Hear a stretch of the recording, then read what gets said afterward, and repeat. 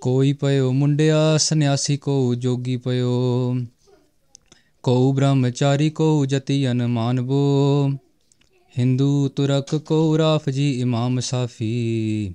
ਮਾਨਸ ਕੀ ਜਾਤ ਸਭੈ ਏਕ ਪਹਿਚਾਨਬੋ ਕਰਤਾ ਕਰੀਮ ਸੋਈ, ਰਾਜਕ ਰਹੀਮ ਓਈ। ਦੂਸਰੋ ਨ ਪੇਦ ਕੋਈ ਭੂਲ ਪ੍ਰਮ ਮਾਨਬੋ ਏਕ ਹੀ ਕੀ ਸੇਵ, ਸਭ ਹੀ ਕੋ ਗੁਰਦੇਵ ਏਕ। ਏਕ ਹੀ ਸਰੂਪ ਸਭੈ ਏਕੈ ਜੋਤ ਜਾਣਬੋ ਏਕ ਹੀ ਸਰੂਪ ਸਭੈ ਏਕੈ ਜੋਤ ਜਾਣਬੋ ਵਾਹਿਗੁਰੂ ਜੀ ਕਾ ਖਾਲਸਾ ਵਾਹਿਗੁਰੂ ਜੀ ਕੀ ਫਤਿਹ। ਸੋ ਡਾਕਟਰ ਗਿਆਨੀ ਸੁਪ੍ਰੀਤ ਸਿੰਘ ਜੀ ਤੇ ਭਾਈ ਸਾਹਿਬ ਭਾਈ ਅਪੀ ਸਿੰਘ ਜੀ ਸਾਡੇ ਨਾਲ ਅੱਜ ਬੈਠੇ ਆ। ਅਸੀਂ ਇਹ ਫੁੱਲੇ ਨਹੀਂ ਸਮਾਰੇ ਕਿ ਤੁਸੀਂ ਸਾਡੇ ਨਾਲ ਅੱਜ ਬੈਠੇ ਹੋ। ਸਾਨੂੰ ਬਹੁਤ ਖੁਸ਼ੀ ਹੈ ਜੀ। ਤੇ ਅਸੀਂ ਅੱਜ ਵਿਚਾਰਾ ਕਰਨੀ ਹੈ ਅਕਾਲੀ ਬਾਬਾ ਫੂਲਾ ਸਿੰਘ ਜੀ ਤੇ। ਉਹਨਾਂ ਦੀ ਜੀਵਨੀ ਬਾਰੇ ਉਹਨਾਂ ਦੇ ਇਤਿਹਾਸ ਬਾਰੇ ਜੋ। ਸਾਨੂੰ ਗੁਰਾਂ ਨੇ ਬਖਸ਼ਿਆ ਇੰਨੇ ਆਪਣੇ ਚੜ੍ਹਦੀ ਕਲਾ ਗੁਰਸਿੱਖਾਂ ਦੇ। ਸੋ ਆਪ ਜੀ ਦੱਸੋ ਕਿਉਂਕਿ ਅਸੀਂ ਦੇਖਿਆ ਕਿ ਕਾਫੀ ਕਥਾ ਕਾਫੀ ਜਗ੍ਹਾ ਤੇ ਆਪ ਜੀ ਵੀ ਸੰਭਾਲ ਰਹੇ ਮੋਰਚੇ। ਤੇ ਉਂਝ ਵੀ ਕਿਉਂਕਿ ਇਹ ਮਹੀਨਾ 200 ਸਾਲ ਹੋ ਗਏ ਉਹਨਾਂ ਨੂੰ। ਹਾਂਜੀ। ਉਹਨਾਂ ਦਾ ਸ਼ਹੀਦੀ ਪੁਰਬ ਵਿੱਚ ਨਿਕਲਿਆ। ਜੀ। ਤੇ ਮੈਂ ਸ਼ੁਰੂ ਇਧਰੋਂ ਹੀ ਕਰਨਾ ਚਾਹਾਂਗਾ ਮੈਂ ਪੁੱਛਣਾ ਕਿਉਂਕਿ ਦਾਸ ਨੂੰ ਵੀ ਬਹੁਤੀ ਨੌਲੇਜ ਨਹੀਂ ਹੈ। ਤੇ ਇਹੀ ਪੁੱਛਣਾ ਕਿ ਪਹਿਲੇ ਤੇ ਦੱਸੋ ਕਿ ਕਾਲੀ ਫੁੱਲਾ ਸਿੰਘ ਜੀ ਹੈ ਕੌਣ ਨੇ? ਕਿ ਕਿਉਂ ਉਹਨਾਂ ਬਾਰੇ ਜਾਣਨਾ ਜ਼ਰੂਰੀ ਹੈ? ਹਾਂਜੀ ਸਾਰੀ ਸੰਗਤ ਨੂੰ ਵਾਹਿਗੁਰੂ ਜੀ ਕਾ ਖਾਲਸਾ ਵਾਹਿਗੁਰੂ ਜੀ ਕੀ ਫਤਿਹ। ਸਿੰਘ ਸਾਹਿਬ ਨਿਹੰਗ ਅਕਾਲੀ ਫੂਲਾ ਸਿੰਘ ਜੀ ਉਹਨਾਂ ਦਾ ਜੀਵਨ ਟੋਰਾਂਟੋ ਅਮਰੀਕਾ ਹੁਣ ਕੈਨੇਡਾ 200 ਸਾਲਾ ਭਾਰਤ ਦੇ ਅੰਦਰ ਵੀ ਪੰਜਾਬ ਦੀ ਧਰਤੀ ਤੇ ਵੱਖ-ਵੱਖ ਥਾਵਾਂ ਦੇ ਉੱਤੇ 200 ਸਾਲਾ ਸ਼ਹੀਦੀ ਦਿਹਾੜਾ ਮਨਾਇਆ ਗਿਆ। ਬੜੇ ਪਿਆਰ ਦੇ ਨਾਲ ਸਾਡੇ ਵਿਦਿਆ ਗੁਰੂ ਗਿਆਨੀ ਸ਼ੇਰ ਸਿੰਘ ਜੀ ਆਏ ਸੀ ਜਦੋਂ ਹੁਣ ਕੈਨੇਡਾ ਪਿੱਛੇ ਉਹ ਹੁਕਮ ਲਾ ਕੇ ਗਏ ਵੀ ਅਕਾਲੀ ਫੂਲਾ ਸਿੰਘ ਜੀ ਦਾ ਪ੍ਰਚਾਰ ਕਰੋ। ਤਦੋਂ ਦਾਸ ਦੇ ਮਨ 'ਚ ਇਹ ਗੱਲ ਆਈ ਅਸੀਂ ਸਾਰੇ ਵਿਦਿਆਰਥੀ ਸਿੰਘਾਂ ਨੇ ਵੀ ਰਲ ਕੇ ਇਹ ਵਿਚਾਰ ਕੀਤੀ ਬਈ ਉਹਨਾਂ ਦੇ ਜਿਹੜੀ ਸ਼ਹੀਦੀ ਦਾ ਪ੍ਰਸੰਗ ਹੈ ਨਸ਼ਹਿਰੇ ਦਾ ਵੀ ਉਹ ਤਾਂ ਅਸੀਂ ਸਾਰਿਆਂ ਨੇ ਪੜਿਆ ਹੋਇਆ ਜੀ। ਪਰ ਜੇ ਅਸੀਂ ਵਿਚਾਰ ਕਰੀਏ ਬਈ ਅਕਾਲੀ ਫੂਲਾ ਸਿੰਘ ਜੀ ਦਾ ਸਾਰਾ ਜੀਵਨ ਉਹ ਨਹੀਂ ਪੜਿਆ ਹੋਇਆ ਫਿਰ ਉਹਦੇ ਲਈ ਅਸੀਂ ਗਿਆਨੀ ਜੀ ਨੂੰ ਵੀ ਪੁੱਛਿਆ ਵੀ ਗਿਆਨੀ ਜੀ ਵੀ ਅਸੀਂ ਸਾਨੂੰ ਜੇ ਪੂਰਾ ਜੀਵਨ ਪੜਨਾ ਹੈ ਤਾਂ ਕਿਹੜੇ ਗ੍ਰੰਥਾਂ ਨੂੰ ਫੋਲੋ ਕਰੀਏ? ਫਿਰ ਗਿਆਨੀ ਜੀ ਨੇ ਸਾਨੂੰ ਦੱਸਿਆ ਵੀ ਤੁਸੀਂ ਕੁਝ ਗ੍ਰੰਥ ਹੈਗੇ ਨੇ ਜਿਨ੍ਹਾਂ 'ਚ ਅਕਾਲੀ ਫੂਲਾ ਸਿੰਘ ਜੀ ਦਾ ਜੀਵਨ ਹੈ। ਜਿਵੇਂ ਅਕਾਲੀ ਫੂਲਾ ਸਿੰਘ ਜੀ ਦੀ ਪ੍ਰੇਮ ਸਿੰਘ ਹੋਤੀ ਮਰਦਾਨ ਜੀ ਦੀ ਲਿਖੀ ਬੁੱਕ, ਉਹਦੇ ਅੰਦਰ, ਉਹਨਾਂ ਦੇ ਗ੍ਰੰਥ ਦੇ ਅੰਦਰ ਜੀਵਨ ਹੈ। ਵੀਰ ਮਰਗੇਸ਼, ਪੰਡਿਤ ਸ਼ੇਰ ਸਿੰਘ ਜੀ ਦਾ ਲਿਖਿਆ ਉਹਦੇ 'ਚ ਜੀਵਨ ਹੈ। ਤੇ ਅਕਾਲੀ ਫੂਲਾ ਸਿੰਘ ਜੀ ਦਾ ਜੀਵਨ ਕਈ ਕਾਵਿਆ ਰੂਪ ਦੇ ਅੰਦਰ ਕਾਦਰ ਖਾਨ ਨੇ ਲਿਖਿਆ ਅੱਛਾ ਜੀ। ਤੇ ਉਹ ਜੀਵਨ ਫਿਰ ਜਦੋਂ ਅਸੀਂ ਸਾਰਾ ਪੜ੍ਹਨਾ ਸ਼ੁਰੂ ਕਰਿਆ ਤੇ ਤਦੋਂ ਸਾਨੂੰ ਪਤਾ ਲੱਗਿਆ ਵੀ ਅਕਾਲੀ ਜੀ ਦੇ ਜੀਵਨ ਦੇ ਵਿੱਚ ਵੀ ਕੀ ਕੀ ਉਹਨਾਂ ਦੇ ਜੀਵਨ ਦੇ ਅੰਦਰ ਉਹਨਾਂ ਨੇ ਚੁਣੌਤੀਆਂ ਫੇਸ ਕੀਤੀਆਂ ਜਾਂ ਕੀ ਉਹਨਾਂ ਨੇ ਆਪਣੇ ਜੀਵਨ ਦੇ ਅੰਦਰ ਜੰਗ ਲੜੇ, ਕਿੱਦਾਂ ਉਹਨਾਂ ਨੇ ਗੁਰਸਿੱਖੀ ਦੀ ਰਹਿਤ ਨੂੰ ਸਭ ਤੋਂ ਉੱਚਾ ਸੁੱਚਾ ਰੱਖਿਆ ਤੇ ਸਿੰਘਾਂ ਦੇ ਅੰਦਰ ਉਹਨਾਂ ਦੇ ਬੋਲ ਕਿਸ ਤਰ੍ਹਾਂ ਮਤਲਬ ਇੱਕ ਜਿਵੇਂ ਗੁਰੂ ਗੋਬਿੰਦ ਸਿੰਘ ਮਹਾਰਾਜ ਦੇ ਬੋਲ ਹੁੰਦੇ ਸੀਗੇ ਉਦਾਂ ਉਹਨਾਂ ਦੇ ਬੋਲ ਸਿੰਘਾਂ ਦੇ ਸੀਨਿਆਂ ਨੂੰ ਮਤਲਬ ਵੀਰ ਰਸ ਦੇ ਨਾਲ ਜਦੋਂ ਕੋਈ ਦੁਨਿਆਵੀ ਸਿੰਘਾਂ ਨੂੰ ਕੋਈ ਸਮਾਜਿਕ ਵਿਵਹਾਰਿਕ ਜਾਂ ਧਾਰਮਿਕ ਤੌਰ ਤੇ ਕੋਈ ਲੋੜ ਹੁੰਦੀ ਸੀਗੀ ਤਦੋਂ ਅਕਾਲੀ ਫੂਲਾ ਸਿੰਘ ਜੀ ਨੇ ਕਿਸ ਤਰ੍ਹਾਂ ਹੈਲਪ ਕੀਤੀ? ਤੇ ਜਿਵੇਂ ਆਪਾਂ ਅਕਾਲੀ ਫੂਲਾ ਸਿੰਘ ਜੀ ਦਾ ਜਿਹੜਾ ਜਨਮ ਸੀਗਾ ਜਦੋਂ ਅਸੀਂ ਵਿਦਵਾਨਾਂ ਨੂੰ ਪੜਿਆ ਜਾਂ ਸੁਣਿਆ ਜਾਂ ਗ੍ਰੰਥਾਂ ਦਾ ਅਧਿਐਨ ਕੀਤਾ ਤੇ ਪਤਾ ਲੱਗਿਆ ਵੀ ਅਕਾਲੀ ਫੂਲਾ ਸਿੰਘ ਜੀ, ਉਹਨਾਂ ਦੇ ਜਿਹੜਾ ਜੀਵਨ ਹੈ, ਉਹ ਬੜਾ ਸੰਘਰਸ਼ਮਈ ਰਿਹਾ। ਜਿਵੇਂ ਹੁਣ ਆਪਾਂ, ਅਸੀਂ ਆਪਣੀ ਗੱਲ ਕਰੀਏ ਵੀ ਜੇ ਸਾਡੇ ਪੇਰੈਂਟਸ ਨੇ ਸਾਨੂੰ ਗਰੋ ਅਪ ਕੀਤਾ ਹੈ, ਅਸੀਂ ਐਜੂਕੇਸ਼ਨ ਲੈ ਪਾਏ ਆ ਸਾਡੇ ਕੋਲ ਅੱਜ ਕੋਈ ਦਿੱਕਤ ਨਹੀਂ ਹੈ, ਕਾਰਾਂ ਨੇ, ਘਰ ਹੈ, ਜਾਂ ਹੋਰ ਜਿਹੜੀ ਵੀ ਲੋੜ ਹੁੰਦੀ ਹੈ ਬੱਚੇ ਦੀ ਸਾਰੀਆਂ ਨੇ, ਅਕਾਲੀ ਫੂਲਾ ਸਿੰਘ ਜੀ ਦੇ ਜਿਹੜੇ ਪਿਤਾ ਜੀ ਸਨ, ਉਹ ਜਦੋਂ 1 ਸਾਲ ਦੇ ਸੀ ਚੜ੍ਹਾਈ ਕਰ ਗਏ ਵਾਹਿਗੁਰੂ। 1761 ਦੇ ਅੰਦਰ ਅਕਾਲੀ ਫੂਲਾ ਸਿੰਘ ਦਾ ਜਨਮ ਹੁੰਦਾ ਹੈ। 1762 ਦੇ ਅੰਦਰ ਉਹਨਾਂ ਦੇ ਪਿਤਾ ਜੀ ਨੇ ਜਿਹੜੇ ਉਹ ਚੜ੍ਹਾਈ ਕਰ ਜਾਂਦੇ ਨੇ ਵੱਡੇ ਘੱਲੂਘਾਰੇ ਦੇ ਅੰਦਰ। ਅੱਛਾ ਜੀ। ਤੇ ਉਹ ਉਹਨਾਂ ਦੇ ਸਰੀਰ ਤੇ ਤਲਵਾਰ ਦਾ ਇੱਕ ਐਸਾ ਵਾਰ ਲੱਗਦਾ ਜਿਹਦੇ ਨਾਲ ਉਹ ਜ਼ਖਮੀ ਹੋ ਜਾਂਦੇ ਨੇ ਤੇ ਥੋੜੇ ਚਿਰ ਬਾਅਦ ਹਫ਼ਤੇ ਬਾਅਦ ਉਹ ਚੜ੍ਹਾਈ ਕਰ ਜਾਂਦੇ ਨੇ। ਤੇ ਉਹਨਾਂ ਦੇ ਮਾਤਾ ਜੀ ਹਰਕੌਰ ਸੀਗੇ। ਉਹਨਾਂ ਨੇ ਉਹਨਾਂ ਨੂੰ ਉਹ ਵੀ 7 ਸਾਲ ਦੀ ਉਮਰ ਤੱਕ ਉਹਨਾਂ ਨੂੰ ਪਾਲਿਆ ਗੁਰਮਤ ਦੀ ਵਿੱਦਿਆ ਦਿੱਤੀ ਉਹ ਵੀ ਸਟੇਅਰਸ ਤੋਂ ਗਿਰ ਕੇ ਉਹ ਵੀ ਚੜ੍ਹਾਈ ਕਰ ਗਏ। ਅੱਛਾ ਜੀ। ਪਰ ਉਹਨਾਂ ਨੇ ਜਦੋਂ ਚੜ੍ਹਾਈ ਕਰਨ ਲੱਗੇ ਇੱਕ ਬੜੀ ਸੋਹਣੀ ਗੱਲ ਕਹੀ ਕਾਲੀ ਫੂਲਾ ਸਿੰਘ ਨੂੰ। ਕਹਿੰਦੇ ਪੁੱਤਰ ਵੀ ਤੂੰ ਗੁਰਸਿੱਖੀ ਦੀ ਰੀਤ ਦੇ ਅੰਦਰ ਚੱਲਣਾ ਹੈ ਨਾਮ ਜਪਣਾ ਹੈ। ਸਭ ਤੋਂ ਅੱਛੀ ਗੱਲ ਜਿਹੜੇ ਸਿੰਘਾਂ ਦੀ ਤਾਬਿਆ ਦੇ ਹੇਠ ਚੱਲਣਾ ਹਮੇਸ਼ਾ। ਵੀ ਬੁੱਢੇ ਦਲ ਦੀ ਸਰਪ੍ਰਸਤੀ ਹੇਠ ਜਿੱਦਾਂ ਤੈਨੂੰ ਸਿੰਘ ਸਾਹਿਬ ਬਾਬਾ ਨੈਣਾ ਸਿੰਘ ਜੀ ਸਿੰਘ ਸਾਹਿਬ ਬਾਬਾ ਤਪਾ ਸਿੰਘ ਜੀ ਇਹ ਸਾਰੇ ਜਿਹੜੇ ਗੁਰਸਿੱਖ ਜਿਹੜੇ ਕਮਾਈ ਕਰਦੇ ਨੇ ਉਹਨਾਂ ਦੇ ਨਾਲ ਆਪਣਾ ਜੀਵਨ ਬਤੀਤ ਕਰਨਾ। ਸੋ ਉਹ ਅਕਾਲੀ ਫੂਲਾ ਸਿੰਘ ਜੀ ਦਾ ਜਿਹੜਾ ਜਨਮ ਸੀ ਉਹ ਦੇਲਾ ਸੀਆਂ ਪਿੰਡ ਦਾ ਹੈ, 1761 ਦਾ ਅ, 14 ਜਨਵਰੀ ਦਾ। ਜੀ।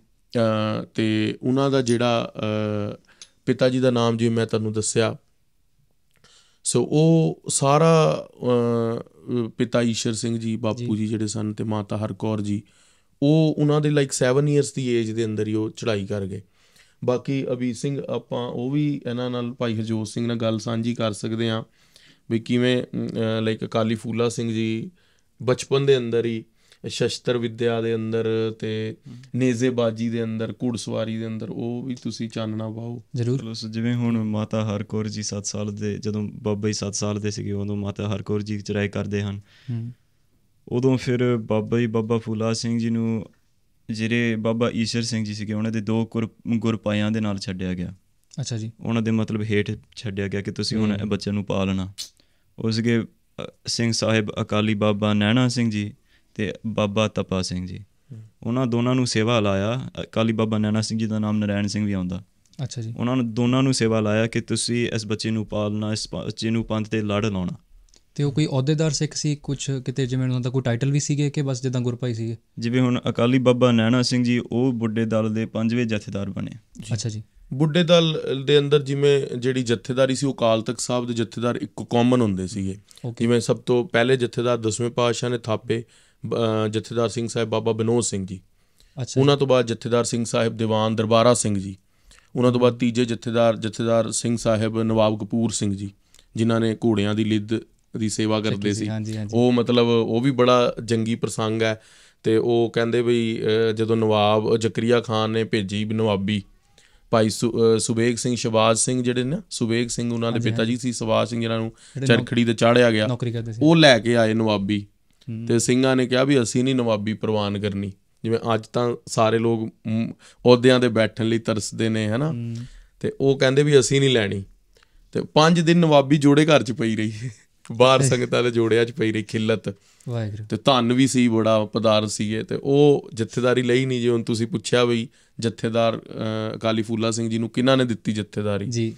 ਸੋ ਉਹ ਜਦੋਂ ਖਿੱਲਤ ਪਈ ਰਹੀ ਨਵਾਬੀ ਪਈ ਰਹੀ ਪੈਰਾਂ ਦੇ ਅੰਦਰ ਤੇ ਉਹ ਭਾਈ ਸਵਾਜ ਸਿੰਘ ਸੁਬੇਗ ਸਿੰਘ ਨੇ ਆ ਕੇ ਕਿਹਾ ਵੀ ਆਪਣੇ ਸਿੰਘਾਂ ਕੋ ਨਵਾਬੀ ਆਈ ਆ ਆਪਾਂ ਲਈਏ।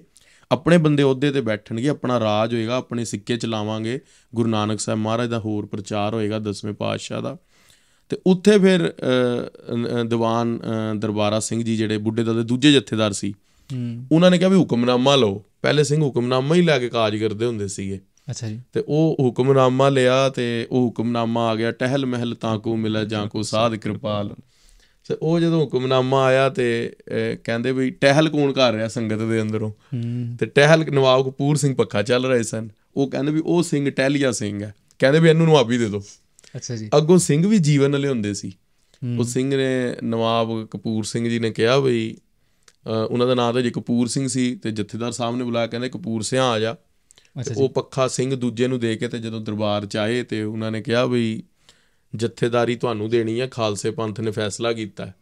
ਉਹ ਕਹਿੰਦੇ ਮਹਾਰਾਜ ਮੈਂ ਤਾਂ ਸੇਵਾਦਾਰ ਆ ਉਹਨੇ ਹੱਥ ਜੋੜ ਲਏ ਤੇ ਉਹਨਾਂ ਨੇ ਕਿਹਾ ਵੀ ਨਹੀਂ ਖਾਲਸਾ ਪੰਥ ਪੰਜਾਂ ਪਿਆਰਿਆਂ ਦਾ ਹੁਕਮ ਹੈ ਤੁਹਾਨੂੰ ਲੈਣਾ ਪੈਣਾ। ਉਹ ਕਹਿੰਦੇ ਫਿਰ ਮੇਰੀ ਪੰਜਾਂ ਪਿਆਰਿਆਂ ਦੇ ਅੱਗੇ ਬੇਨਤੀ ਹੈ ਹੂੰ ਵੀ ਇਹ ਪੰਜ ਪਿਆਰਿਆਂ ਦੇ ਚਰਨਾਂ ਦੇ ਉੱਤੇ ਸੀਸ ਦੇ ਪੂਰੇ ਛੁਆ ਕੇ ਉਹਦੇ ਨਾਲ ਮੈਂ ਦਾ ਪੋਚਾ ਮਾਰਾਂ ਸਾਫ਼ ਕਰਾਂ।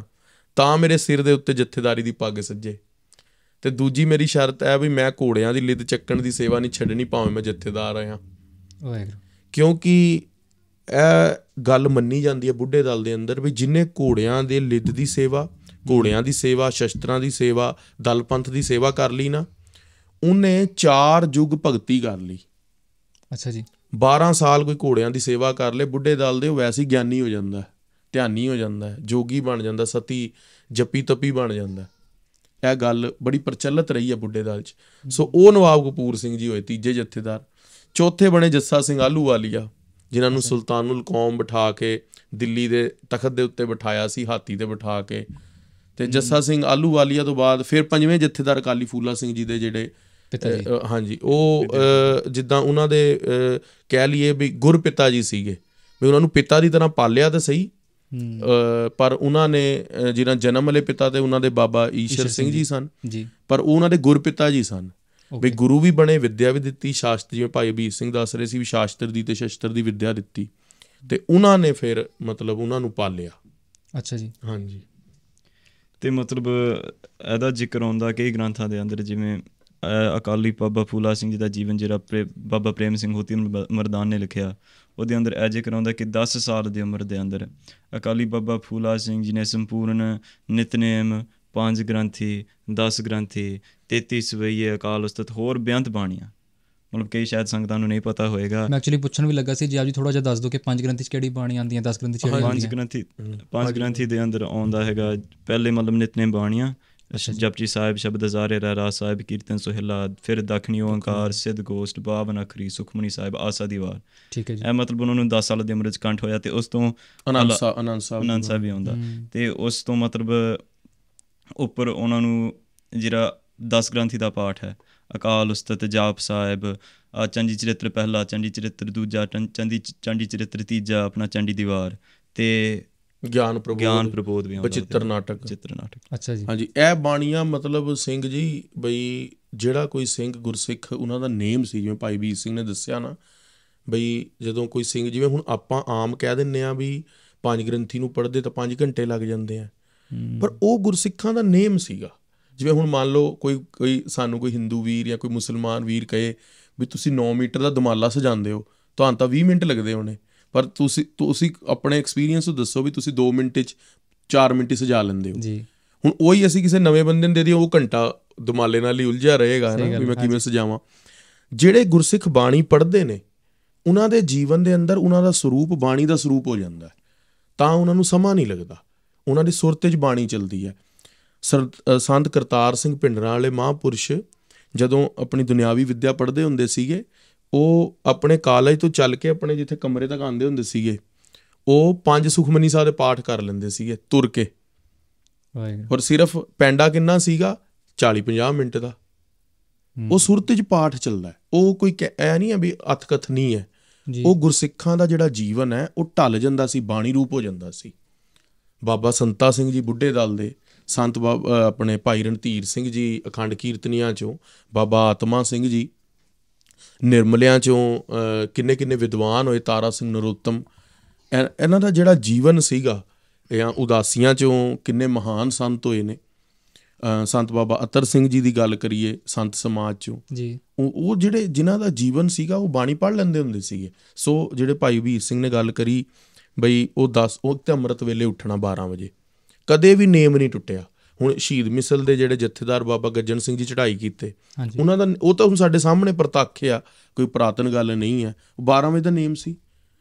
ਉਹਨਾਂ ਦੀ ਹਜੇ ਤੱਕ ਬਚਨ ਸਾਰੇ ਪੰਥ ਨੂੰ ਮਸ਼ਹੂਰ ਹੈ ਇੱਕ ਦਿਨ ਉਹਨਾਂ ਨੂੰ ਸਿੰਘ ਨੇ 12 10 ਤੇ ਉਠਾਇਆ ਕਿਉਂਕਿ ਸੋਏ ਹੀ 10 ਕੁ ਵਜੇ ਆਰਾਮ ਕੀਤਾ। ਤੇ ਉਹ ਸਿੰਘ ਨੂੰ ਟੁੱਟ ਕੇ ਪੈ ਗਏ ਸਵੇਰੇ ਸਵੇਰੇ ਉਹਦੇ ਨਾਲ ਦਾਤਨ ਕੁਰਲਾ ਹੋ ਗਿਆ। ਕਹਿੰਦੇ ਵੀ ਤੂੰ ਲੇਟ ਕਿਉਂ ਉਠਾਇਆ ਮੈਨੂੰ। ਜਿਹੜਾ। ਪਹਿਰੇ ਦਾ ਸਿੰਘ ਸੀਗਾ ਉਹ ਕਹਿੰਦੇ ਬਾਬਾ ਜੀ ਵੀ ਤੁਸੀਂ ਤਾਂ 10 ਵਜੇ ਸੋਏ ਸੀ। ਸੋ ਗੱਲ ਉਹ ਹੈ ਵੀ ਸਿੰਘਾਂ ਦਾ ਨੇਮ ਹੁੰਦਾ ਸੀ। 12 ਵਜੇ ਉੱਠੇ ਇਸ਼ਨਾਨ ਪਾਨ ਕੀਤਾ। ਉਹਦੇ ਬਾਅਦ ਬਾਣੀ ਪੜ੍ਹੀ ਨਾਮ ਜਪਿਆ ਤੇ ਰਗੜਾ ਲਾਇਆ। ਰਗੜਾ ਲਾ ਕੇ ਤਿਆਰ ਬਰ ਤਿਆਰ ਹੋ ਕੇ ਤੇ 6 ਵਜੇ ਤਾਂ ਸਿੰਘ ਬਹਿ ਜਾਂਦੇ ਹੁੰਦੇ ਸੀਗੇ। ਕਈ ਨਿਹੰਗ ਸਿੰਘ ਪੁਰਾਤਨ ਸੋ ਜਾਂਦੇ ਹੁੰਦੇ ਸੀਗੇ। 6 ਵਜੇ ਜੇ ਪਾਠ ਹੋ ਗਿਆ ਵਿਹਲੇ ਹੋ ਗਏ 6 ਵਜੇ ਸੋ ਗਏ। ਤੇ ਉਹ ਕਈਆਂ ਨੇ ਕਹਿਣਾ ਵੀ ਜੇ ਸੁੱਤੇ ਨਹੀਂ ਉੱਠੇ ਉਹਨਾਂ ਨੂੰ ਨਹੀਂ ਪਤਾ ਇਹਦਾ ਅਕਾਲ ਪੁਰਖ ਵਾਹਿਗੁਰੂ ਦੇ ਚਰਨਾਂ ਦੇ ਅੰਦਰ ਆਪਣੀ ਸਵੇਰੇ ਬਿਰਤੀਆਂ ਇਕਾਗਰ ਕਰਕੇ ਹੁਣ ਤਾਂ ਵਿਸ਼ਰਾਮ ਕਰ ਰਹੇ ਨੇ। ਸੋ ਗੁਰਸਿੱਖਾਂ ਦਾ ਜੀਵਨ ਹੁੰਦਾ ਸੀ। ਸੋ ਕਾਲੀ ਫੂਲਾ ਸਿੰਘ ਜੀ ਪੰਜ ਗ੍ਰੰਥੀ 10 ਗ੍ਰੰਥੀ ਇਸ ਤਰ੍ਹਾਂ ਉਹਨਾਂ ਨੇ ਨੇਮ ਸੀਗਾ। ਤੁਸੀਂ ਕਹਿ ਰਹੇ ਜਦੋਂ ਉਹ 10 12 ਸਾਲ ਦੇ ਸੀ ਉਦੋਂ ਪੰਜ ਗ੍ਰੰਥੀ 10 ਗ੍ਰੰਥੀ ਉਹਨਾਂ ਨੂੰ ਕੰਠ ਸੀ। ਅਭਿਆਸ ਬਹੁਤ ਅੱਛਾ ਸੀ ਬਾਣੀ ਦਾ। ਕਿਉਂਕਿ ਦੇਖੋ ਭਾਈ ਹਰਜੋਤ ਸਿੰਘ ਐਡੀ ਵੱਡੀ ਸ਼ਹਾਦਤ ਦੇਣਾ ਨਾ ਜੀ। ਉਹ ਕੋਈ ਆਮ ਗੱਲ ਨਹੀਂ ਹੈ। ਜੇ ਦਸਵੇਂ ਪਾਤਸ਼ਾਹ ਦੇ ਨਾਲ 40 ਲੜੇ ਨੇ ਭਜਨ ਸੀਗਾ ਤਾਂ ਲੜੇ ਨੇ।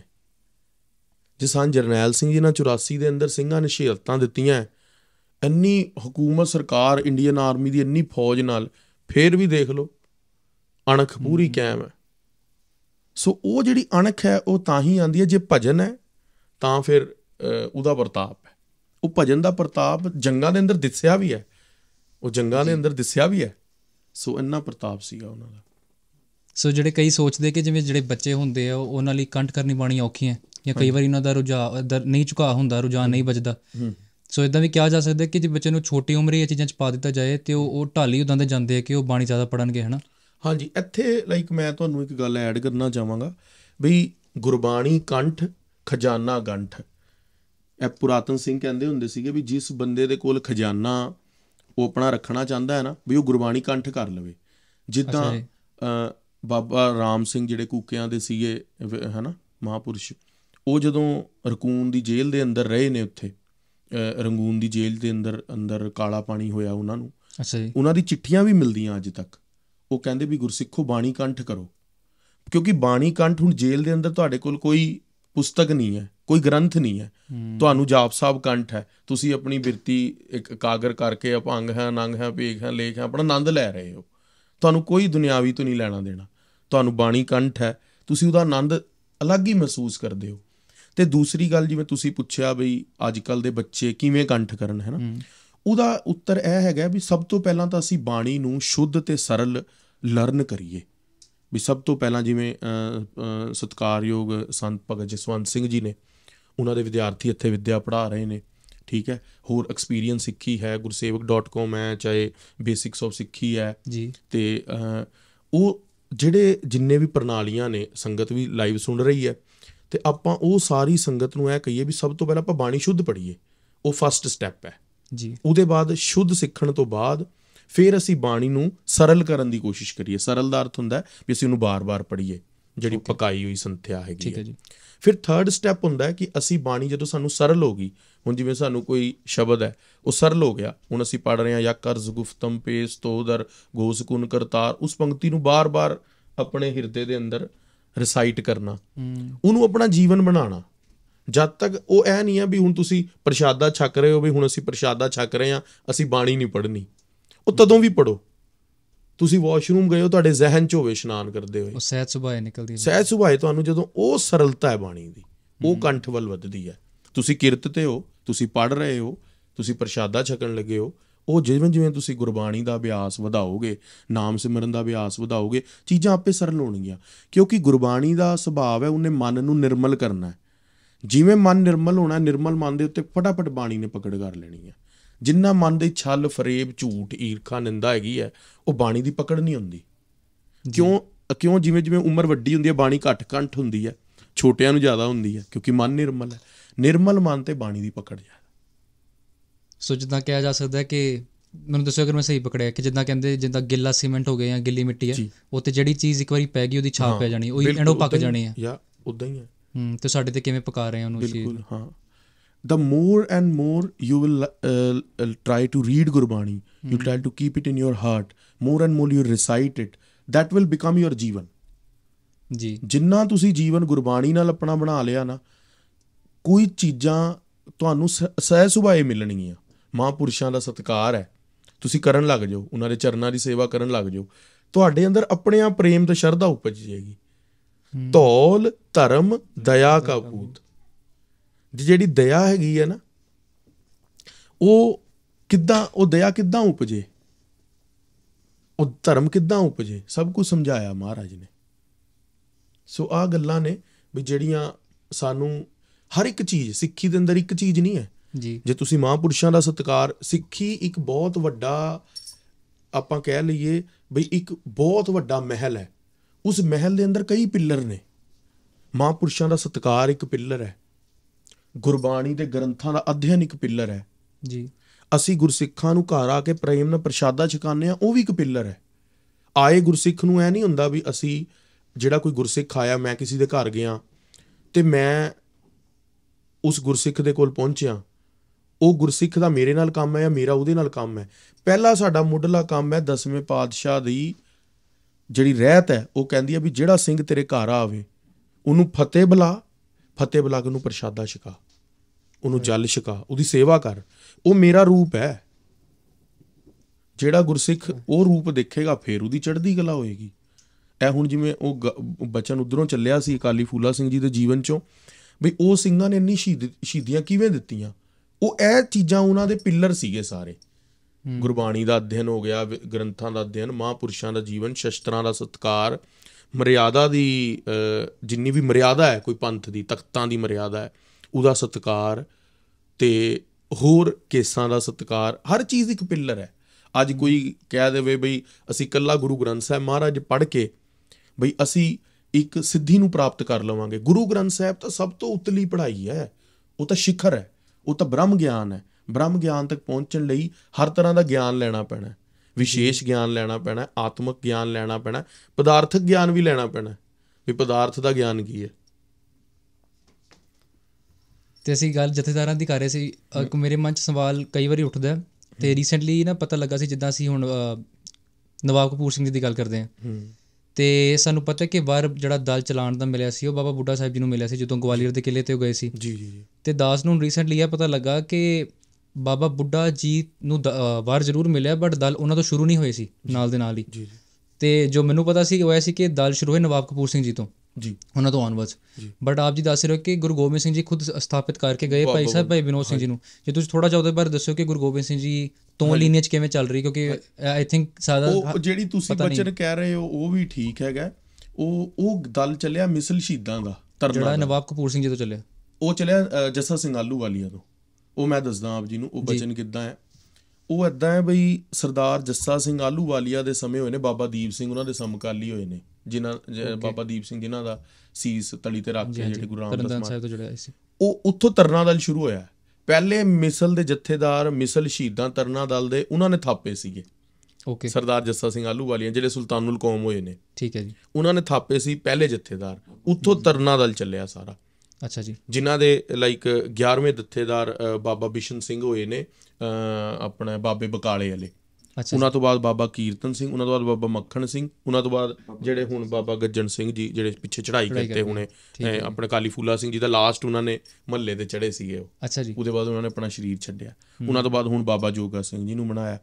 ਤੇ ਬਾਬਾ ਜੋਗਾ ਸਿੰਘ ਜੀ ਦੇ ਜਿਹੜੇ ਵੱਡੇ ਭਰਾ ਨੇ ਉਹ ਅਵੀਰ ਸਿੰਘ ਦੇ ਵਿਦਿਆ ਗੁਰੂ ਵੀ ਨੇ ਗਿਆਨੀ ਮਤਾਬ ਸਿੰਘ ਜੀ ਪੰਬੋਈ ਵਾਲੇ। ਅੱਛਾ ਜੀ। ਹੈ ਪਾਤਸ਼ਾਹ ਹੈ ਨਾ ਸੋ ਉਹ ਉਹ ਜਿਹੜੀ ਉੱਦਾਂ ਜੀ ਜਿਹੜੇ ਜਿਨ੍ਹਾਂ ਦਾ ਅਸੀਂ ਜਾਪ ਸਾਹਿਬ ਸੁਣਦੇ ਆ ਜਿਨ੍ਹਾਂ ਨੇ ਕਾਲ ਉਸ ਹਾਂਜੀ ਹਾਂਜੀ। ਬਾਣੀ ਉਹ ਇਹਨਾਂ ਦੇ ਵਿਦਿਆ ਗੁਰੂ ਨੇ। ਅੱਛਾ ਜੀ ਵਾਹ ਜੀ ਵਾਹ ਠੀਕ ਹੈ ਜੀ। ਹਾਂ, ਉਹਨਾਂ ਤੋਂ ਇਹ 22 ਵਾਰਾਂ ਲੜੀਵਾਰ ਪੜ ਰਹੇ ਨੇ। ਸੋ ਉਹ ਜਿਹੜਾ ਉਹ ਸੀਗੀ ਤਰਨਾ ਦਲ ਚੱਲਿਆ ਉੱਥੋਂ। ਠੀਕ ਹੈ ਜੀ। ਤੇ ਮੈਂ ਤੁਹਾਨੂੰ ਥੋੜਾ ਜਿਹਾ ਹੋਰ ਇਹਦੇ ਲੈ ਜਾ ਪੰਥ ਪ੍ਰਕਾਸ਼ ਦੇ ਅੰਦਰ ਬਚਨ ਆਂਦਾ ਜਿਹੜਾ ਤਾਂ ਦੁਆਬੇ ਦਾ ਸਾਰਾ ਇਲਾਕਾ ਹੈ ਉਹ ਬੁੱਢੇ ਦਲ ਨੇ ਮੰਨ ਲਿਆ ਸੀਗਾ। ਇੱਕ ਬਿਸ਼ੰਬਰ ਦਾਸ ਨਾਮ ਦਾ ਹਾਕਮ ਸੀਗਾ ਉਹਨੂੰ ਝਟਕਾ ਕੇ। ਓਕੇ ਤੇ ਜਿਹੜਾ ਕਸੂਰ ਦਾ ਇਲਾਕਾ ਹੈ ਸਾਰਾ ਉਹ ਸਾਰਾ ਤਰਨਾ ਦਲ ਨੇ ਆਪਣੇ ਹਿੱਸੇ ਚ ਲਿਆ ਸੀ। ਜਿਹਦੇ ਅੰਦਰ ਸਿੰਧ ਆਂਦਾ ਹੈ ਸਾਰਾ ਪੱਛਮੀ ਸਾਈਡ ਜਿੱਦਾਂ ਕਹਿ ਲਓ ਪੱਛਮੀ ਸਾਈਡ ਸਾਰਾ ਉਹ ਇਹਨਾਂ ਕੋਲ ਸੀਗਾ। ਉਹਦੇ ਅੰਦਰ ਮਹਾਰਾਜਾ ਰਣਜੀਤ ਸਿੰਘ ਜੀ ਦੇ ਦਾਦਾ ਜੀ ਸਰਦਾਰ ਚੜਤ ਸਿੰਘ ਸੂਕਰ ਚੱਕੀਆ ਜੀ। ਜੀ ਜੀ ਤੇ ਉਹ ਉਹ ਸਾਰਾ ਉਹਨਾਂ ਨੇ ਜਿੱਤਿਆ ਸਿੰਘਾਂ ਨੇ। ਪਰ ਬੁੱਢਾ ਦਲ ਤੇ ਤਰਨਾ ਦਲ ਉੱਥੇ ਵੀ ਇਕੱਠੇ ਹੀ ਸੀਗੇ। ਪਰ ਉਹ ਤਰਨਾ ਦਲ ਨੂੰ ਕਹਿ ਲਓ ਕਿ ਲਾਈਕ ਦਾ ਯੰਗਸਟਰਸ ਹੈ ਨਾ? ਬੁੱਢਾ ਦਲ ਲਾਈਕ ਆਪਾਂ ਕਹਿ ਲਈਏ ਵੀ ਜਿਹੜੇ ਸਿਆਣੇ ਬਜ਼ੁ- ਐਵੇਂ ਨਹੀਂ ਸੀਗਾ ਵੀ ਤਰਨਾ ਦਲ ਚ ਵੀ ਸਿਆਣੇ ਸੀਗੇ ਬਜ਼ੁਰਗ ਸੀਗੇ ਪਰ ਉਹ ਜਿੱਦਾਂ ਦੋ ਦਲ ਬਣ ਗਏ ਹੈ ਨਾ? ਸੋ ਉਹ ਦਸਵੇਂ ਪਾਤਸ਼ਾਹ ਤੋਂ ਬਾਅਦ ਬਾਬਾ ਵਿਨੋਦ ਸਿੰਘ ਜੀ ਜਥੇਦਾਰ ਸਾਹਿਬ ਬਣੇ ਦਰਬਾਰਾ ਸਿੰਘ ਜੀ ਜਿਵੇਂ ਦਾਸ ਨੇ ਦੱਸਿਆ ਉਸ ਤੋਂ ਬਾਅਦ ਨਵਾਬ ਕਪੂਰ ਸਿੰਘ ਫਿਰ ਜੱਸਾ ਸਿੰਘ ਆਲੂ ਵਾਲੀਆ ਫਿਰ ਪੰਜਵੇਂ ਬਾਬਾ ਨਰਾਇਣ ਸਿੰਘ ਉਹਨਾਂ ਤੋਂ ਬਾਅਦ ਅਕਾਲੀ ਫੂਲਾ ਸਿੰਘ। ਓਕੇ ਜੀ। ਅਕਾਲੀ ਫੂਲਾ ਸਿੰਘ ਜੀ ਨੂੰ ਜਥੇਦਾਰੀ ਬਾਬਾ ਨਰਾਇਣ ਸਿੰਘ ਉਹਨਾਂ ਨੇ ਦਿੱਤੀ ਹੈ। ਅੱਛਾ ਜੀ ਸੋ ਛੇਵੇਂ ਜਥੇਦਾਰ ਅਕਾਲੀ ਫੂਲਾ ਸਿੰਘ ਜੀ ਫੂਲਾ ਸਿੰਘ ਜੀ ਰਹੇ। ਉਹ ਬੁੱਢੇ ਦਲ ਦੇ ਜਥੇਦਾਰ ਬਣੇ। ਅੱਛਾ ਲੜੀ ਜੁੜ ਗਈ ਜਿੱਦਾਂ ਹੁਣ। ਇੱਥੇ ਫਿਰ ਸ਼ਸਤਰਾਂ ਦਾ ਬੜਾ ਅਭਿਆਸ ਸੀਗਾ। ਹਾਂਜੀ ਇੱਥੇ ਫਿਰ ਮਤਲਬ ਬਚਨ ਅਸੀਂ ਥੋੜਾ ਜਿਹਾ ਪਿੱਛੇ ਪਿੱਛੋਂ ਆ ਕੇ ਫਿਰ ਜਥੇਦਾਰੀ ਤੱਕ ਆ ਜਾਈਏ। ਆਪਣਾ ਹੁਣ ਜਿਵੇਂ 10 ਸਾਲ ਦੀ ਉਮਰ ਦੇ ਵਿੱਚ ਉਹਨਾਂ ਨੇ ਜਿਵੇਂ ਸ਼ਾਸਤਰ ਪੱਖ ਤੋਂ ਉਹਨਾਂ ਨੇ ਮਤਲਬ ਪੂਰੇ ਸੀਗੇ। ਇੱਥੋਂ ਵੀ ਥੋੜਾ ਜਿਹਾ ਅਸੀਂ ਅੰਗਰੇਜ਼ੀ ਵਿੱਚ ਵੀ ਬਚਨ ਕਰਦੇ ਹਾਂ। ਹਾਂਜੀ। In the aspect of Shastra Vidya as well. At the age of 10 years old, Akali Baba Phula Singh ji, they were excelling faster than anybody else, even people who were many years older than them, in the areas of Korswari, in horse riding, in the areas of Nejabaji, in uh, using a bow and arrow, in the areas of using a talwar. In these areas of Shastra Vidya, which many people spend their whole lifetimes trying to master, Akali Baba Phula Singh ji became very, very nipun ਜਿਵੇਂ ਅਸੀਂ ਕਹਿੰਦੇ ਨੇ ਬੰਦੂਕ ਦਾ ਨਿਸ਼ਾਨਾ ਵੀ ਬੜਾ ਪੱਕਾ ਸੀਗਾ ਉਹਨਾਂ ਦਾ ਔਰ ਤ- ਤੋਪ ਚਲਾਣੀ ਵੀ ਜਾਣਦੇ ਸੀਗੇ he was good at cannon fire too ਅੱਛਾ ਜੀ and then at the this is all at the age of 10 10 years old. ਤੇ ਫਿਰ ਐਦਾਂ ਮਤਲਬ ਅਕਾਲੀ ਬਾਬਾ ਨੈਣਾ ਸਿੰਘ ਜੀ ਦੇ ਨਾਲ ਵਿਚਰਦੇ ਵਿਚਰਦੇ ਇੱਕ ਮਤਲਬ ਸਮਾਂ ਹੁੰਦਾ ਜਦੋਂ ਉਹਨਾਂ ਨੂੰ ਫਿਰ ਇੱਕ ਸਮਾਂ ਹੁੰਦਾ ਜਿਵੇਂ ਹੁਣ ਬਾਬਾ ਜੀ ਮਿਸਲਾਂ ਬਾਰੇ ਦੱਸ ਰਹੇ ਸੀਗੇ। ਤੇ ਜਦੋਂ ਇੱਕ ਸੂਕਰ ਚੱਕੀਆ ਮਿਸਲ ਤੇ ਪੰਗੀ ਮਿਸਲ ਉਹ ਦੋਨੋਂ ਮਤਲਬ ਅੰਮ੍ਰਿਤਸਰ ਦੇ ਉੱਤੇ ਕਬਜ਼ਾ ਕਰਨਾ ਚਾਹੁੰਦੇ ਸਨ। ਉਸ ਸਮੇਂ ਇੱਕ ਮਤਲਬ ਘਟਨਾ ਹੋਈ ਜਿਹਦੇ ਨਾਲ ਸਾਰਿਆਂ ਨੂੰ ਮਤਲਬ ਅਕਾਲੀ ਬਾਬਾ ਫੁੱਲਾ ਸਿੰਘ ਜੀ ਦੀ ਅੰਦਰ ਭਰੋਸਾ ਬਣ ਗਈ ਸਾਰਿਆਂ ਦਾ। ਉਹ ਬਾਬੇ ਆਪ ਜੀ ਬਚਨ ਸੁਣਾਇਆ। ਕਰੋ ਕਿਰਪਾ। ਠੀਕ ਹੈ। ਇਹ ਉਦੋਂ ਉਸ ਸਮੇਂ ਅਕਾਲੀ ਬਾਬਾ ਫੁੱਲਾ ਸਿੰਘ ਜੀ ਮਤਲਬ ਹਜੇ ਜਥੇਦਾਰ ਨਹੀਂ ਬਣੇ ਸਨ। ਓਕੇ ਜੀ।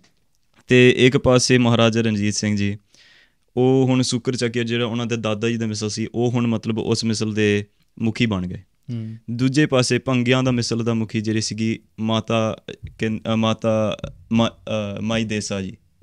ਮਾਈ ਦੇਸਾ ਜੀ ਇੱਕ ਪਾਸੇ। ਤੇ ਉਹ ਹੁਣ ਮਤਲਬ ਦੋਨੋਂ ਅੰਮ੍ਰਿਤਸਰ ਦੇ ਉੱਤੇ ਕਬਜ਼ਾ ਕਰਨਾ ਚਾਹੁੰਦੇ ਨੇ। ਮਤਲਬ ਆਪਣਾ ਰਾਜ ਚਲਾਉਣਾ ਚਾਹੁੰਦੇ ਨੇ। ਇਸ ਟਾਈਮ ਮਤਲਬ ਬਾਬਾ ਨਰਾਇਣ ਸਿੰਘ ਜੀ ਹੈਗੇ ਨੇ ਸ਼ਰੀਰ 'ਚ ਅਕਾਲੀ ਫੂਲਾ ਸਿੰਘ ਦੇ ਜਥੇਦਾਰ ਨਹੀਂ ਬਣੇ। ਓਕੇ ਠੀਕ ਹੈ ਜੀ। ਤੇ ਉਸ ਸਮੇਂ ਤੇ ਇੱਕ ਪਾਸੇ ਜਥੇਦਾਰ ਮਾਤਾ ਜੀ ਨੇ? ਇੱਕ ਨਹੀਂ ਨਹੀਂ। ਉਹ ਐਦਾਂ ਸੀਗਾ ਵੀ ਅੰਮ੍ਰਿਤਸਰ ਤੇ ਮਹਾਰਾਜਾ ਰਣਜੀਤ ਸਿੰਘ ਤੇ ਦੇਸਾਂ ਕਬਜ਼ਾ ਕਰਨਾ ਚਾਹੁੰਦੀ ਸੀ। ਤੇ ਜਥੇਦਾਰੀ ਸੀਗੀ ਬਾਬਾ ਨੈਣਾ ਸਿੰਘ ਕੋਲ। ਜੀ। ਤੇ ਉਹ ਚਾਹੁੰਦੇ ਸੀਗੇ ਵੀ ਜੇ ਇਹ ਦੋਨੋਂ ਇੱਥੇ ਕਬਜ਼ਾ ਕਰਨਗੇ ਵੀ ਅੰਮ੍ਰਿਤਸਰ ਦੇ ਉੱਤੇ ਤੇ ਇੱਥੇ ਤੇ ਭਰਾ ਮਾਰੂ ਜੰਗ ਹੋ ਜਾਏਗੀ ਵੀ ਉਹ ਦੇਸਾਂ ਵੀ ਸਿੱਖ ਹੈਗੀ ਹੈ ਤੇ ਮਹਾਰਾਜਾ ਰਣਜੀਤ ਸਿੰਘ ਵੀ ਸਿੱਖ ਹੈ ਆਪਸ ਹੀ ਲੜਨਗੇ ਤੇ ਸਾਡੀ ਬੇਇੱਜ਼ਤੀ ਵੀ ਹੋਊਗੀ। ਸਿੱਖਾਂ ਦਾ ਖੂਨ ਪਾਵਨ ਪਵਿੱਤਰ ਨਗਰੀ ਅੰਮ੍ਰਿਤਸਰ ਚ ਡੁੱਲੇਗਾ। ਇਹ ਗਲਤ ਗੱਲ ਹੈ। ਫਿਰ ਉਹ ਭਾਈ ਸਾਹਿਬ ਦੱਸ ਰਹੇ ਨੇ ਬੱਚਨ ਉਹ ਫਿਰ ਤੁਹਾਡਾ ਸਵਾਲ ਜਿਵੇਂ ਮਾਈ ਦੇਸਾ ਉਹ ਫਿਰ ਭੰਗੀਆਂ ਮਿਸਲ ਦੀ ਮੁਖੀ ਸੀਗੀ। ਓਕੇ ਜੀ। ਤੇ ਉਹ ਫਿਰ ਜਦੋਂ ਬਾਬਾ ਨੈਣਾ ਸਿੰਘ ਜੀ ਨੂੰ ਪਤਾ ਲੱਗ ਗਿਆ ਕਿ ਇੱਥੇ ਤੁਸੀਂ ਇੱਕ ਤਾਂ ਤੁਸੀਂ ਸਿੱਖ ਦੇ ਉੱਤੇ ਵਾਰ ਕਰਨ ਨੂੰ ਤਿਆਰ ਹੋ ਗਏ। ਹੂੰ। ਦੂਜੇ ਥਾਂ ਤੇ ਗੁਰੂ ਰਾਮਦਾਸ ਜੀ ਦੇ ਪਾਵਨ ਪਵਿੱਤਰ ਨਗਰ ਦੇ ਉੱਤੇ। ਉਹਨਾਂ ਨੇ ਫਿਰ ਅਕਾਲੀ ਬਾਬਾ ਫੂਲਾ ਸਿੰਘ ਜੀ ਨੂੰ ਭੇਜਿਆ ਤੇ ਕਿਹਾ ਕਿ ਤੁਸੀਂ ਉੱਥੇ ਜਾ ਕੇ ਜੰਗ ਕਿਸੇ ਨਾ ਕਿਸੇ ਤਰ੍ਹਾਂ ਦੇ ਨਾਲ ਰੋਕ ਦਿਓ ਇਹ ਤਾਂ ਬੜਾ ਵੱਡਾ ਅਪਸਗਨ ਬਣ ਜਾਣਾ। ਜੀ। ਉਸ ਸਮੇਂ ਅਕਾਲੀ ਬਾਬਾ ਫੂਲਾ ਸਿੰਘ ਜੀ ਜੰਗ ਮਤਲਬ ਜੰਗ ਜੰਗ ਦਾ ਮੈਦਾਨ ਪੂਰਾ ਤਿਆਰ ਸੀ ਉਹ ਮਤਲਬ ਇੱਕ ਦੂਜੇ ਦੇ ਨਾਲ ਲੜਨ ਵਾਸਤੇ ਤਿਆਰ ਸਨ ਤੇ ਅਕਾਲੀ ਬਾਬਾ ਫੂਲਾ ਸਿੰਘ ਜੀ ਆਪਣੇ ਨੰਗੇ ਤਲਵਾਰ ਲੈ ਕੇ ਵਿਚਕਾਰ ਖੜ ਗਏ। ਓਕੇ। ਤੇ ਕਹਿਣ ਲੱਗੇ ਤੂੰ ਗੁਰੂ ਕੇ ਸਿੱਖ ਇੱਕ ਦੂਜੇ ਉੱਤੇ ਦੇ ਉੱਤੇ ਵਾਰ ਕਰਨ ਨੂੰ ਤਿਆਰ ਹੋਏ? ਉਹ ਹੁਣ ਇਹੋ ਜਿਹੇ ਬਚਨ ਕਹਿਣ ਦੇ ਅੰਦਰ ਜਿਹੜੇ ਕਮਾਈ ਵਾਲੇ ਹੁਣ ਅਸੀਂ ਉਹਨਾਂ ਨੇ ਉਹਨਾਂ ਦਾ ਸਾਰਾ ਪਿਛੋਕਰ ਅਸੀਂ ਦੱਸਿਆ ਹੁਣ ਕਿ ਉਹ ਇੰਨਾ ਬਾਣੀ ਪੜ੍ਹਦੇ ਸੀ ਉਹਨਾਂ ਦਾ ਨਿਤਨੇਮ ਇੰਨਾ ਸੀ। ਜੀ। ਉਹ ਹੁਣ ਜਦੋਂ ਬਾਣੀ ਪੜਨ ਵਾਲੇ ਗੁਰਸਿੱਖ ਬ੍ਰਹਮ ਗਿਆਨੀ ਮਹਾਪੁਰਖ ਉਹਨਾਂ ਦੇ ਬਚਨ ਜਿਹੜੇ ਹੁੰਦੇ ਨੇ ਉਹਦੇ ਉਹਨਾਂ ਦੇ ਅੰਦਰ ਤਾਕਤ ਹੁੰਦਾ a brahm giani when a sadhu when a pure saint speaks their words have power true when akali baba phula singh ji said look you're two sikhs and you're about to hurt one another. you're about to fight a war against one another that too on this pure land of guru ramdas ji this place where guru ramdas ji created that mandir that hari mandir where everybody from all around the world is welcome you're about to fight a jang here ਉਸ ਸਮੇਂ when they heard the words of akali baba phula singh ji ਦੋਨੋਂ ਚੁੱਕ ਗਏ they both said that okay akali baba phula singh ji whatever you say is ਪ੍ਰਵਾਨ ਜਥੇਦਾਰ ਵੀ ਨਹੀਂ ਸੀਗੇ ਹੂੰ ਉਹਨਾਂ ਦਾ ਬਸ ਕਮਾਈ ਵੇਖ ਕੇ ਜਦੋਂ ਉਹਨਾਂ ਦਾ ਪ੍ਰਤਾਪ ਵੇਖ ਕੇ ਉਹ ਦੋਨੋਂ ਚੁੱਕ ਗਏ ਵਾਸ ਬਾਨੀ ਵਰਕਿੰਗ ਆਊਟ ਨਾ ਐਗਜ਼ੈਕਟਲੀ ਤੇ ਉਸ ਸਮੇਂ ਅਕਾਲੀ ਬਾਬਾ ਫੂਲਾ ਸਿੰਘ ਜੀ ਨੇ ਦੋਨੋਂ ਪਾਸਿਆਂ ਨੂੰ ਬੜੇ ਮਤਲਬ ਤਰੀਕੇ ਦੇ ਨਾਲ ਵੇਖਿਆ ਉਹਨੇ ਮਾਤਾ ਦੇਸਾਂ ਨੂੰ ਵੀ ਕਿਹਾ ਬਈ ਮਹਾਰਾਜਾ ਰਣਜੀਤ ਸਿੰਘ ਨੂੰ that if you can offer some something to desa and she can have uh, the, uh, like she and all their riyasat can have their own territory somewhere outside amritsar so maharaja ranjit singh like think very wisely on that like, if we are going to fight at this time, like, it, it's the ਨੁਕਸਾਨ on both the sides.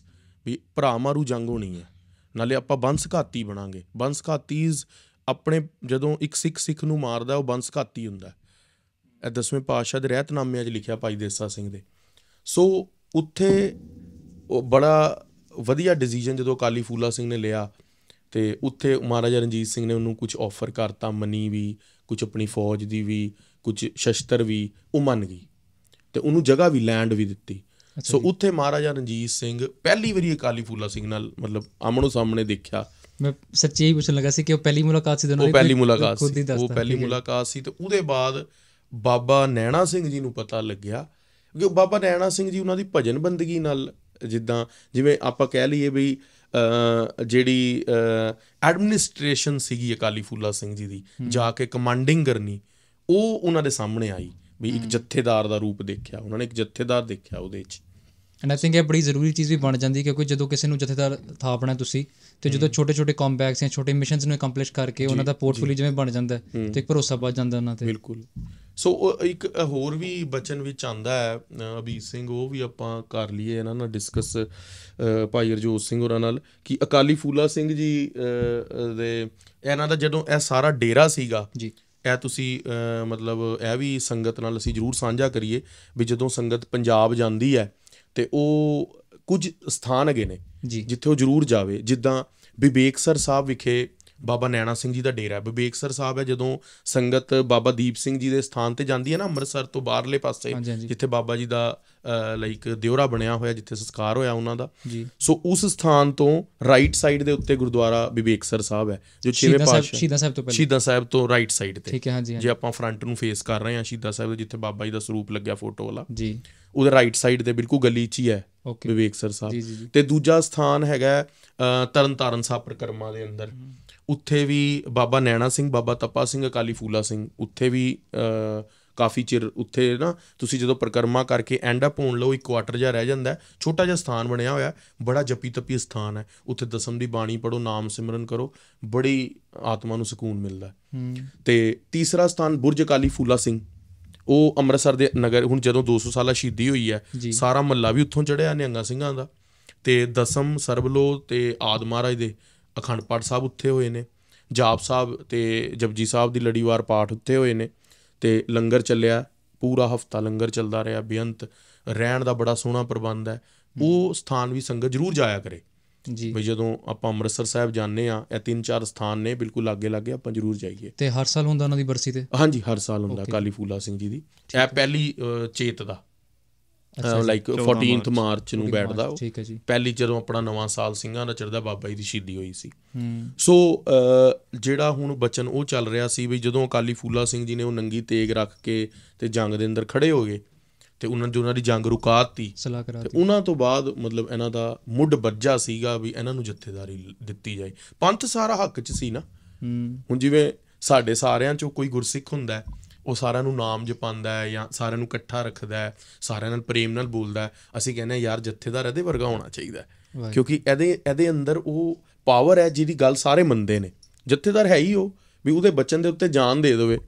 ਜੀ। ਹੈਨਾ ਜਿਵੇਂ ਉਹ ਅਕਾਲੀ ਫੂਲਾ ਸਿੰਘ ਜੀ ਦੇ ਜਿਹੜੇ ਉਹਨਾਂ ਦਾ ਬਚਨ ਆਂਦਾ ਹੈ ਉਹਨਾਂ ਦੇ ਜਥੇਦਾਰ ਬਾਬਾ ਨਰੈਣ ਸਿੰਘ ਜੀ ਦਾ ਨੈਣਾ ਸਿੰਘ ਜੀ ਦਾ। ਇੱਕ ਲੜਕੀ ਲੈ ਕੇ ਆ ਗਿਆ ਕੋਈ ਆਪਣੀ। ਤੇ ਉਹਦੀ ਲੜਕੀ ਜਵਾਨ ਸੀਗੀ 22 23 ਸਾਲਾਂ ਦੀ। ਜੀ। ਤੇ ਉਹ ਗਰੀਬ ਸੀਗਾ ਤੇ ਉਹ ਕਹਿੰਦਾ ਬਾਬਾ ਜੀ ਵੀ ਮੇਰੀ ਲੜਕੀ ਦਾ ਆਨੰਦ ਕਾਰਜ ਕਰਾਓ। ਤੇ ਬਾਬਾ ਜੀ ਨੇ ਬਾਬਾ ਨੈਣਾ ਸਿੰਘ ਜੀ ਜਥੇਦਾਰ ਸੀਗੇ ਬੜਾ ਰੋਬ ਸੀਗਾ ਸਿੰਘ 2.5 300 ਸਿੰਘ ਬੈਠਾ ਸੀਗਾ। ਤੇ ਪਹਿਲੇ ਸਿੰਘ ਬਿਹੰਗਮ ਰਹਿਣਾ ਪਸੰਦ ਕਰਦੇ ਸੀ ਜਿਵੇਂ ਹੁਣ ਆਪਾਂ ਗ੍ਰਸਤੀ ਰਹਿਣਾ ਸਾਰੇ ਪ੍ਰੈਫਰ ਕਰਦੇ ਆਂ ਵੀ ਐਨ ਕੰਟਰੀਆਂ ਦੇ ਅੰਦਰ ਬਈ ਚਲੋ ਦੋ ਇਨਕਮ ਹੋ ਜਾਣਗੀਆਂ ਘਰ ਸੌਖਾ ਲੈ ਲਾਂਗੇ ਉਦਾਂ ਥੋੜਾ ਜਿਹਾ ਸੌਖਾ ਹੋ ਜਾਂਦਾ। ਵਿਅੰਗਮ ਹੋ ਗਏ ਜਿਹੜੇ ਵਿਆਹ ਨਹੀਂ ਕਰਾਉਂਦੇ। ਜਿਹੜੇ ਵਿਆਹ ਨਹੀਂ ਕਰਾਉਂਦੇ ਗ੍ਰਸਤੀ ਹੋ ਗਏ ਵੀ ਜਿਹੜੇ ਲਾਈਕ ਵਿਆਹ ਕਰਾਉਂਦੇ। ਵਿਅੰਗਮ ਨਾਲ ਵੈਸੇ ਪੰਛੀ ਦਾ ਹੁੰਦਾ। ਹਾਂ। ਪੰਛੀ ਦਾ ਨਾਮ ਹੈ? ਹਾਂ ਜੀ ਮਤਲਬ ਜਿਹੜਾ ਬੰਦਨਾ ਤੋਂ ਫ੍ਰੀ ਹੋਵੇ।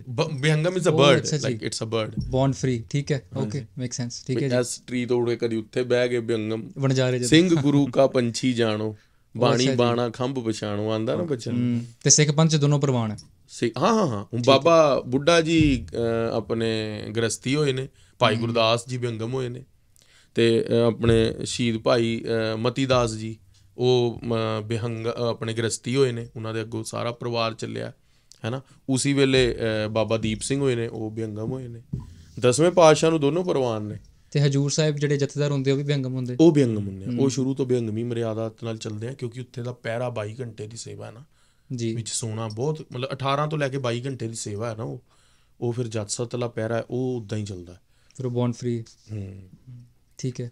ਹਾਂ ਫਿਰ ਉਹ। ਜਦੋਂ ਸਿੰਘ ਆ ਗਿਆ ਆਪਣੀ ਲੜਕੀ ਲੈ ਕੇ ਤੇ ਬਾਬਾ ਜੀ ਨੇ ਪੁੱਛਿਆ ਉੱਥੇ ਤਰਨਤਾਰਨ ਸਾਹਿਬ ਬਈ ਅਕਾਲੀ ਫੂਲਾ ਸਾਰਿਆਂ ਨੂੰ ਜਥੇਦਾਰ ਸਾਹਿਬ ਨੇ ਪੁੱਛਿਆ ਵੀ ਕੋਈ ਕਰੋ ਰਿਸ਼ਤਾ ਸਾਰੇ ਬਿਹੰਗਮ ਸੀਗੇ। ਤੇ ਉਹ ਸਾਰੇ ਸਿੰਘ ਕਹਿੰਦੇ ਵੀ ਮੂੰਹ ਜੇ ਥੱਲੇ ਕਰ ਲਿਆ ਵੀ ਅਸੀਂ ਕਿਤੇ ਗ੍ਰਸਤ ਹੋ ਕੇ ਵੀ ਕਿੱਥੇ ਸਿੰਘਾਂ 'ਚ ਵਿਚਰਾਂਗੇ ਕਦੀ ਘੋੜਿਆਂ ਤੇ ਵਿਚਰਨਾ ਤੇ ਕਦੀ ਅਸੀਂ ਲੰਗਰ ਲਾਉਣੇ ਤੇ ਕਦੀ ਤਿੰਨ ਤਿੰਨ ਦਿਨ ਕਿਸੇ ਪਿੰਡ 'ਚ ਇਕੱਠਾ ਹੀ ਕਰ ਦੇਣੀ ਕਿਤੇ ਸੰਥਿਆ ਕਰਾ ਦੇਣੀ ਕਿਤੇ ਅੰਮ੍ਰਿਤ ਛਕਾਣ ਚਲੇ ਗਏ। ਬੜੀ ਸੇਵਾਵਾਂ ਹੁੰਦੀਆਂ ਸੀ ਸਿੰਘਾਂ ਦੀਆਂ। ਨਾਲੇ ਘੋੜਿਆਂ ਦੇ ਨਾਲ ਕਿੱਥੇ ਨਿਆਣਿਆਂ ਨੂੰ ਸਾਂਭਾਂਗੇ। ਜੀ। ਤੇ ਇੱਕ ਵਾਰੀ ਕਿਹਾ ਜਥੇਦਾਰ ਸਾਹਿਬ ਨੇ ਦੂਜੀ ਵਾਰੀ ਕਿਹਾ। ਤੇ ਤੀਜੀ ਵਾਰੀ ਜਦੋਂ ਬੋਲਿਆ ਨਾ ਤੇ ਬਾਬਾ ਜਿਹੜੇ ਇਹਨਾਂ ਦੇ ਪਿਤਾ ਜੀ ਸੀ ਨਾ ਕਾਲੀ ਫੂਲੇ ਬਾਬਾ ਈਸ਼ਰ ਸਿੰਘ ਈਸ਼ਰ ਸਿੰਘ। ਉਹਨਾਂ ਦੇ ਗੁਰਭਾਈ ਨੇ ਬਾਬਾ ਤਪਾ ਸਿੰਘ। ਉਹ ਥੋੜੇ ਬਜ਼ੁਰਗ ਜਿਹੇ ਸੀਗੇ ਜਿਵੇਂ 60 62 ਸਾਲ ਦੇ ਹੋ ਗਏ ਸੀ। ਉਹਨਾਂ ਨੇ ਕਿਹਾ ਬਾਬਾ ਜੀ ਵੀ ਜਥੇਦਾਰ ਸਾਹਿਬ ਦਾ ਬਚਨ ਸੀਗਾ ਵੀ ਉਹ ਖਾਲੀ ਕਿੱਦਾਂ ਮੋੜ ਦਈਏ? ਤੇ ਉਹ ਗਰੀਬ ਬੰਦਾ ਖੜਾ ਸੀਗਾ ਉਹ ਕਹਿੰਦੇ ਬਾਬਾ ਜੀ ਅਸੀਂ ਕਰ ਲਾਂਗੇ। ਹੂੰ। ਵੀ ਉਹਨਾਂ ਨੇ ਇਸ ਗੱਲ ਨੂੰ ਪ੍ਰਧਾਨਤਾ ਦਿੱਤੀ ਵੀ ਜਥੇਦਾਰ ਦਾ ਬਚਨ ਨਾ ਖਾਲੀ ਜਾਵੇ। ਜਿਹੜੀ ਹੁਣ ਮੈਂ ਤੁਹਾਨੂੰ ਗੱਲ ਕਰ ਰਿਹਾ ਵੀ ਜਥੇਦਾਰ ਦਾ ਬਚਨ ਨਾ ਖਾਲੀ ਜਾਵੇ। ਜਥੇਦਾਰ ਹੈ ਹੀ ਬਚਨਾਂ ਦੇ ਹੈ ਨਾ? ਜੀ। ਜਥੇਦਾਰ ਦਾ ਬਚਨ ਸੀਗਾ। ਸੋ ਉਹ ਨਾ ਉਸ ਟਾਈਮ ਦੇ ਉੱਤੇ ਬਈ ਬੜਾ ਮਤਲਬ ਇੱਕ ਬਚਨ ਹੋ ਗਿਆ ਫਿਰ ਬੜਾ ਗੰਮੀ ਬਚਨ। ਉਹ ਬਾਬਾ ਜੀ ਤੁਸੀਂ ਕਰੋ ਕਿਰਪਾ। ਆਪ ਜੀ ਕਰੋ ਕਿਰਪਾ ਮਹਾਰਾਜ। ਸੋ ਉਹ ਜਿਹੜਾ ਬਚਨ ਏਦਾਂ ਹੋਇਆ ਬਈ ਅਕਾਲੀ ਫੂਲਾ ਸਿੰਘ ਜੀ ਸਾਰੀ ਸੰਗਤ ਚੋਂ ਤਿੰਨ ਚਾਰ ਸਿੰਘ ਨਾ ਹੱਸਣ ਲੱਗ ਗਏ।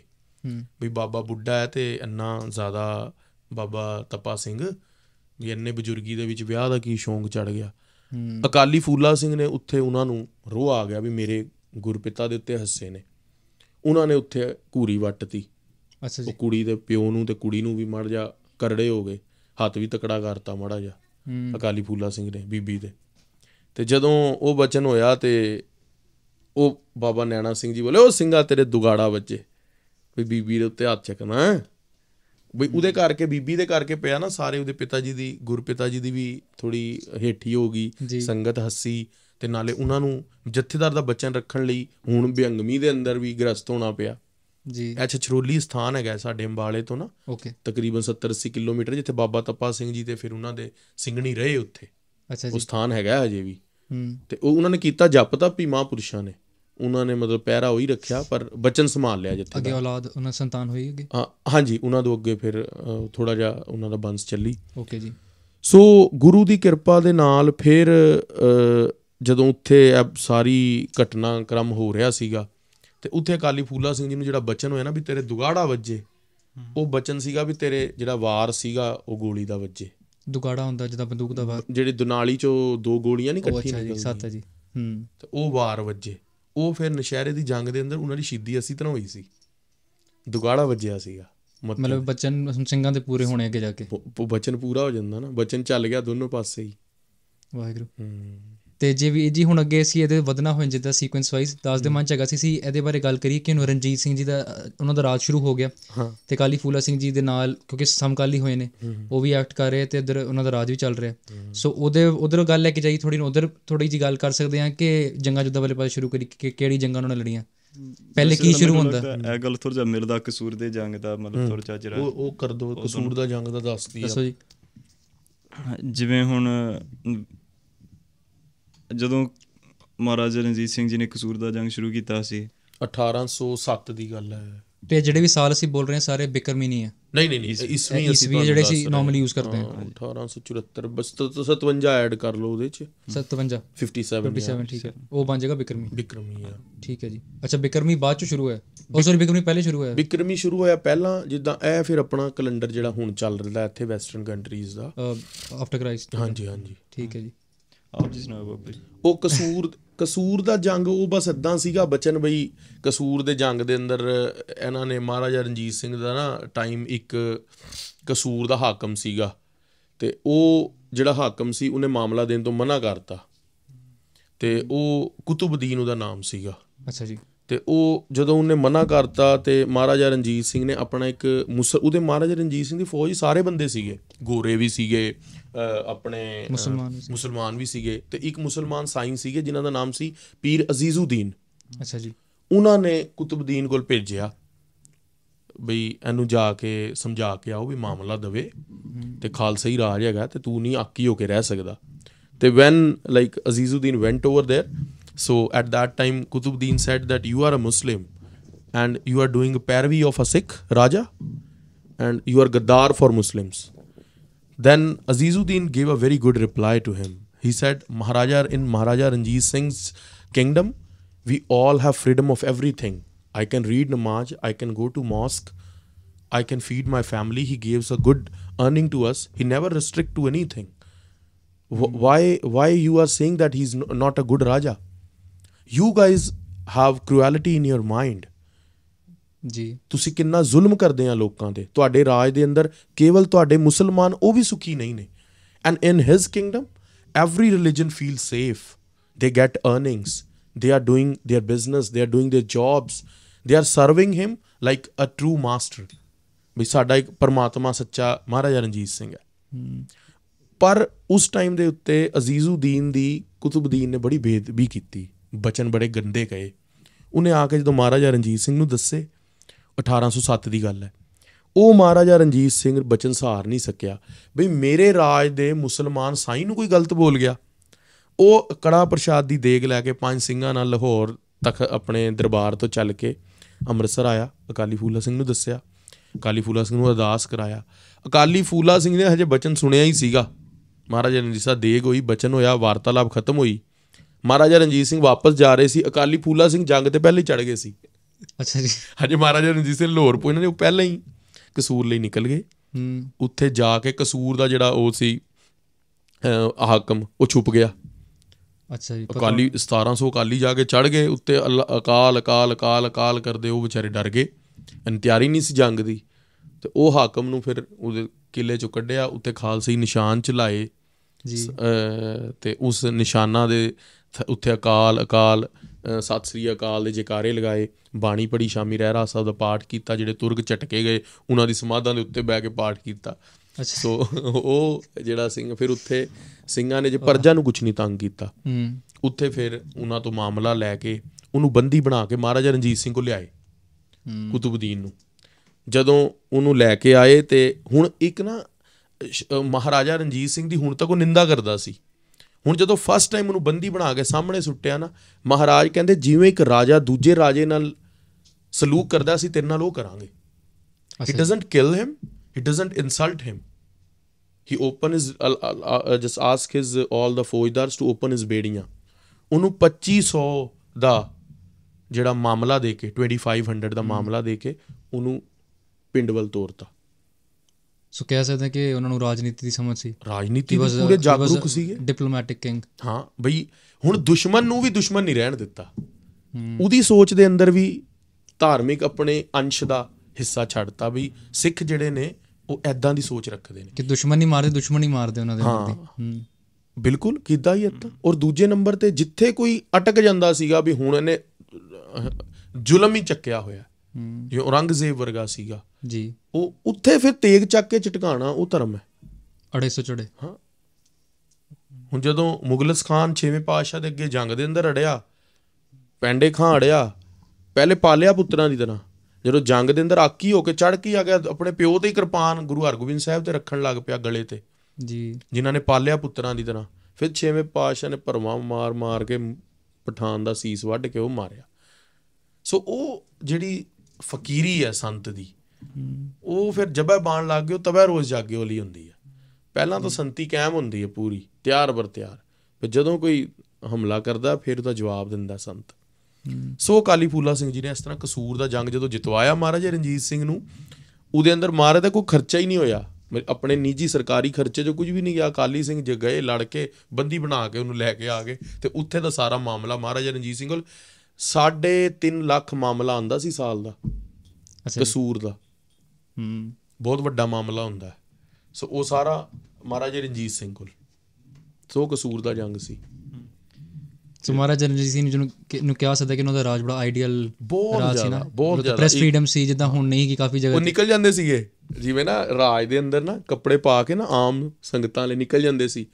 ਤੇ ਇੱਕ ਬੁੱਢਾ ਬਾਬਾ ਸੀਗਾ ਅਨਾਉਂਸ ਕਰਾਤਾ ਪਹਿਲਾਂ ਜਾਣ ਤੋਂ ਪਹਿਲਾਂ। ਅਨਾਉਂਸ ਕਰਾਤਾ ਵੀ ਫ੍ਰੀ ਰਾਸ਼ਨ ਮਿਲਣਾ ਹੈ।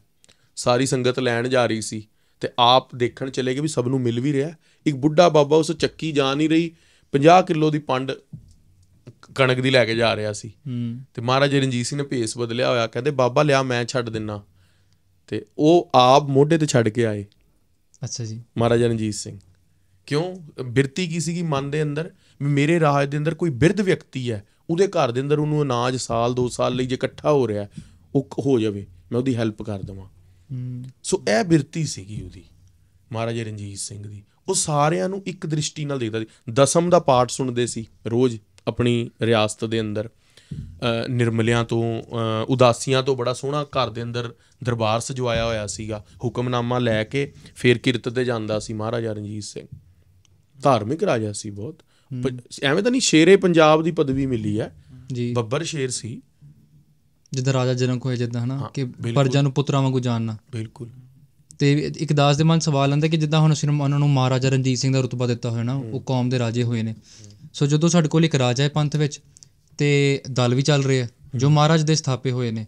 ਸੋ ਉਹ ਚੀਜ਼ਾਂ ਇਤਿਹਾਸ 'ਚ ਕਿਦਾਂ ਚੱਲੀਆਂ ਜਾਂ ਕਿਦਾਂ ਚੱਲਣੀ ਚਾਹੀਦੀਆਂ ਉਹ ਉਹ ਜਿੱਦਾਂ ਦੋ ਪੈਰਲਲ ਪਾਵਰਸ ਕਰਕੇ ਚੱਲਦੀਆਂ ਪੰਥ ਵਿੱਚ ਕਿ ਕਿਸੇ ਦੀ ਅਧੀਨਗੀ ਹੈਗੀ ਹੈ। ਸਮਝ ਪਾ ਰਹੇ ਹੋ ਕਿ- ਕਿ ਇੱਕ ਦੀ ਡੋਮੀਨੈਂਸ ਹੈਗੀ ਹੈ ਕਿ ਜਿਵੇਂ ਰਾਜਾ ਉੱਪਰ ਹੈ ਉਹਦੇ ਥੱਲੇ ਦਲ ਆਉਂਦੇ ਜਾਂ ਦਲ ਹਮੇਸ਼ਾ ਸੁਪਰੀਮ ਰਹਿਣਗੇ and then raja and then praja. ਉਹ ਵਰਕਆਊਟ ਕਿਦਾਂ ਕਰਦਾ ਉਹ? ਕੌਣ ਕਿਹਦੀ ਸੁਣਦਾ? ਇੱਥੇ ਇੱਕ ਬਚਨ ਆਉਂਦਾ ਜਿਹੜਾ ਆਪਣਾ ਅੰਮ੍ਰਿਤਸਰ ਸਾਹਿਬ ਦਾ ਬਚਨ। ਹੂੰ। ਜਦੋਂ ਅਕਾਲੀ ਬਾਬਾ ਫੂਲਾ ਸਿੰਘ ਜੀ ਅੰਮ੍ਰਿਤਸਰ ਸਾਹਿਬ ਸਨ ਹਾਂਜੀ। ਉਦੋਂ ਜਿਹੜੇ ਇੱਕ ਕਪਤਾਨ ਵਾਈਟ ਸੀ ਜਿਹੜੇ ਮਤਲਬ ਅੰਗਰੇਜ਼ੀਆਂ ਅੰਗਰੇਜ਼ਾਂ ਦਾ ਮਤਲਬ ਫੌਜਦਾਰ ਸੀ। ਓਕੇ ਤੇ ਉਹਨਾਂ ਦੇ ਫੌਜਾਂ ਦੇ ਅੰਦਰ ਕਈ ਮੁਸਲਮਾਨ ਵੀ ਸਨ ਤੇ ਉਹ ਜਿਹੜੇ ਮੁਸਲਮਾਨ ਵੀਰ ਸੀਗੇ ਉਹ ਆਪਣਾ ਤਾਜ਼ੀਆ ਕੱਢ ਰਹੇ ਸਨ ਮੁਹਰਮ ਤੇ ਮੁਹਰਮ ਤੇ ਜਿਵੇਂ ਅਸੀਂ ਨਗਰ ਕੀਰਤਨ ਕੱਢਦੇ ਨੇ ਅੱਛਾ ਜੀ ਓਕੇ ਉਹ ਮਤਲਬ ਉਹਨਾਂ ਆਪਣਾ procession they were taking out their parade 1809 ਦੀ ਗੱਲ ਹੈ ਹਾਂਜੀ ਤੇ ਉੱਥੇ ਉਹ ਆਪਣਾ ਮਤਲਬ ਆਪਣੇ ਸਰੀਰ ਤੇ ਕਾਸ਼ਟ ਵੀ ਲਾਉਂਦੇ ਨੇ ਸੋ ਮਤਲਬ ਐਵੇਂ ਆਪਣੇ ਅੱਛਾ ਸ਼ਰੀਰ ਜੀ। ਨੂੰ ਕਸ਼ਟ ਦਿੰਦੇ ਨੇ ਜਿੱਦਾਂ ਉਹਨਾਂ ਦੀ ਰੀਤ ਹੈਗੀ ਆ ਮਰਿਆਦਾ ਉਹਨਾਂ ਦੀ ਸੁਣਨੀ ਸੁੰਨੀ ਕਰਨਾ ਓਕੇ ਤੇ ਉਹ ਫਿਰ। ਹਾਂਜੀ ਉਹ ਫਿਰ ਤਾਜ਼ੀਆ ਚੱਲ ਰਿਹਾ ਸੀ ਉਸ ਸਮੇਂ। ਉਹਨੂੰ ਤਾਜ਼ੀਆ ਕਹਿੰਦੇ? ਤਾਜ਼ੀਆ, ਹਾਂਜੀ ਠੀਕ ਹੈ ਜੀ। ਤੇ ਉਹ ਫਿਰ ਜਦੋਂ ਅੰਮ੍ਰਿਤਸਰ ਦੇ ਲਾਗੇ ਆਇਆ ਉੱਥੇ ਅਕਾਲ ਤਖਤ ਸਾਹਿਬ ਤੇ ਰਹਿਰਾਸ ਸਾਹਿਬ ਦਾ ਪਾਠ ਹੋ ਰਿਹਾ ਸੀ। ਉਸ ਸਮੇਂ ਮਤਲਬ ਉਹ ਜ਼ਿਆਦਾ ਮਤਲਬ ਟੋਲ ਟਮੱਕਾ ਵੀ ਵਜਾ ਰਹੇ ਸੀਗੇ। ਤੇ ਉਸ ਸਮੇਂ ਅਕਾਲੀ ਬਾਬਾ ਫੂਲਾ ਸਿੰਘ ਜੀ ਨੇ ਬਚਨ ਕੀਤਾ ਇੱਕ ਸਿੰਘ ਨੂੰ ਕਿ ਭਾਈ ਤੂੰ ਉੱਥੇ ਜਾ ਕੇ ਉਹਨਾਂ ਨੂੰ ਪਿਆਰ ਨਾਲ ਸਮਝਾਇਓ ਕਿ ਸਾਡਾ ਸਾਹਿਬ ਦਾ ਪਾਠ ਚੱਲ ਰਿਹਾ। ਉਹਦੇ ਵਿੱਚ ਮਤਲਬ ਮਰਿਆਦਾ ਦੇ ਵਿੱਚ ਅੰਗ ਭੰਗ ਹੋ ਰਹੀ ਹੈਗੀ ਤੁਸੀਂ ਥੋੜਾ ਜਿਹਾ ਮਤਲਬ ਸਾਂਭ ਦਿਓ। ਉਹ ਫਿਰ ਜਦੋਂ ਦੋ ਸਿੰਘ ਗਏ ਉੱਥੇ ਆਪਸ ਦੇ ਵਿੱਚ ਹੀ ਹੱਕਾ ਬੱਕਾ ਹੋ ਗਿਆ ਮੁਸਲਮਾਨ ਵੀਰਾਂ ਦੇ ਤੇ ਸਿੰਘਾਂ ਦੇ ਅੰਦਰ। ਉੱਥੇ ਇੱਕ ਸਿੰਘ ਦਾ ਦਮਾਲਾ ਢਿੱਲਾ ਪੈ ਗਿਆ। ਜਦੋਂ ਅਕਾਲੀ ਬਾਬਾ ਫੂਲਾ ਸਿੰਘ ਜੀ ਨੂੰ ਉਸ ਸਿੰਘ ਮਿਲ ਗਿਆ ਮਤਲਬ ਵਾਪਸ ਆਇਆ ਅਕਾਲੀ ਬਾਬਾ ਫੂਲਾ ਸਿੰਘ ਜੀ ਦੇ ਕੋਲ ਦਸਤਾਰ ਹੱਥ ਦੇ ਵਿੱਚ। ਅਕਾਲੀ ਬਾਬਾ ਫੂਲਾ ਸਿੰਘ ਜੀ ਉਸ ਸਮੇਂ ਤਿਆਰ ਬਰ ਤਿਆਰ ਹੋ ਕੇ ਆਪਣੇ ਸ੍ਰੀ ਸਾਹਿਬ ਲੈ ਕੇ ਘੋੜੇ ਤੇ ਚੜ ਕੇ ਉਹ ਆਪ ਹੀ ਜਿਹੜਾ ਮੁਗ- ਜਿਹੜਾ ਵੀਰ ਨੇ ਉਸ ਸਿੰਘ ਦਾ ਦਸਤਾਰ ਢਿੱਲਾ ਕੀਤਾ ਉਹਦਾ ਸਿਰ ਆਪ ਵੱਡਿਆ। ਉਸੇ ਸਮੇਂ। ਸਵਾ ਲੱਖ ਹੀ ਗਏ ਕਿਉਂਕਿ ਉਹ ਗੁਰੂ ਗੁਰੂ ਦੀ ਬੇਦਬੀ ਹੈ ਨਾ ਕੇਸਾਂ ਦੀ ਬੇਦਬੀ ਕੇਸਾਂ ਅਦਬ ਗੁਰੂ ਸਮਝ ਜਾਣੋ। ਕਿ ਜਿਹੜੇ ਸਿੰਘ ਸੀਗੇ ਉਹ ਮਤਲਬ ਆਪਣੇ ਕੇਸ ਗੁਰੂ ਦੇ ਬਰਾਬਰ ਹੀ ਸਮਝਦੇ ਸਨ ਜਿਵੇਂ ਅਸੀਂ ਅਦਬ ਕਰਨਾ। ਹਾਂਜੀ। ਜਿਵੇਂ ਅਸੀਂ ਹੁਣ ਪੋਥੀ ਨੂੰ ਹੱਥ ਲਾਉਣਾ ਸੀ ਹੱਥ ਸੁੱਚੇ ਕਰਕੇ ਪੂਰਾ ਮਤਲਬ ਸੁੱਚਾ ਸਰੀਰ ਰੱਖ ਕੇ ਅਸੀਂ ਉਹ ਪੋਥੀ ਨੂੰ ਪ੍ਰਕਾਸ਼ ਕਰਦੇ ਨੇ। ਇਸ ਤਰ੍ਹਾਂ ਕਦੀ ਵੀ ਕੇਸਾਂ ਨੂੰ ਸਿੰਘ ਝੂਠ ਝੂਠੇ ਹੱਥ ਨਹੀਂ ਲਾਉਂਦੇ ਸਨ। ਜੀ। ਇਸ ਕਰਕੇ ਉਸ ਸਮੇਂ ਅਕਾਲੀ ਬਾਬਾ ਫੂਲਾ ਸਿੰਘ ਜੀ ਹੁਣ ਉਹ ਤਾਂ ਅਕਾਲ ਤਖਤ ਦੇ ਜਥੇਦਾਰ ਸਨ ਬੁੱਢਾ ਦਲ ਦੇ ਜਥੇਦਾਰ ਸਨ। ਦੂਜੇ ਪਾਸੇ ਮਹਾਰਾਜਾ ਰਣਜੀਤ ਸਿੰਘ ਜੀ ਸ਼ੇਰੀ ਪੰਜਾਬ ਪੰਜਾਬ ਦੇ ਰਾਜੇ ਸਨ। ਕਪਤਾਨ ਵਾਈ ਜਿਨ੍ਹਾਂ ਨੇ ਇੱਕ ਅਹਿਦਨਾਮਾ ਵੀ ਲਿਖਿਆ ਸੀ 18 ਹਾਂਜੀ ਮਈ 1809 ਦੇ ਹਾਂਜੀ ਉਹਨਾਂ ਨੇ ਮਤਲਬ ਇੱਕ ਅਹਿਦਨਾਮਾ ਵੀ ਮਤਲਬ ਪੱਕਾ ਕੀਤਾ ਸੀ ਮਹਾਰਾਜਾ ਰਣਜੀਤ ਸਿੰਘ ਦੇ ਨਾਲ। ਉਹ ਮਹਾਰਾਜਾ ਰਣਜੀਤ ਸਿੰਘ ਦੇ ਕੋਲ ਗਿਆ। ਤੇ ਉਹ ਗੋਰਾ ਇੱਕ ਗੋਰਾ ਗਿਆ। ਮਤਲਬ ਉਹ ਕਹਿਣ ਲੱਗਾ ਉਹਨੇ ਕਿ ਕੰਪਲੇਂਟ ਕੀਤੀ ਬਈ ਕਿ ਤੁਹਾਡੇ ਰਿਆਸਤ ਦੇ ਅੰਦਰ ਇਹ ਮਤਲਬ ਕਿਉਂ ਰਾਜ ਚਲਾਉਂਦੇ ਪਏ? ਉਸ ਸਮੇਂ ਹੁਣ ਤੁਹਾਡਾ ਸਵਾਲ ਸੀ ਕਿ ਮਤਲਬ ਜਿਹੜਾ ਮਹਾਰਾਜਾ ਰਣਜੀਤ ਸਿੰਘ ਦਾ ਰਾਜ ਤੇ ਅਕਾਲੀ ਸਿੰਘਾਂ ਦਾ ਜੋ ਮਤਲਬ ਅਕਾਲ ਤਖਤ ਦੀ ਜਥੇਦਾਰੀ ਹੈਗੀ। ਉਹ ਮਤਲਬ ਹੁਣ ਸਮ ਹੈਗੇ ਕਿ ਨਹੀਂ? ਇੱਥੇ ਇਸ ਸਵਾਲ ਦਾ ਜਵਾਬ ਆਉਂਦਾ। ਉਸ ਸਮੇਂ ਅਕਾਲੀ ਬਾਬਾ ਫੂਲਾ ਸਿੰਘ ਜੀ ਦਾ ਜਦੋਂ ਕੰਪਲੇਂਟ ਆਇਆ ਮਹਾਰਾਜਾ ਰਣਜੀਤ ਸਿੰਘ ਨੂੰ ਮਹਾਰਾਜਾ ਰਣਜੀਤ ਸਿੰਘ ਨੇ ਸਿੱਧਾ ਕਪਤਾਨ ਵਾਈਟ ਨੂੰ ਸਮਝਾਇਆ ਕਿ ਮੈਂ ਚਲੋ ਰਿਆਸਤ ਦਾ ਰਾਜਾ ਹਾਂ ਪ੍ਰੈਤ ਅਕਾਲ ਪੁਰਖ ਦੇ ਦਰਬਾਰ ਵਿੱਚੋਂ ਸਿੱਧਾ ਆਏ ਇਹ ਤਾਂ ਦੀਨ ਦੁਨੀਆ ਦੇ ਮਾਲਕ ਹਨ। ਵਾਹਿਗੁਰੂ। ਵਾਹਿਗੁਰੂ। ਇਹ ਫਿਰ ਉੱਥੇ ਮਹਾਰਾਜਾ ਰਣਜੀਤ ਸਿੰਘ ਨੇ ਉਹਨਾਂ ਨੂੰ ਸਿੱਧਾ ਸਮਝਾਇਆ। ਮਹਾਰਾਜਾ ਰਣਜੀਤ ਸਿੰਘ ਆਪਣੇ ਨਿੱਜੀ ਤੌਰ ਤੇ ਆਪ ਸਮਝਦੇ ਸਨ ਕਿ ਭਾਵੇਂ ਮੈਂ ਜਿੰਨਾ ਵੀ ਵੱਡਾ ਰਾਜਾ ਹੋ ਜਾਵਾਂ ਮੇਰਾ ਰਾਜ ਜਿੰਨਾ ਵੀ ਵੱਡਾ ਹੋ ਜਾਵੇ ਇਹ ਜਿਹੜੇ ਅਕਾਲੀ ਸਿੰਘ ਨੇ ਇਹ ਜੇ ਗੁਰੂ ਜਿਹੜੇ ਗੁਰੂ ਕੇ ਪੁੱਤਰ ਹਨ ਇਹਨਾਂ ਦੇ ਤਾਂ ਮਤਲਬ ਕੋਈ ਰਾਜ ਨਹੀਂ ਟਾਲ ਸਕਦਾ। ਵਾਹਿਗੁਰੂ। ਤੇ ਦੂਜੀ ਉਦਾਹਰਨ ਤੁਹਾਡੇ ਸਾਹਮਣੇ ਜਿਵੇਂ ਭਾਈ ਵੀਰ ਸਿੰਘ ਨੇ ਦੱਸਿਆ ਵੀ ਜਿਹੜਾ ਧਰਮ ਹੈ ਉਹ ਹਮੇਸ਼ਾ ਰਾਜਨੀਤੀ ਉਹਦੀ ਸਰਪ੍ਰਸਤੀ ਹੇਠ ਚੱਲਦੀ ਹੈ। ਜਦੋਂ ਤੁਸੀਂ ਅਕਾਲ ਤਖਤ ਸਾਹਿਬ ਤੇ ਜਾਓ ਤੇ ਜਿਹੜਾ ਪੀਰੀ ਦਾ ਨਿਸ਼ਾਨ ਸਾਹਿਬ ਹੈ ਉੱਚਾ ਹੈ ਤੇ ਜਿਹੜਾ ਮੀਰੀ ਦਾ ਹੈ ਉਹ ਨੀਵਾਂ ਹੈ। ਸੋ ਪੀਰੀ ਮਤਲਬ ਕਿ ਜਿਵੇਂ ਭਜਨ ਬੰਦਗੀ ਹੈ ਨਾ? ਮੀਰੀ ਮਤਲਬ ਬਈ ਸ਼ਸਤਰ। ਸੋ ਜਿਹੜੇ ਵੀ ਸ਼ਸਤਰ ਚੱਲਣੇ ਨੇ ਸਾਡੇ ਧਰਮ ਦੇ ਅੰਦਰ ਕਿਰਪਾਨ ਹੈ ਤਲਵਾਰ ਨਹੀਂ ਹੈ। ਕਿਰਪਾਨ ਦਾ ਅਰਥ ਹੈ ਵੀ ਕਿਰਪਾ ਲਈ ਚੱਲੇਗੀ ਹੈ ਕਿਸੇ ਨੂੰ ਬਚਾਉਣ ਲਈ ਚੱਲੇਗੀ ਗਊ ਗਰੀਬ ਦੀ ਰੱਖਿਆ ਲਈ ਚੱਲੇਗੀ। ਉੱਤੇ ਜਦੋਂ ਉਹ ਭਾਈ ਵੀਰ ਸਿੰਘ ਕਹਿ ਰਹੇ ਸੀ ਤੇ ਕੈਪਟਨ ਮੈਟਕਾਫ ਨੂੰ ਉੱਥੇ ਕਲੀਅਰ ਗਿਆ ਸੀ ਮਹਾਰਾਜਾ ਰਣਜੀਤ ਸਿੰਘ ਵੀ ਇਹ ਤਾਂ ਰਾਜੇ ਨੇ। ਹੂੰ। ਪੰਜਾਬ ਦਾ ਰਾਜ ਤੂੰ ਦੇਖ ਰਿਹਾ ਕਿ ਮੈਂ ਚਲਾ ਰਿਹਾ। ਪਰ ਇਹਨਾਂ ਦੀ ਨਿਗਰਾਨੀ ਹੇਠ ਚੱਲ ਰਿਹਾ ਹੈ। ਦੂਸਰੀ ਗੱਲ ਉਹ ਕਹਿੰਦੇ ਵੀ ਜਿਹੜੀ ਕੇਸਾਂ ਦੀ ਬੇਦਬੀ ਹੋਈ ਹੈ ਨਾ ਉਹਦੇ ਤੇ ਮੈਂ ਵੀ ਹੱਕ 'ਚ ਨਹੀਂ ਆ ਵੀ ਜਿਹਨਾਂ ਨੇ ਬੰਦਾ ਝਟਕਾ ਉਹ ਬੇਸਿਕਲੀ ਇਹੀ ਗੱਲ ਲੈ ਕੇ ਆਇਆ ਸੀ ਵੀ ਲਾਅ ਐਂਡ ਆਰਡਰ ਖਰਾਬ ਹੋ ਗਿਆ ਵੀ ਬੰਦਾ ਝਟਕਿਆ ਗਿਆ ਉਹਨਾਂ ਦਾ। ਹੂੰ। ਉਹ ਕਹਿੰਦੇ ਵੀ ਲਾਅ ਐਂਡ ਆਰਡਰ ਖਰਾਬ ਉਹਨਾਂ ਨੇ ਕੀਤਾ ਅਸੀਂ ਨਹੀਂ ਕੀਤਾ। ਜੀ। ਹੁਣ ਮੈਂ ਇਸ ਗੱਲ ਦੇ ਉੱਤੇ ਮੜ ਜਾ ਟੌਪਿਕ ਤੋਂ ਮੜ ਜਾ ਡਿਸਟਰੈਕਟ ਹੋਵਾਂ। ਜੇ ਆਪਾਂ ਇੱਥੇ ਕਹੀਏ ਵੀ ਅੰਮ੍ਰਿਤਪਾਲ ਸਿੰਘ ਅੰਮ੍ਰਿਤ ਛਕਾ ਰਿਹਾ ਹੈ ਹਾਂਜੀ। ਭਾਈ ਅੰਮ੍ਰਿਤਪਾਲ ਸਿੰਘ ਜੀ ਨੇ ਜੇ ਅੰਮ੍ਰਿਤ ਸੰਚਾਰ ਕੀਤਾ ਗੁਰੂ ਦੀ ਵਹੀਰ ਤੋਰੀ ਹੈ ਉਹ ਤਾਂ ਜਵਾਨੀ ਨੂੰ ਬਚਾ ਰਿਹਾ ਹੈ। ਤੁਸੀਂ ਹੁਣ ਬੋਲ ਰਹੇ ਹੋ। ਸਰਕਾਰਾਂ ਹੁਣ ਬੋਲ ਰਹੀਆਂ ਵੀ ਉਹ ਗਲਤ ਕਰ ਰਿਹਾ। ਪਰ ਜਦੋਂ ਜਵਾਨੀ ਨਸ਼ੇ 'ਚ ਗਰਕ ਹੋ ਰਹੀ ਸੀ ਜਦੋਂ ਟੀਕੇ ਲਗਾ ਰਹੇ ਸੀ ਤਦੋਂ ਤੁਸੀਂ ਸੀਆਰਪੀਐਫ ਫੋਰਸ ਨਹੀਂ ਲਗਾਈ ਤਦੋਂ ਤੁਸੀਂ ਪੁਲਿਸ ਨਹੀਂ ਲਗਾਈ ਤਦੋਂ ਤੁਸੀਂ ਕਿਉਂ ਨਹੀਂ ਬੋਲਦੇ? ਤਦੋਂ 50 ਸਾਲ 47 ਤੋਂ ਲੈ ਕੇ 2000 ਅ, 84 84 ਤੱਕ ਨਸ਼ੇ 84 ਤ- ਜਦੋਂ ਸੰਤ ਆਏ ਆਪ ਜੀ। ਅ, ਅ, 78 ਤੋਂ ਲੈ ਕੇ ਅ, 84 ਤੱਕ ਨਸ਼ਿਆਂ ਦਾ ਕੋਈ ਨਾਮੋ ਨਿਸ਼ਾਨ ਨਹੀਂ ਪੰਜਾਬ 'ਚ। ਕੋਈ ਨਾਮੋ ਨਿਸ਼ਾਨ ਨਹੀਂ। ਭਜਨ ਬੰਦਗੀ ਦਾ ਪੈਰਾ ਸੀ। ਸੰਤ ਗੁਰਬਚਨ ਸਿੰਘ ਜਿਹੜੇ ਜਿਹੜੇ ਪਿੰਡ ਜਾਂਦੇ ਵਿਦਿਆ ਦੀ ਸੰਥਿਆ ਕਰਾਉਣ ਜਾਂਦੇ ਕੋਈ ਨਾਮੋ ਨਿਸ਼ਾਨ ਨਹੀਂ। ਉਹ ਗੁਰਬਾਣੀ ਦਾ ਪ੍ਰਚਾਰ ਕਰਾ ਰਹੇ ਨੇ। ਨਿਹੰਗ ਸਿੰਘ ਜਥੇਬੰਦੀਆਂ ਨਿਰਮਲੇ ਉਦਾਸੀ ਸਾਰੇ ਵਧੀਆ ਚੱਲ ਰਹੇ ਨੇ। ਹੁਣ 84 ਤੋਂ ਬਾਅਦ ਜਦੋਂ ਪੰਜਾਬ ਨੇ ਦੇਖਿਆ ਸਰਕਾਰਾਂ ਨੇ ਦੇਖਿਆ ਬਈ ਨਸ਼ਾ ਕਿ- ਕਿੱਦਾਂ ਇਹਨਾਂ ਨੂੰ ਗਰਕ ਕਰੀਏ? ਉਹਨੇ ਕਿਹਾ ਨਸ਼ਿਆਂ 'ਚ ਪਾ ਦਿਓ ਹੂੰ। ਗੁਜਰਾਤ ਦੇ ਬੰਦਰਗਾਵਾਂ ਤੇ ਨਸ਼ਾ ਉਤਰਦਾ ਹੈ। ਸਾਰੇ ਥਾਵਾਂ ਤੇ ਜਾਂਦਾ ਹੈ। ਪੰਜਾਬ ਵੀ ਆਂਦਾ ਹੈ। ਪਰ ਬਦਨਾਮ ਸਭ ਤੋਂ ਜ਼ਿਆਦਾ ਪੰਜਾਬ ਨੂੰ ਕੀਤਾ ਹੋਇਆ ਜਿਹੜਾ ਕੋਈ ਬੰਦਾ ਬੋਲਦਾ ਹੈ ਨਸ਼ਿਆਂ ਦੇ ਅਗੇਂਸਟ ਉਹ ਤਾਂ ਤੁਹਾਡੇ ਲਈ ਬਾਗੀ ਹੈ। ਪਰ ਜਦੋਂ ਤੁਸੀਂ ਆਪ ਨਸ਼ੇ ਪਹੁੰਚਾ ਕੇ ਲੀਗਲ ਕਰਾ ਰਹੇ ਹੋ ਉਹ ਠੀਕ ਹੈ। ਵੈਸੇ ਇਨਸਾਨੀਅਤ ਦੀ ਗੱਲ ਹੈ। ਜੀ। ਮੈਂ ਸਿੱਖਾਂ ਦੀ ਗੱਲ ਨਹੀਂ ਕਰਦਾ। ਇਨਸਾਨੀਅਤ ਦੀ ਗੱਲ ਹੈ। ਅਤੇ ਉਹੀ ਗੱਲ ਆ ਗਈ ਨਾ ਕਿ ਜਿਵੇਂ ਤੁਸੀਂ ਕਿਹਾ ਕਿ ਜਿਹੜੀ ਮੇਰੀ ਹੈ ਜਾਂ ਜਿਹੜਾ ਰਾਜਨੀਤੀ ਹੈ ਉਹ ਚਲਾਉਣ ਵਾਸਤੇ ਜੋ ਉੱਪਰ ਧਰਮ ਦੀ ਸਰਪ੍ਰਸਤੀ ਨਹੀਂ ਹੈਗੀ ਬਿਲਕੁਲ, ਉਹ ਡੋਮੀਨੈਂਸ ਗਰਕ ਹੋਏਗਾ ਫਿਰ ਉਹ ਗਰਕ ਹੋਏਗਾ। ਹਾਂਜੀ ਉਹ ਕਿਉਂਕਿ ਧਰਮ ਨੁਕਸਾਨ ਕਰੇਗੀ। ਜੀ। ਹੁਣ ਭਾਈ ਅੰਮ੍ਰਿਤਪਾਲ ਸਿੰਘ ਤਾਂ ਵਹੀਰ ਤੋੜ ਰਿਹਾ। ਉਹ ਤਾਂ ਅੰਮ੍ਰਿਤ ਸੰਚਾਰ ਕਰਾ ਰਿਹਾ। ਉਹ ਉਹ ਕਿਵੇਂ ਗਲਤ ਹੋ ਸਕਦਾ ਹੈ? ਸਾਡੇ ਲਈ ਤਾਂ ਯਾਰ ਉਹ ਉਹ ਜਿਹੜਾ ਕੋਈ ਗੁਰਭਾਈ ਹੈ ਸਾਡਾ ਉਹ ਉਹਨੇ ਅੰਮ੍ਰਿਤ ਦੀ ਦਾਤ ਵੰਡੀ ਹੈ ਪ੍ਰਚਾਰ ਕੀਤਾ ਹੈ। ਸਾਡਾ ਵੱਡਾ ਭਰਾ ਹੈ। ਜੇ ਉਹਦਾ ਮੁੱਢਲਾ ਜੋ ਮਰਜ਼ੀ ਜੀਵਨ ਸੀ ਉਹਦਾ ਜਿੱਦਾਂ ਦਾ ਵੀ ਸੀ ਉਹ ਜਿੱਦਾਂ ਮਰਜ਼ੀ ਉਹ ਆਇਆ। ਪਰ ਹੁਣ ਕੀ ਹੈ ਉਹ? ਉਹਨੇ ਹੁਣ ਗੁਰੂ ਨੂੰ ਅਪਣਾਇਆ ਗੁਰੂ ਦੇ ਅੰਮ੍ਰਿਤ ਨੂੰ ਅਪਣਾਇਆ ਸਾਡਾ ਗੁਰੂ ਭਾਈ ਹੈ।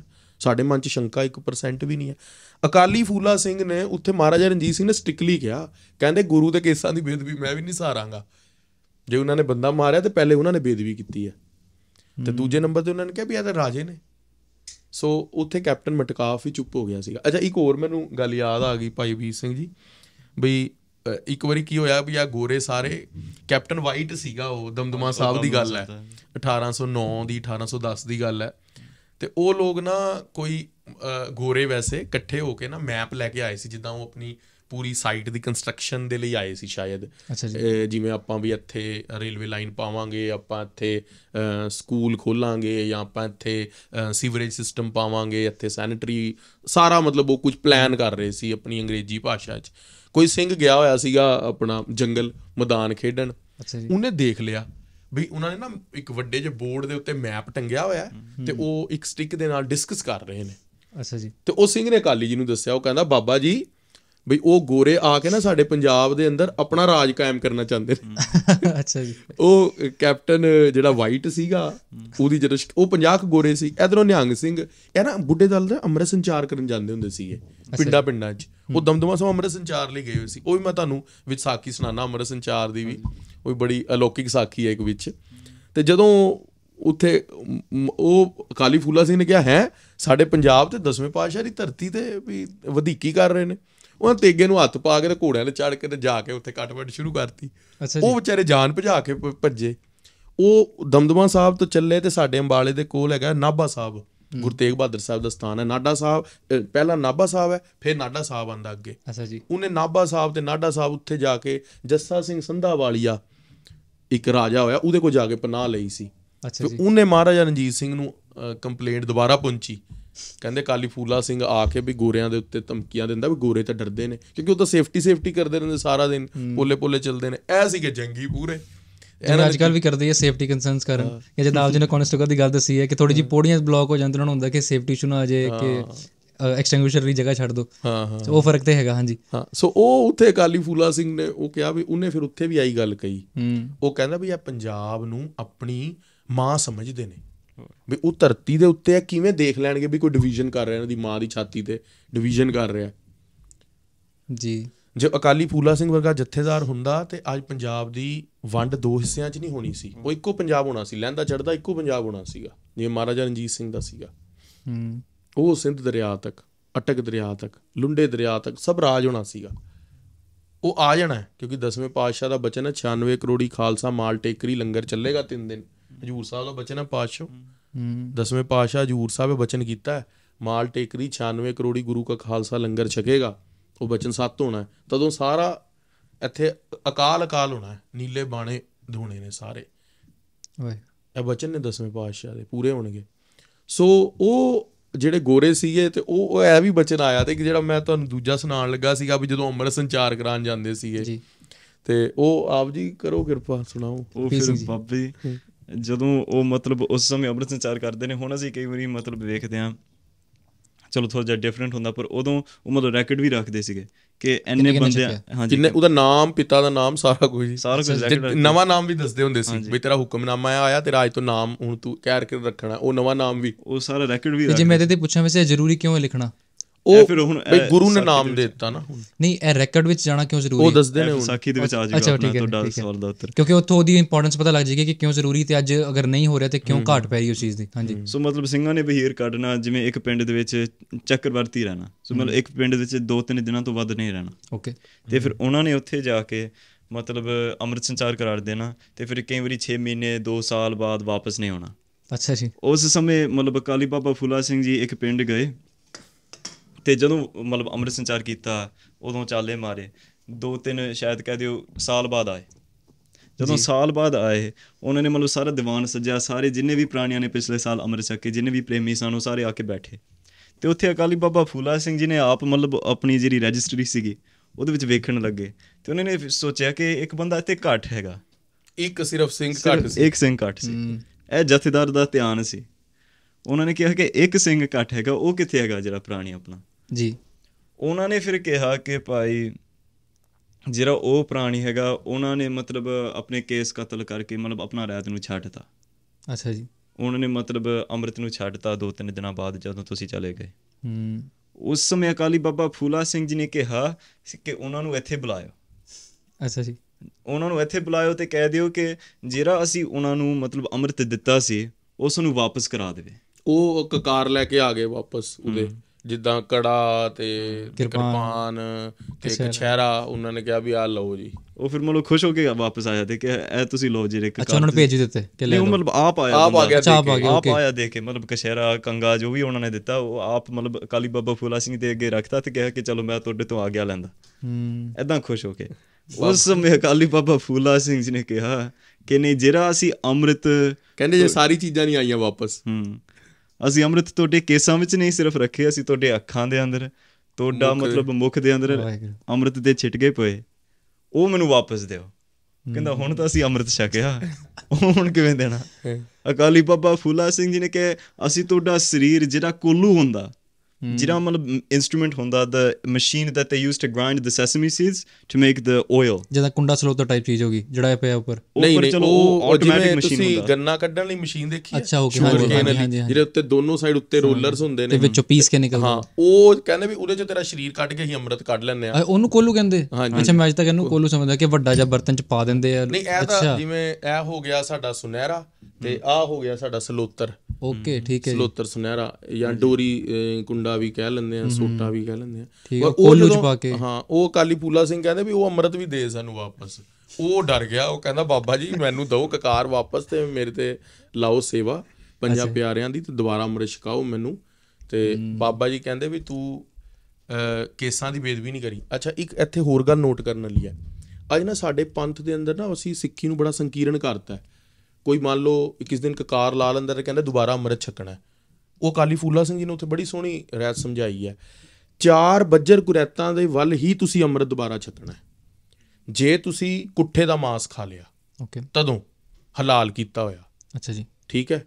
ਹੁਣ ਇੱਥੇ ਕਈ ਵਾਰੀ ਮੰਨ ਲਓ ਕੋਈ ਬੰਦਾ ਮੈਡੀਕਲੀ ਬੈੱਡ ਤੇ ਆ ਗਿਆ ਜਾਂ ਕਿਸੇ ਕੋਈ ਰੀਜ਼ਨ ਹੋ ਸਕਦਾ ਕਿਤੇ ਫੂਡ ਨਹੀਂ ਸੀਗਾ ਉਹਨੇ ਝਟਕੇ ਦਾ ਮਾंस ਛਕ ਲਿਆ। ਉਹ ਕੁਰੈਤੀਆ ਨਹੀਂ ਬਣਿਆ।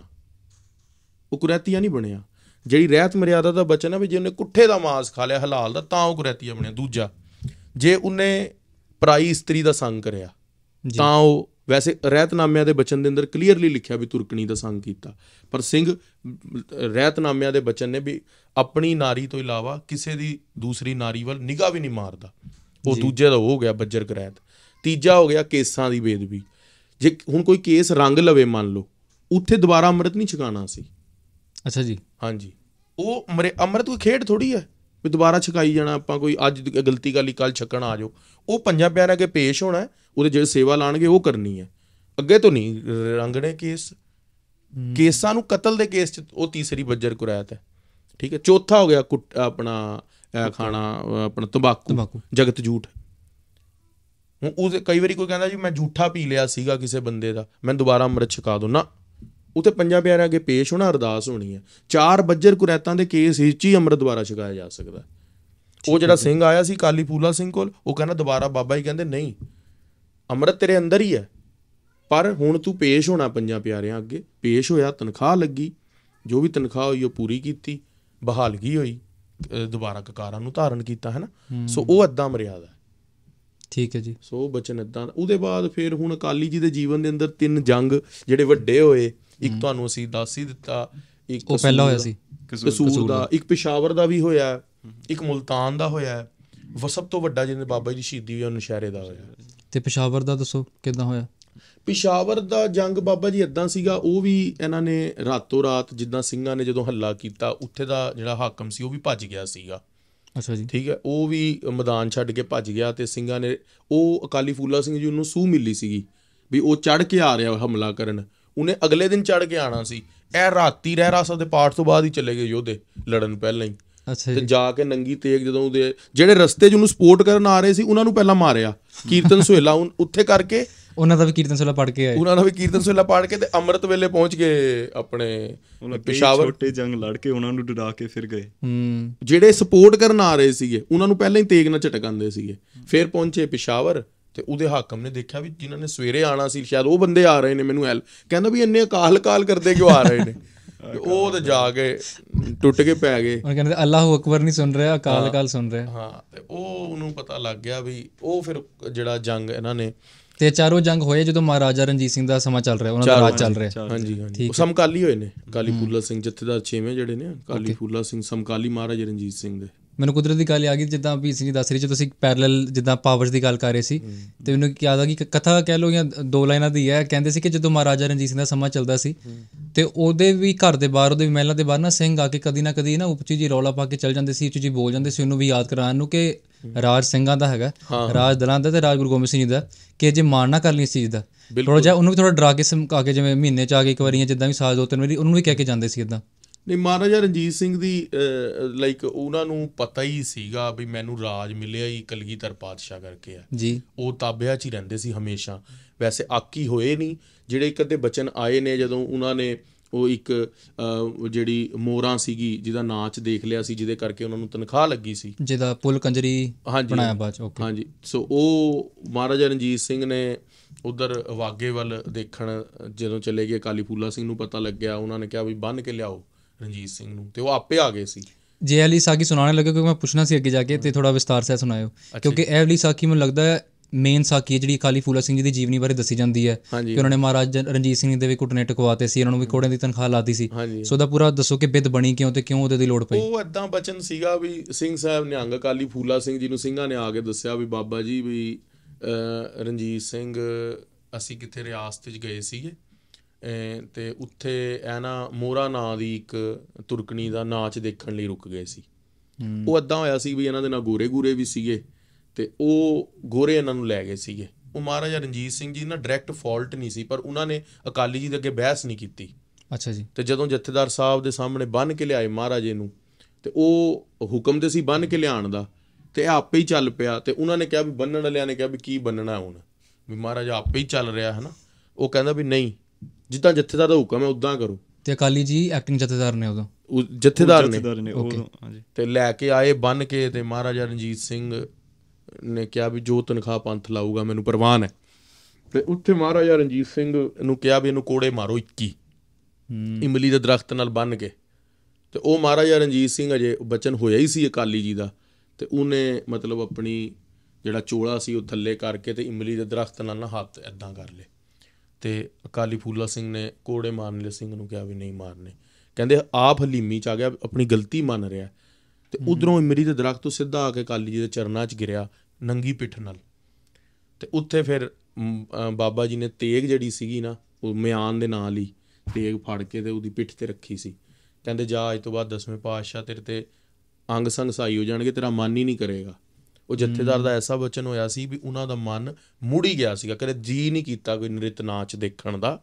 ਅੱਛਾ ਜੀ। ਹਾਂ ਉਹ ਇੱਕ ਇਹ ਵੀ ਬਚਨ ਇਸ ਸਿੱਖਿਆ ਤੋਂ ਇਹ ਮਿਲਦੀ ਹੈ ਵੀ ਜਿਹੜਾ ਬੰਦਾ ਅੱਜ ਕੱਲ ਦੀ ਜਨਰੇਸ਼ਨ ਆਪਾਂ ਕਹੀਏ ਉਹ ਯੂਥ ਦਾ ਕਾਮਨ ਕੁਐਸਚਨ ਹੈਗਾ ਵੀ ਸਾਨੂੰ ਕਾਮ ਬੜਾ ਤੰਗ ਕਰਦਾ ਹੈ। ਜੀ। ਵੀ ਸਾਡੀ ਬਿਰਤੀ ਬੜੀ ਚੰਚਲ ਹੋ ਜਾਂਦੀ ਹੈ। ਜਿਵੇਂ ਜਿਵੇਂ ਏਜ ਵੱਧਦੀ ਹੈ ਕਾਮ ਵੱਧਦਾ ਹੈ ਮੈਂ ਨਹੀਂ ਕਹਿੰਦਾ ਵੀ ਯੂਥ ਦੇ ਲਈ ਇਹ ਪ੍ਰੋਬਲਮ ਹੈ। ਹੂੰ। ਉਹਦਾ ਇੱਥੇ ਹੱਲ ਦਿੱਤਾ ਸੀ ਵੀ ਜਿਹੜਾ ਮਹਾਂਪੁਰਸ਼ਾਂ ਦੀ ਤਾਬਿਆ ਦੇ ਹੇਠ ਆ ਜਾਂਦਾ ਹੈ ਨਾ ਸਾਧੂ ਦੇ ਸੰਗ ਦੇ ਅੰਦਰ ਆ ਜਾਂਦਾ ਸਾਧ ਸੰਗ ਜਨਮ ਤੇ ਮਰਨ ਮਿਟ ਜਾਂਦਾ ਇਹ ਤੇ ਪ੍ਰੋਬਲਮ ਹੀ ਛੋਟੀ ਜੀ ਹੈ ਕਾਮ ਦੀ ਵਿਕਾਰਾਂ ਦੀ। ਸਾਧ ਸੰਗੇ ਨਾਮ ਰੰਗੇ ਰਣਜੀਤ ਵੱਡਾ ਅਖਾੜਾ। ਉਹ ਜਿਹੜਾ ਵੱਡਾ ਅਖਾੜਾ ਹੈ ਸਾਧ ਸੰਗਤ ਦੀ ਕਿਰਪਾ ਦੇ ਨਾਲ ਜਿੱਤਿਆ ਜਾਂਦਾ। ਸੋ ਉਹ ਅਕਾਲੀ ਫੂਲਾ ਸਿੰਘ ਸਾਨੂੰ ਇਹ ਵੀ ਸਿੱਖਿਆ ਦੇ ਰਹੇ ਨੇ ਬਈ ਜੇ ਤੁਸੀਂ ਆਪਣੇ ਵਿਕਾਰਾਂ ਦੇ ਉੱਤੇ ਕਾਬੂ ਕਰਨਾ ਚਾਹੁੰਦੇ ਹੋ ਤੇ ਜਿਵੇਂ ਮਹਾਰਾਜਾ ਰਣਜੀਤ ਸਿੰਘ ਨੂੰ ਅਕਾਲੀ ਫੂਲਾ ਸਿੰਘ ਜੀ ਨੇ ਆਪਣੀ ਤੇਗ ਦੀ ਮਿਆਨ ਦੀ ਨੋਕ ਦੇ ਨਾਲ ਉਹਦੇ ਵਿਕਾਰ ਚੱਕਦੇ ਸੀਗੇ। ਵੀ ਜਿਹੜਾ ਵੀ ਕੋਈ ਗੁਰਸਿੱਖ ਅੱਜ ਵਿਕਾਰਾਂ ਕਰਕੇ ਤੰਗ ਹੈ ਉਹ ਸਾਧੂ ਮਹਾਂਪੁਰਸ਼ਾਂ ਦੇ ਚਰਨ ਪਰਸੇ। ਸਾਧੂ ਦੀ ਸੰਗਤ ਕਰੇ। ਸਾਧ ਸੰਗਤ ਦੇ ਨਾਲ ਪਰਮ ਗਤੀ ਦੀ ਪ੍ਰਾਪਤੀ ਹੁੰਦੀ ਹੈ। ਜੀ। ਹਰ ਨਾਮਾ ਜਪ ਪਰਮ ਗਤੇ ਟਹਿਲ ਸੰਤਨ ਕੀ ਗੁਰਬਾਣੀ ਦੀ ਪੰਕਤੀ ਹੈ। ਸੰਗ ਸਾਧੂ ਕਾ। ਹਰ ਨਾਮਾ ਜਪ ਪਰਮ ਗਤੇ ਟਹਿਲ ਕਿਦੀ ਸਾਧੂਆਂ ਦੀ। ਸਾਧ ਸੰਗਤ ਤੇ ਜਾ ਕੇ ਨਾਮ ਜਪਣਾ, ਗੁਰਬਾਣੀ ਸੁਣਨੀ, ਕਥਾ ਕੀਰਤਨ ਸੁਣਨਾ, ਟਹਿਲ ਸਾਧੂ ਦੀ ਕਰਨੀ, ਜਿਹੜਾ ਕੋਈ ਪੂਰਨ ਗੁਰਸਿੱਖ ਆ। ਟਹਿਲ ਸੰਤਨ ਕੀ, ਸੰਗ ਸਾਧੂ ਕਾ। ਹਰ ਨਾਮਾ ਜਪ ਪਰਮ ਗਤੇ। ਨਾ ਨਾਮ ਵੀ ਜਪਣਾ, ਬਾਣੀ ਵੀ ਪੜਨੀ ਕਹਿੰਦੇ ਪਰਮ ਗਤੀ ਦੀ ਪ੍ਰਾਪਤੀ ਹੋ ਜਾਵੇਗੀ। ਸੋ ਗੁਰੂ ਪਾਤਸ਼ਾਹ ਮਹਾਰਾਜ ਇਸ ਤਰ੍ਹਾਂ ਉਹਨਾਂ ਦੀ ਉਹ ਸਾਖੀ ਆਂਦੀ ਹੈ ਤੇ ਫਿਰ ਉਹਨਾਂ ਨੇ ਜਿਹੜਾ ਅਸੀਂ ਤੁਹਾਨੂੰ ਨਾਲ ਪਹਿਲਾ ਜੰਗ ਸਵਰਵਣ ਕੀਤਾ ਕਸੂਰ ਦਾ। ਤੇ ਬਸ ਇੱਕ ਸਵਾਲ ਹੋਰ ਹੈਗਾ ਸੀ ਕਈ ਵਾਰ ਸੁਣਨ ਚ ਇਦਾਂ ਵੀ ਆਉਂਦਾ ਕਿ ਉਹਨਾਂ ਨੇ ਮੋਰਾਂ ਲਈ ਜਾਂ ਉਹਨਾਂ ਮੋਰਾਂ ਸੀਗਾ ਨਾ ਮੋਰਾਂ ਜਿਹੜੀ ਬੀਬੀ ਸੀ ਜਿਹੜੀ ਉਹਦੇ ਨਾਲ ਵਿਆਹ ਵੀ ਕਰਾਇਆ ਸੀ। ਸੋ ਵਿਆਹ ਵੀ ਕਰਾਇਆ ਉਹ ਮਹਾਰਾਜਾ ਰਣਜੀਤ ਸਿੰਘ ਦਾ ਦੇਖੋ ਉਹ ਪੱਖ ਮੈਂ ਅੱਜ ਨਹੀਂ ਲੈਣਾ ਚਾਹੁੰਦਾ। ਉਹ ਆਪਾਂ ਕਿਸੇ ਦਿਨ ਫੇਰ ਪੂਰਾ ਪੋਡਕਾਸਟ ਰੱਖ ਲਾਂਗੇ ਉਹਨਾਂ ਦੇ ਜੀਵਨ ਦੇ ਉੱਤੇ। ਉਹ ਜੀਵਨ ਬੜਾ ਮਤਲਬ ਵੱਡਾ ਹੈਗਾ। ਹਾਂਜੀ ਉਹਨਾਂ ਦੇ ਲਈ ਇੱਕ ਨਹੀਂ ਸੀਗੇ ਕਈ ਆਨੰਦ ਕਾਰਜ ਹੋਏ ਸੀਗੇ। ਉਹ ਆਪਾਂ ਫਿਰ ਵਿਸਤਾਰ ਨਾਲ ਲੈ ਲਾਂਗੇ। ਕਿਉਂਕਿ ਮਹਾਰਾਜਾ ਰਣਜੀਤ ਸਿੰਘ ਦਾ ਜਿਹੜਾ ਜੀਵਨ ਹੈ ਉਹ ਫਿਰ ਆਪਾਂ ਲਾਈਕ ਕ੍ਰੋਨਿਕਲ ਆਰਡਰ ਦੇ ਅੰਦਰ ਕਿਸ ਤਰ੍ਹਾਂ ਬਚਪਨ ਦੇ ਅੰਦਰ ਉਹਨਾਂ ਦੇ ਜਿਹੜੇ ਮਾਤਾ ਜੀ ਸੀਗੇ ਉਹ ਬੜਾ ਮਤਲਬ ਵੱਡਾ ਵਿਸਤਾਰਲਾ ਜੀਵਨ ਹੈ। ਉਹ ਉਹਨਾਂ ਦੇ ਮਾਤਾ ਜੀ ਜਿਹੜੇ ਸੀਗੇ ਉਹਨਾਂ ਨੂੰ ਇੱਕ ਘੜੇ ਦੇ ਅੰਦਰ ਕੁੱਜੇ ਦੇ ਅੰਦਰ ਬੰਦ ਕਰਕੇ ਮਾਰਨ ਲੱਗੇ ਸੀਗੇ। ਮਹਾਰਾਜਾ ਰਣਜੀਤ ਸਿੰਘ ਜੀ ਜਦੋਂ ਜੰਮੇ ਸੀ ਹਾਂਜੀ। ਮਹਾਰਾਜਾ ਰਣਜੀਤ ਸਿੰਘ ਬੇਬੀ ਨੂੰ। ਹਾਂ ਉਹ ਆਪਾਂ ਫੇਰ ਸੰਗਤ ਦੇ ਨਾਲ ਪੂਰੀ ਕਰਾਂਗੇ। ਕਿੱਦਾਂ ਉਹ ਬਾਬਾ ਗੁੱਦੜ ਸਿੰਘ ਜੀ ਮਹਾਂਪੁਰ ਸੀਗੇ ਉਹਨਾਂ ਨੇ ਉਹਨਾਂ ਨੂੰ ਬਚਾਇਆ ਉਹਨਾਂ ਨੇ ਬਚਨ ਕੀਤੇ। ਕਹਿੰਦੇ ਜਿਹਨੂੰ ਤੁਸੀਂ ਮਾਰਨ ਲੱਗੇ ਹੋ ਇਹਦੀ ਕੁੱਖ ਤੋਂ ਤੇ ਪੰਜਾਬ ਦਾ ਸ਼ੇਰ ਜੰਮਣਾ। ਉਹ ਉਧਰੋਂ ਕਹਾਣੀ ਸ਼ੁਰੂ ਹੋਣੀ ਹੈ। ਉਹ ਜਾਣੀਆਂ ਫਿਰ ਮਹਾਰਾਜਾ ਰਣਜੀਤ ਸਿੰਘ ਬਚਪਨ ਫਿਰ ਉਹਨਾਂ ਦੇ ਪਿਤਾ ਮਾਹ ਸਿੰਘ ਦੀ ਉਹਨਾਂ ਦੇ ਦਾਦਾ ਸੂਕਰ ਅਹ, ਚੜ੍ਹਤ ਸਿੰਘ ਸੂਕਰ ਚੱਕੀਏ ਦੀ ਉਹਨਾਂ ਤੋਂ ਬਾਅਦ ਉਹਨਾਂ ਦਾ ਉਹਨਾਂ ਨੂੰ ਜਦੋਂ ਗੱਦੀ ਤੇ ਬਿਠਾਇਆ ਉਹਨਾਂ ਦੇ ਬਾਅਦ ਉਹਨਾਂ ਦੇ ਆਨੰਦ ਕਾਰਜਾਂ ਦੀ ਰਾਜ ਦੀ ਉਹਨਾਂ ਦੀ ਰਣਨੀਤੀ ਦੀ ਉਹ ਆਪਾਂ ਫੇਰ ਕਦੇ ਪੋਡਕਾਸਟ ਤੇ ਪੂਰਾ ਪੱਖ ਜ਼ਰੂਰ ਉਹ ਕਰਾਂਗੇ ਫਿਰ ਪੂਰਾ ਮਹਾਰਾਜਾ ਰਣਜੀਤ ਸਿੰਘ ਤੇ ਰੱਖਾਂਗੇ ਹਾਂ ਉਹ ਉਹਨਾਂ ਤੇ ਕਰਾਂਗੇ ਤੇ ਹਜੇ ਆਪਾਂ ਕਾਲੀ ਫੂਲਾ ਸਿੰਘ ਤੇ ਫੋਕਸਡ ਹੋ ਜੰਨੇ ਆ ਕਿਉਂਕਿ ਉਹ ਬਹੁਤ ਵਿਸ਼ਾ ਲੰਬਾ ਹੋ ਜਾਣਾ। ਹੈ। ਹਾਂਜੀ ਹਾਂਜੀ। ਤੇ ਅੱਜ ਤੁਸੀਂ ਜਿਵੇਂ ਮੁਲਤਾਨ ਦਾ ਜੰਗ ਉਹ ਇਹਨਾਂ ਨਾਲ ਇਹ ਹੁਣ ਤੀਜਾ ਜੰਗ ਹੈ ਕਿ ਦੂਜਾ? ਕਿਉਂਕਿ ਪਿਸ਼ੌਰ ਦੀ ਗੱਲ ਕਰ ਲਈ ਹੈ ਕਸੂਰ ਦਾ ਹੋ ਤੇ ਗਿਆ। ਕਸੂਰ ਦਾ ਹੋ ਗਿਆ। ਹਾਂਜੀ। ਕਸੂਰ ਇਹ ਦੂਜਾ ਹੈਗਾ ਜੰਗ ਵੈਸੇ। ਪਿਸ਼ਾਵਰ ਦੀ ਫਤਿਹ ਤੋਂ ਪਹਿਲਾਂ ਹੋਈ ਸੀ ਮੁਲਤਾਨ ਸੋ। ਪਿਸ਼ਾਵਰ ਤੀਜਾ ਹੈ। ਹਾਂਜੀ। ਤੇ ਦੂਜਾ ਹੋ ਗਿਆ ਮੁਲਤਾਨ। ਹਾਂਜੀ ਨਹੀਂ, ਠੀਕ ਹੈ ਹਾਂਜੀ। ਸੋ ਮੁਲਤਾਨ ਕਰੋ ਤੁਸੀਂ ਮੋਟਾ ਮੋਟਾ ਲਾ ਲਓ ਵੀ ਅਸੀਂ ਤੁਹਾਡਾ ਜੰਗ ਡਿਸਕਸ ਕਰ ਰਹੇ ਹਾਂ। ਜੀ। ਤੇ ਕਿਉਂਕਿ ਉਹਨਾਂ ਦਾ ਮੁੱਢਲਾ ਜੀਵਨ ਵੀ ਕਰ ਲਿਆ। ਹੁਣ ਉਹ ਕਹਿ ਲਓ ਕਰ ਕਿ ਚੜ੍ਹਦੀ ਜਵਾਨੀ ਚ ਪਹੁੰਚ ਗਏ ਨੇ ਕਸੂਰ ਤੇ ਪਿਸ਼ਾਵਰ ਦਾ ਜੰਗ ਵੀ ਕਰਤਾ। ਹੁਣ ਭਾਈ ਸਾਹਿਬ ਤੁਹਾਨੂੰ ਮੁਲਤਾਨ ਦੇ ਜੰਗ ਦਾ ਵੇਰਵਾ ਦੱਸਦੇ ਦਾਸ ਨਸ਼ਹਿਰੇ ਦੇ ਜੰਗ ਦਾ ਦੱਸ ਦੇਗਾ। ਠੀਕ ਹੈ ਜੀ। ਤੇ ਸੋ ਜਿਵੇਂ ਹੁਣ ਮੁਲਤਾਨ ਦੀ ਜੰਗ ਸੀਗੀ ਮੁਲਤਾਨ ਦੇ ਜਿਹੜੇ ਆਪਣੇ ਸੂਬੇਦਾਰ ਮਹਾਰਾਜੇ ਦੀ ਥਾਪੇ ਹੋਏ ਉਹ ਉਸ ਸਮੇਂ ਆਕੀ ਹੋਏ। ਉਹ ਕਹਿਣ ਲੱਗੇ ਕਿ ਅਸੀਂ ਜਿਹੜਾ ਆਪਣਾ ਦੇਸ਼ ਦਾ ਮਾਮਲਾ ਹੈਗਾ ਅਸੀਂ ਮਹਾਰਾਜਾ ਰਣਜੀਤ ਸਿੰਘ ਨੂੰ ਨਹੀਂ ਭੇਜਣਾ। ਉਸ ਸਮੇਂ ਮਹਾਰਾਜਾ ਰਣਜੀਤ ਸਿੰਘ ਜੀ ਨੇ ਆਪਣੇ ਵੱਡੇ ਜਰਨੈਲਾਂ ਨੂੰ ਭੇਜੇ। ਸ਼ਹਿਜ਼ਾਦਾ ਖੜਗ ਸਿੰਘ ਵਰਗੇ। ਸ਼ਹਿਜ਼ਾਦਾ ਖੜਗ ਸਿੰਘ ਮਹਾ ਸਿੰਘ ਪਹਿਲਾਂ ਮੁਲਤਾਨ ਦੀ ਜੰਗ ਦੇ ਅੰਦਰ ਇਹਨਾਂ ਨੂੰ ਭੇਜਿਆ ਸੀ। ਭਵਾਨੀ ਦਾਸ ਪਿਸ਼ਾਵਰੀ ਨੂੰ ਤੇ ਦੀਵਾਨ ਚੰਦ ਨੂੰ ਇਹਨਾਂ ਨੂੰ ਭੇਜਿਆ ਸੀਗਾ। ਪਰ ਇਹ ਲੋਕ ਉਹ ਹੋ ਕੇ ਆ ਗਏ ਸੀ ਲਾਈਕ ਹਾਰ ਕੇ ਆ ਗਏ ਸੀਗੇ। ਅੱਛਾ ਜੀ। ਮਤਲਬ ਜੰਗ ਲੜੀ ਵੀ ਤੇ ਹਾਰ ਕੇ ਆ ਗਏ। ਮਹਾਰਾਜਾ ਰਣਜੀਤ ਸਿੰਘ ਨੇ ਨਾ ਪਹਿਲੇ 10000 ਫੌਜ ਭੇਜੀ ਸੀ। ਅੱਛਾ ਜੀ। ਭਵਾਨੀ ਦਾਸ ਦੀ ਭਵਾਨੀ ਦਾਸ ਪਿਸ਼ਾਵਰੀ ਦੀ ਮਿਸ਼ਰ ਗੰਗਾ ਰਾਮ ਤੇ ਦੀਵਾਨ ਚੰਦ। ਤਿੰਨ ਬੰਦੇ ਜਰਨੈਲ ਭੇਜੇ ਸੀ 10000 ਫੌਜ ਦੇ ਕੇ। ਤੇ ਦੇਖੋ ਵੈਸੇ ਨਾਮਾਂ ਤੋਂ ਕੋਈ ਵੀ ਸਿੱਖ ਨਹੀਂ ਹੈ। ਇੱਕ ਕੋਈ ਹਿੰਦੂ ਹੈ ਤੇ ਨਾਲ ਇੱਕ ਮੁਸਲਮਾਨ। ਡੋਗਰੇ ਸੀਗੇ। ਠੀਕ ਹੈ ਜਿਹੜਾ ਗੰਗਾ ਮਿਸ਼ਰ ਸੀਗਾ ਡੋਗਰਾ ਸੀਗਾ। ਓਕੇ। ਸੋ ਉਹ ਜਦੋਂ ਭੇਜੇ ਤੇ ਉਹ ਲਾਈਕ ਠੰਡਾ ਜਿਹਾ ਕੰਮ ਕਰਕੇ ਆ ਗਏ ਤੇ ਵਾਪਸ ਆ ਗਏ। ਉਹਨਾਂ ਤੋਂ ਫਤਿਹ ਨਹੀਂ ਹੋਈ ਜੰਗ। ਬੰਦੇ ਵੀ ਮਰਾ ਆਏ ਦੂਸਰੀ ਗੱਲ ਸਭ ਤੋਂ ਗੱਲ ਹੈ ਉਹਨਾਂ ਨੇ 네ਗੇਟਿਵ ਹੋ ਗਈ ਵੀ ਰਾਤ ਨੂੰ ਉਹਨਾਂ ਦਾ ਡੇਰਾ ਵੀ ਲੁੱਟ ਕੇ ਸਾਰੇ ਸ਼ਸਤਰ ਧਨ ਤੇ ਉਹਨਾਂ ਦੀ ਫੌਜਾਂ ਦੇ ਘੋੜੇ ਕੂੜੇ ਲੁੱਟ ਕੇ ਲੈ ਗਏ ਤੁਰਕ। ਆਪਣੇ ਸਿੰਘਾਂ ਦੇ? ਸਿੰਘਾਂ ਦੇ। ਹੂੰ। ਤੇ ਉਹ ਮਹਾਰਾਜਾ ਰਣਜੀਤ ਕੋ ਵਾਪਸ ਆ ਗਏ। ਉਹ ਫਿਰ ਮਹਾਰਾਜਾ ਰਣਜੀਤ ਸਿੰਘ ਨੇ ਬਹੁਤ ਮਾਈਂਡ ਕੀਤਾ। 1813 ਦੀ ਗੱਲ ਆ। ਓਕੇ ਉਹਨੇ ਬਹੁਤ ਮਾਈਂਡ ਕੀਤਾ। ਉਹਨੇ ਉਹਨੂੰ ਉਹਦੇ ਤੋਂ ਵੀ ਲਾ ਦਿੱਤਾ। ਅੱਛਾ ਜੀ। ਭਵਾਨੀ ਦਾਸ ਨੂੰ। ਤੇ ਫਿਰ ਹੁਣ ਉਹ ਅੱਗੇ ਬਾਬਾ ਜੀ ਤੁਹਾਨੂੰ ਸੁਣਾ ਰਹੇ ਨੇ ਕਥਾ। ਸੋ ਫਿਰ ਉਹ ਮਤਲਬ ਵੱਡੇ ਜਰਨੈਲਾਂ ਨੂੰ ਭੇਜਦੇ ਨੇ। ਜੀ। ਸ਼ਹਜ਼ਾਦਾ ਖੜਕ ਸਿੰਘ ਨੂੰ ਆਪਣੇ ਬੇਟੇ ਨੂੰ। ਹਾਂਜੀ। ਹਜੇ ਵੀ ਫੂਲਾ ਸਿੰਘ ਨਹੀਂ ਜਾ ਰਹੇ। ਅੱਛਾ ਜੀ। ਤੇ ਉਹ ਫਿਰ ਮਤਲਬ ਉੱਥੇ ਉਹ ਜੰਗ ਕਈ ਮਹੀਨਿਆਂ ਵਾਸਤੇ ਲੜਦੇ ਰਹੇ। ਤੇ ਕਈ ਮਹੀਨਿਆਂ ਵਾਸਤੇ ਮਤਲਬ ਲੜ ਲੜ ਕੇ ਉਹਨਾਂ ਦਾ ਕੋਈ ਮਤਲਬ ਅੱਗੇ ਨਹੀਂ ਵਧ ਸਕਦੇ। Are trying to fight for months and months and months and they can't even take one step forward in the jung. ਹੂੰ। ਉਸ ਸਮੇਂ ਜਦੋਂ ਮਤਲਬ ਹੁਣ ਜੰਗ ਵਿੰਟਰ ਦੇ ਮਹੀਨੇ ਵਿੱਚ ਸ਼ੁਰੂ ਹੋਇਆ ਸੀ। ਤੇ ਹੁਣ ਮਤਲਬ ਜੇਠ ਹਾੜ। ਹਾਂਜੀ ਲਾਈਕ ਫੈਬਰੂਰੀ ਲਾਈਕ ਕਹਿ ਲਓ ਵੀ ਹਜੇ ਸ਼ੁਰੂ ਹੋਣਾ ਹੀ ਸੀਗਾ ਤੇ ਮਾਰਚ ਆ ਗਿਆ ਸੀ। ਪਰ ਜਿੱਦਾਂ ਪਹਿਲੀ ਵਾਰੀ ਜਦੋਂ ਸ਼ਹਜ਼ਾਦੇ ਖੜਕ ਸਿੰਘ ਹੋਰਾਂ ਨੇ ਐਕਚੁਅਲੀ ਮੁਲਤਾਨ ਦਾ ਜਿਹੜਾ ਕਿਲਾ ਉਹ 3 ਸਟੈਪਸ ਵਿੱਚ ਸੀਗਾ। ਇੱਕ ਮੁਜ਼ੱਫਰਾਗੜ੍ਹ ਤੇ ਉਹਦੇ ਬਾਅਦ ਛੋਟਾ ਕਿਲਾ ਵੱਡਾ ਕਿਲਾ। ਮੁਜ਼ੱਫਰਗੜ੍ਹ ਵਾਲਾ ਜਿਹੜਾ ਸਥਾਨ ਸੀਗਾ ਉਹ ਭਵਾਨੀ ਦਾਸ ਹੋਰੀ ਜਿੱਤ ਗਏ ਸੀ ਪਰ ਉਸ ਤੋਂ ਅੱਗੇ ਨਹੀਂ ਪਹੁੰਚੇ। ਅੱਛਾ ਜੀ। ਜਿਹੜਾ ਛੋਟਾ ਕਿਲਾ ਸੀ ਮੁਲਤਾਨ ਦਾ ਉਹ ਸ਼ਹਜ਼ਾਦੇ ਖੜਕ ਸਿੰਘ ਹੋਰਾਂ ਨੇ ਮਹਾ ਸਿੰਘ ਹੋਰਾਂ ਨੇ ਜਿੱਤ ਲਿਆ ਸੀ। ਤੇ ਜਿਹੜਾ ਤੀਸਰਾ ਕਿਲਾ ਸੀਗਾ ਉੱਥੇ ਹੁਣ ਕਹਾਣੀ ਅੜੀ ਹੋਈ ਹੈ। ਉੱਥੇ ਭਾਈ ਸਾਹਿਬ ਤੁਹਾਨੂੰ ਗੱਲ ਦੱਸ ਰਹੇ ਨੇ ਵੀ ਉਹ since like November to March ਆ ਗਿਆ ਤੇ ਉਹ ਨਹੀਂ ਕਿਲਾ ਫਤਿਹ ਹੋਇਆ। ਤੇ ਹੁਣ ਉੱਥੇ ਉਹ ਜਿਹੜੀ ਬਿਮਾਰੀ ਫੈਲ ਗਈ ਜੋ ਫਿਰ ਹੈਜਾ ਫੈਲ ਗਈ ਫੌਜਾਂ ਦੇ ਅੰਦਰ। ਲਾਈਕ ਡਾਇਰੀਆ ਹੋ ਗਿਆ ਉਲਟੀਆਂ ਟੱਟੀਆਂ ਲੱਗ ਗਈਆਂ ਤੇ ਸਿੰਘਾਂ ਦਾ ਮਤਲਬ ਬਹੁਤ ਨੁਕਸਾਨ ਹੋਣ ਲੱਗ ਪਿਆ ਆਪਣੀ ਫੌਜ ਦਾ। ਰੋਜ਼ ਦਾ 100 ਬੰਦਾ ਮਰਨ ਲੱਗ ਪਿਆ 25000 ਫੌਜ ਗਈ ਸੀ। ਅੱਛਾ ਜੀ ਬਿਮਾਰੀ ਕਾਰਨ ਮਰਨਾ ਸ਼ੁਰੂ ਹੋ ਮਤਲਬ ਗਿਆ 5-6000 ਫੌਜ ਸਿਰਫ ਹੈਜਾ ਤੋਂ ਮਰ ਗਈ ਹੈ ਐਟ ਦਿਸ ਪੁਆਇੰਟ ਹੂੰ। ਤੇ ਉਸ ਸਮੇਂ ਮਹਾਰਾਜਾ ਰਣਜੀਤ ਸਿੰਘ ਜੀ ਹੁਣ ਜਿਵੇਂ ਪੰਕਤੀ ਆਉਂਦਾ ਗੁਰਬਾਣੀ ਦੇ ਅੰਦਰ ਲਾਗੂ ਹੋਏ ਦੁਸ਼ਮਨਾ ਸਾਖ ਪੇ ਭਜ ਖਲੇ ਸਭੋ ਭਜੈ ਆਸਰਾ ਚੁੱਕੈ ਸਭ ਅਸਰਾਓ ਚਿਤ ਆਵੈ ਉਸ ਪਾਰ ਬ੍ਰਹਮ ਲੱਗੇ ਨਾ ਤਤੀ ਵਾਓ। ਜੀ। ਉਸ ਸਮੇਂ ਮਹਾਰਾਜਾ ਰਣਜੀਤ ਸਿੰਘ ਜੀ ਨੇ ਅਕਾਲ ਤਖਤ ਤੇ ਜਾ ਕੇ ਅਰਦਾਸਾ ਸੋਧਿਆ ਹਰਮੰਦਰ ਸਾਹਿਬ ਜਾ ਕੇ ਅਰਦਾਸਾ ਸੋਧਿਆ ਕਿ ਸੱਚੇ ਪਾਤਸ਼ਾਹ ਸਾਡੇ ਗਰੀਬਾਂ ਦਾ ਲਾਜ ਰੱਖੋ। ਜੀ। ਉਸ ਸਮੇਂ ਜਦੋਂ ਜਿਵੇਂ ਗੁਰੂ ਸਾਹਿਬ ਜੀ ਆਪਣੇ ਗੁਰਸਿੱਖਾਂ ਦੇ ਅੰਦਰ ਹੀ ਵਰਤਦੇ ਨੇ ਗੁਰੂ ਸਾਹਿਬ ਜੀ ਮਹਾਰਾਜ ਦੇ ਜਦੋਂ ਅਕਾਲੀ ਬਾਬਾ ਫੂਲਾ ਸਿੰਘ ਜੀ ਨੇ ਮਹਾਰਾਜਾ ਰਣਜੀਤ ਸਿੰਘ ਨਾ- ਦਾ ਹਾਲ ਪੁੱਛਿਆ।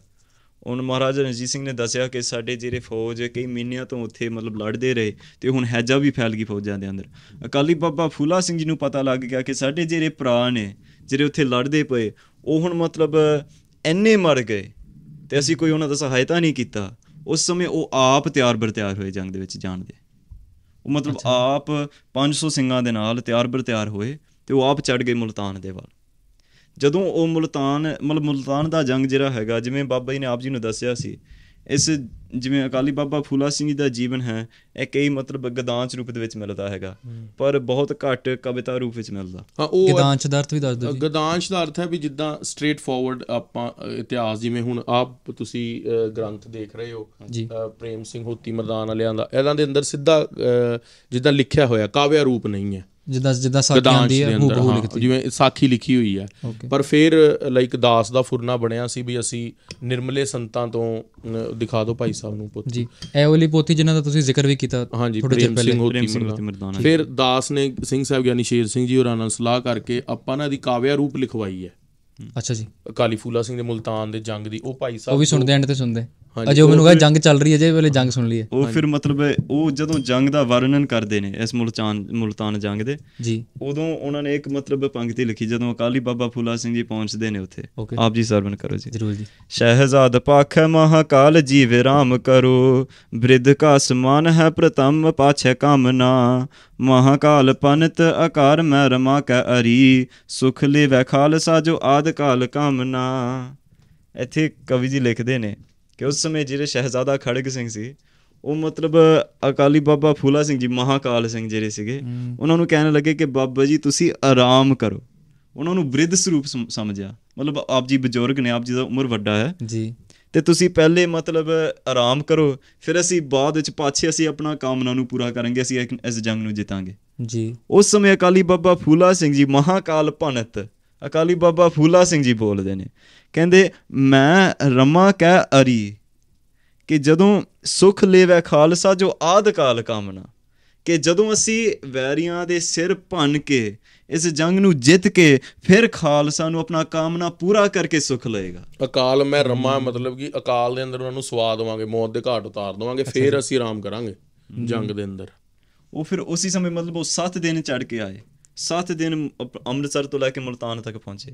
ਅੱਛਾ ਜੀ। ਜਦੋਂ ਮੁਲਤਾਨ ਦਾ ਵੱਡਾ ਘੇਰਾ ਸੀ ਜਿਹੜਾ ਬਾਬਾ ਜੀ ਦੱਸ ਰਹੇ ਸੀਗੇ ਜਿਹਦੇ ਕੋਈ ਵੀ ਨਹੀਂ ਫਤਿਹ ਕਰ ਸਕਦਾ ਸੀ। ਜੀ। ਉਹਦੇ ਮਤਲਬ ਚਾਰ ਗੇਟ ਸੀ ਚਾਰ ਪਾਸੇ ਸਨ। ਹੂੰ। ਹਾਂਜੀ ਉਹ ਇੱਕ ਹਿਜਰੀ ਗੇਟ ਸੀਗਾ ਇੱਕ ਹੇਰੀ ਗੇਟ ਸੀਗਾ ਤੇ ਉਹ ਅਕਾਲੀ ਫੂਲਾ ਸਿੰਘ ਜੀ ਨੇ ਚਾਰੋਂ ਪਾਸਿਓਂ ਦੇਖਿਆ ਵੀ ਸਭ ਤੋਂ ਸਟਰੋਂਗ ਗੇਟ ਕਿਹੜਾ ਆਪਾਂ ਉਹ ਤੋੜਾਂਗੇ। ਕਿਉਂਕਿ ਇਹ ਜਿਹੜੇ ਸਿੰਘਾਂ ਦਾ ਮਾਈਂਡ ਸੈਟ ਸੀ ਕਿ ਸੌਖਾ ਨਹੀਂ ਲੱਭਣਾ। ਅਸੀਂ ਅਸੌਖਾ ਨਹੀਂ ਲੱਭਣਾ ਅਸੀਂ ਹੁਣ ਉੱਥੇ ਜਾਣਾ ਜਿੱਥੇ ਕੋਈ ਵੀ ਨਹੀਂ ਜਿੱਤ ਸਕਦਾ। ਕਿਉਂ? ਕਿਉਂਕਿ ਸਾਡਾ ਧਿਆਨ ਜੋ ਹੈ ਗੁਰੂ ਗੋਬਿੰਦ ਸਿੰਘ ਜੀ ਦੇ ਚਰਨਾਂ ਵਿੱਚ ਟਿਕਿਆ। ਤੇ ਜਿਹੜਾ ਮਤਲਬ ਧਿਆਨ ਗੁਰੂ ਗੋਬਿੰਦ ਸਿੰਘ ਜੀ ਦੇ ਚਰਨਾਂ ਦੇ ਅੰਦਰ ਟਿਕਿਆ ਉਹ ਤਾਂ ਕਿਤੇ ਵੀ ਨਹੀਂ ਹਾਰ ਸਕਦਾ ਖਾਲਸਾ ਜੀ। ਹੂੰ। ਇਸ ਕਰਕੇ ਅਕਾਲੀ ਬਾਬਾ ਫੂਲਾ ਸਿੰਘ ਜੀ ਕਹਿਣ ਲੱਗੇ ਕਿ ਅਸੀਂ ਉੱਥੇ ਜਾ ਉੱਥੇ ਜਾਣਾ। ਉਹਨਾਂ ਨੂੰ ਪਤਾ ਲੱਗ ਗਿਆ ਕਿ ਜਿਹੜਾ ਹਿਜਰੀ ਗੇਟ ਉਹ ਸਭ ਤੋਂ ਤਕੜਾ ਸੀ। ਹੂੰ। ਜੀ। ਉੱਥੇ ਕਿਸੇ ਨੇ ਹਜੇ ਗੋਲੀ ਵੀ ਚਲਾਈ ਨਹੀਂ। ਤੇ ਉੱਥੇ ਉਹਨਾਂ ਨੇ ਮਤਲਬ ਜਿਹੜਾ ਪੰਗੀਆਂ ਦਾ ਤੋਪ ਸੀ ਇਹਦਾ ਵੀ ਮਤਲਬ ਥੋੜਾ ਜਿਹਾ ਜ਼ਿਕਰ ਹੈਗਾ ਜਿਹੜਾ ਜ਼ਮਜ਼ਮਾ ਤੋਪ ਸੀ ਉਹ ਜਦੋਂ ਅਬਦਾਲੀ ਆਇਆ ਸੀ ਪੰਜਾਬ ਲੁੱਟਣ ਵਾਸਤੇ ਉਹਨਾਂ ਨੇ ਕੋਈ ਇੱਕ ਚੀਜ਼ ਵੀ ਨਹੀਂ ਛੱਡਿਆ ਸਿੱਖਾਂ ਦੇ ਘਰਾਂ ਦੇ ਅੰਦਰ ਜਿਹੜਾ ਪਿੱਤਲ ਆਮ ਮਤਲਬ ਜਿਹੜੇ ਸਾਡੇ ਕਹਿ ਦਿਓ ਪਾਂਡੇ ਹੁੰਦੇ ਨੇ ਹੂੰ। ਉਹਨਾਂ ਨੂੰ ਸਾਰਿਆਂ ਨੂੰ ਇਕੱਠਾ ਕਰਕੇ ਉਹਨਾਂ ਨੂੰ ਮੈਲਟ ਕਰਕੇ melting all of the dishes that we have in the kitchen ਜੀ। into the pittal into the metal the purest form of the metal he then created this huge cannon. ਜਿਹਦਾ ਨਾਮ ਸੀ ਜ਼ਮਜ਼ਮਾ ਤੋਪ। ਓਕੇ ਉਹਨਾਂ ਨੇ ਕਦੀ ਚਲਾਇਆ ਵੀ ਨਹੀਂ ਜ਼ਮਜ਼ਮਾ ਤੋਪ ਪਰ ਪੰਗਿਆਂ ਨੇ ਖੋ ਕੇ ਲਿਆਇਆ।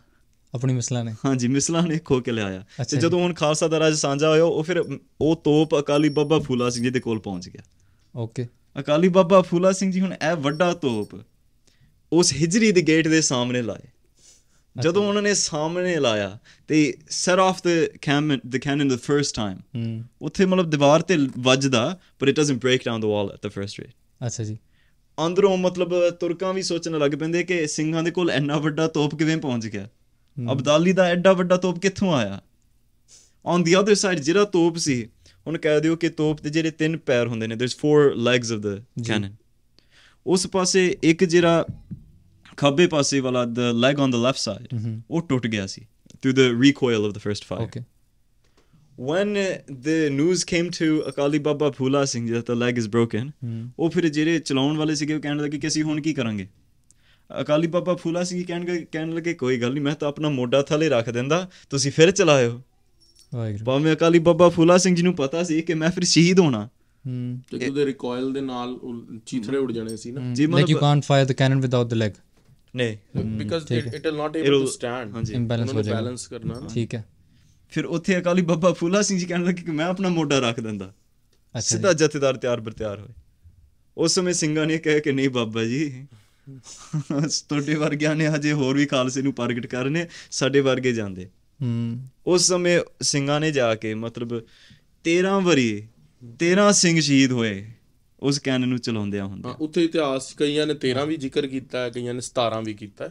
ਵੀ 17 ਸਿੰਘਾਂ ਨੇ ਮੋਢਾ ਲਾਇਆ ਐਂਡ ਲਾਈਕ ਉਹ ਬਰਸਟ ਇਨਟੂ ਪੀਸਸ ਹੋ ਗਏ। ਸਿੰਘਾਂ ਨੇ ਸ਼ਹੀਦੀਆਂ ਦਿੱਤੀਆਂ। ਬਸ ਇੱਕ ਤੋਪ ਦੇ ਗੋਲੇ ਚਲਾਉਣ ਲਈ। ਹਾਂ ਪਰ ਉਹ ਜਦੋਂ ਗੋਲੇ ਚੱਲੇ ਤੇ ਉਹ ਗੇਟ ਬ੍ਰੇਕ ਹੋ ਗਿਆ ਤੇ ਕਾਲੀ ਫੂਲਾ ਸਿੰਘ ਸਣੇ ਘੋੜੇ ਅੰਦਰ ਪਹੁੰਚੇ। ਤੇ ਮੁਜ਼ੱਫਰ ਖਾਨ ਦੇ ਦੋਨੋਂ ਬੇਟਿਆਂ ਨੂੰ ਤੇ ਮੁਜ਼ੱਫਰ ਖਾਨ ਨੂੰ ਮਾਰ ਕੇ ਤੇ ਟੋਟੇ ਟੋਟੇ ਕਰਕੇ ਸਿੰਘਾਂ ਨੇ ਉਹ ਜੰਗ ਫਤਿਹ ਕੀਤੀ ਸੀ। ਮੁਲਤਾਨ ਦਾ ਜੰਗ ਉਹ ਕਿਲਾ ਅੱਜ ਤੱਕ ਨਹੀਂ ਕਿਸੇ ਤੋਂ ਫਤਿਹ ਹੋਇਆ ਸੀਗਾ। ਕਿਸੇ ਵੀ ਤੁਰਕ ਤੋਂ ਨਹੀਂ। ਉਹ ਪਹਿਲਾ ਕਾਲੀ ਫੂਲਾ ਸਿੰਘ ਜੀ ਸੀਗਾ। ਉਸ ਤੋਂ ਬਾਅਦ ਉਹ ਜੰਗ ਦੀ ਫਤਿਹ ਤੋਂ ਬਾਅਦ ਉੱਥੇ ਖਾਲਸਾਈ ਨਿਸ਼ਾਨ ਸਾਹਿਬ ਚੁਲਾਤੇ ਅੰਦਰ ਪੂਰੇ ਕਿਲੇ ਦੇ। ਵੀ ਸੱਤ ਨਿਸ਼ਾਨ ਸਾਹਿਬ ਲਾ ਕੇ ਤੇ ਆਪਣੇ ਫੌਜ ਬਰਦਾਰ ਬੰਦੇ ਖੜੇ ਕਰਤੇ ਉੱਥੇ। ਵੀ ਆਪਣਾ ਟ੍ਰੇਜਰੀ ਆਫੀਸਰ ਆਪਣਾ ਬਣਾਤਾ ਗਵਰਨਰ ਆਪਣਾ ਬਣਾਤਾ ਉੱਥੇ ਦਾ ਹਾਕਮ ਸਾਰਾ ਕੁਝ ਮਤਲਬ ਸਿੰਘਾਂ ਦੇ ਰਾਜ ਹੀ ਸਥਾਪਿਤ ਕਰ ਲਿਆ ਆਪਣਾ। ਪੂਰਾ ਰਾਜ ਸਥਾਪਿਤ ਕਰ ਤੇ ਜਿਹੜੇ ਅਸੀਂ ਨਿਸ਼ਾਨ ਸਾਹਿਬ ਦੀ ਗੱਲ ਕਰਦੇ ਆ ਉਹ ਜਿਵੇਂ ਪਿੱਛੇ ਜਿਹੜੇ ਨਿਸ਼ਾਨ ਸਾਹਿਬ ਅਜੇ ਵੀ ਵਾਇਰਲ ਹੋ ਰਹੇ ਕਿ ਜਿਵੇਂ ਇੰਡੀਆ 'ਚ ਦਿਖਾਏ ਜਾਂਦੇ ਆ ਕਿ ਜਿਹੜਾ ਪਰਚਮ ਲਹਿਰਾਇਆ ਸੋ ਉਹ ਵਾਲਾ ਪਰਚਮ ਹੈ ਉਹ ਵਾਲਾ ਨਿਸ਼ਾਨ ਸਾਹਿਬ ਹੈ ਹਾਂਜੀ ਉਹਦੇ ਅੰਦਰ ਖਾਲਸੇ ਦਾ ਵੀ ਰਾਜ ਹੈਗਾ ਜਿਹਦੇ ਅੰਦਰ ਦਸਵੇਂ ਪਾਤਸ਼ਾਹ ਤੇ ਗੁਰੂ ਨਾਨਕ ਸਾਹਿਬ ਮਹਾਰਾਜ ਦੀ ਉਹਨਾਂ ਦੇ ਨਾਂ ਦੇ ਉੱਤੇ ਜਿਵੇਂ ਉਹ ਜਿਹੜਾ ਤੁਸੀਂ ਹੁਣ ਅੱਜ ਦੇਖ ਹੀ ਰਹੇ ਹੋ ਉਹ ਵਾਲਾ ਗੁਰੂ ਨਾਨਕ ਦੇਵ ਮਹਾਰਾਜ ਦੇ ਦਸਵੇਂ ਪਾਤਸ਼ਾਹ ਦੇ ਨਾਂ ਦੇ ਉੱਤੇ ਖਾਲਸੇ ਦਾ ਨਿਸ਼ਾਨ ਚੂਲਿਆ ਹੂੰ। ਇੱਥੇ ਨਾ ਇੱਕ ਹੋਰ ਵੀ ਬਚਨ ਸੀਗਾ ਕਿ ਜਦੋਂ ਇਹ ਗੱਲ ਦੀ ਖਬਰ ਵਾਪਸ ਮਹਾਰਾਜਾ ਰਣਜੀਤ ਸਿੰਘ ਨੂੰ ਪਤਾ ਲੱਗੀ ਜਦੋਂ ਜੰਗ ਤੇ ਆਇਆ ਸੀ ਨਾ ਕਾਲੀ ਫੂਲਾ ਸਿੰਘ ਆਪਣੇ 1700 ਜਰਨੈਲਾਂ ਦੇ ਨਾਲ ਤਦੋਂ ਉਹਨਾਂ ਨੇ ਮਹਾਰਾਜਾ ਰਣਜੀਤ ਸਿੰਘ ਨੂੰ ਕਿਹਾ ਸੀ ਵੀ ਜੰਗ ਤੇ ਅਸੀਂ ਤੈਨੂੰ ਜਿਤਾ ਦਾਂਗੇ ਪਰ ਤੂੰ ਦਰਬਾਰ ਸਾਹਿਬ ਦੇ ਉੱਤੇ ਸਾਰੇ 'ਚ ਸੰਗੇ ਮਰਮਰ ਲਗਵਾਉਣਾ ਉਹ ਪੂਰੀ ਕਰਨੀ ਹੈ ਤੇ ਸੋਨਾ ਲਗਵਾਉਣਾ। ਜਿਵੇਂ ਮਾਰਬਲ ਮਾਰਬਲ ਤੇ 골ਡ on the Harmandir Sahib. Okay. ਤੇ ਉਹ ਫਿਰ ਗਿਆਨੀ ਸੰਤ ਸਿੰਘ ਜੀ ਸੀਗੇ ਜਿਹੜੇ ਦਮਦਮੀ ਟਕਸਾਲ ਦੇ 7ਵੇਂ ਜਥੇਦਾਰ ਨੇ। ਤੇ ਉਹਨਾਂ ਨੇ ਉਹ ਤਦੋਂ ਹੈੱਡ ਗ੍ਰੰਥੀ ਹੁੰਦੇ ਸੀ ਉੱਥੇ ਜਿਹੜੇ ਕਵੀ ਰਾਏ ਭਾਈ ਸੰਤੋਖ ਸਿੰਘ ਦੇ ਵਿਦਿਆ ਗੁਰੂ ਵੀ ਨੇ। ਅੱਛਾ ਜੀ। ਗਿਆਨੀ ਸੰਤ ਸਿੰਘ ਜੀ। ਤੇ ਸੰਤੋਖ ਸਿੰਘ ਜੀ ਜਿਨ੍ਹਾਂ ਨੇ ਸੂਰਜ ਪ੍ਰਕਾਸ਼ ਸ੍ਰੀ ਗ੍ਰੰਥ ਗੁਰੂ ਲਿਖਿਆ। ਪ੍ਰਤਾਪ ਸੂਰੇ ਗ੍ਰੰਥ ਲਿਖਿਆ ਹੈ ਠੀਕ ਹੈ ਜੀ। ਤੇ ਉਹ ਤਦੋਂ ਗ੍ਰੰਥੀ ਸੀਗੇ ਕਾਲੀ ਫੂਲਾ ਸਿੰਘ ਜੀ ਜਥੇਦਾਰ ਸੀਗੇ। ਹੂੰ। ਤੇ ਉਹਨਾਂ ਨੇ ਫਿਰ ਮਹਾਰਾਜਾ ਰਣਜੀਤ ਸਿੰਘ ਨੇ ਕਿਹਾ ਵੀ ਠੀਕ ਹੈ ਮੈਂ ਤੁਸੀਂ ਜਦੋਂ ਜਾਓ ਨਾ ਦਰਬਾਰ ਸਾਹਿਬ ਦੇ ਅੰਦਰ ਤੇ ਉੱਥੇ ਨਾ ਲਿਖ ਕੇ ਵੀ ਲਗਵਾਇਆ ਹੋਇਆ ਵੀ ਮਹਾਰਾਜਾ ਰਣਜੀਤ ਸਿੰਘ ਨੇ 1817 ਦੇ ਅੰਦਰ ਵੀ ਇੱਥੇ ਸੋਨਾ ਲਗਵਾਇਆ। ਅੱਛਾ ਜੀ। ਹਾਂਜੀ ਹਾਂਜੀ। ਉਹ ਉੱਥੇ ਗਿਨੀ ਸੰਤ ਸਿੰਘ ਦਾ ਨਾਮ ਵੀ ਆਉਂਦਾ। 1847 ਲਿਖਿਆ ਮਤਲਬ ਮੈਨੂੰ ਥੋੜਾ ਜਿਹਾ ਚੇਤਾ ਵਿਸਰ ਰਿਹਾ। ਨਹੀਂ 47 ਚ 1800 ਉਹਨਾਂ ਦਾ ਰਾਜ ਤੇ 40 ਤੱਕ ਸੀ? ਨਹੀਂ 49 ਤੱਕ। 49 ਤੱਕ ਸੀ। ਓਕੇ 1847 ਹਾਂਜੀ, ਹਾਂਜੀ, ਪੰਜਾਹ ਸਾਲ ਰਹੇ, ਲਿਖਿਆ ਹੋਇਆ ਮੈਨੂੰ ਚੇਤੇ ਨਹੀਂ ਆ ਰਿਹਾ ਪਤਾ ਨਹੀਂ 17 ਲਿ- ਅ, 47 ਲਿਖਿਆ ਆਈ ਗੈਸ ਜਿਹੜਾ ਸੋਨੇ ਦੇ ਅੰਦਰ ਇਨਗ੍ਰੇਵਡ ਕਰਕੇ ਲਿਖਿਆ ਹੋਇਆ ਬਣਿਆ ਦਾ ਨਾਮ। ਓਕੇ ਹਾਂਜੀ। ਤੇ ਉਹ ਮੁਲਤਾਨ ਵਿੱਚ ਉਹਨਾਂ ਨੇ ਤੇ ਉਹ ਤੇ ਤੁਸੀਂ ਹੁਣ ਕੀਤਾ ਜ਼ਿਕਰ ਕਿ ਗੁਰੂ ਨਾਨਕ ਦੇਵ ਜੀ ਤੇ ਗੁਰੂ ਗੋਬਿੰਦ ਸਿੰਘ ਜੀ ਦਾ ਜਿਵੇਂ ਚਿੰਨ੍ਹ ਹੁੰਦਾ ਸੀ ਆਪਣਾ ਨਿਸ਼ਾਨ ਸਾਹਿਬ ਤੇ।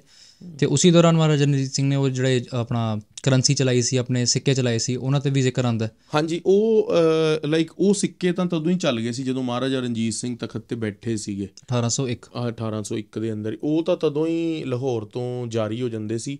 ਤੇ ਜਿਹੜਾ ਜਿਹੜਾ ਆਪਣਾ ਹਾਕਮ ਸੀਗਾ ਜਦੋਂ ਈਵਨ ਜ਼ਕਰੀਆ ਖਾਨ ਦੇ ਟਾਈਮ ਵੀ ਨਾ ਨਵਾਬ ਕਪੂਰ ਸਿੰਘ ਜੀ ਜਿੱਥੇ ਉਹ ਨਵਾਬੀ ਲਈ ਹੈ ਤਦੋਂ ਵੀ ਆਪਣੇ ਸਿੰਘਾਂ ਦੇ ਸਿੱਕੇ ਆ ਗਏ ਸੀ।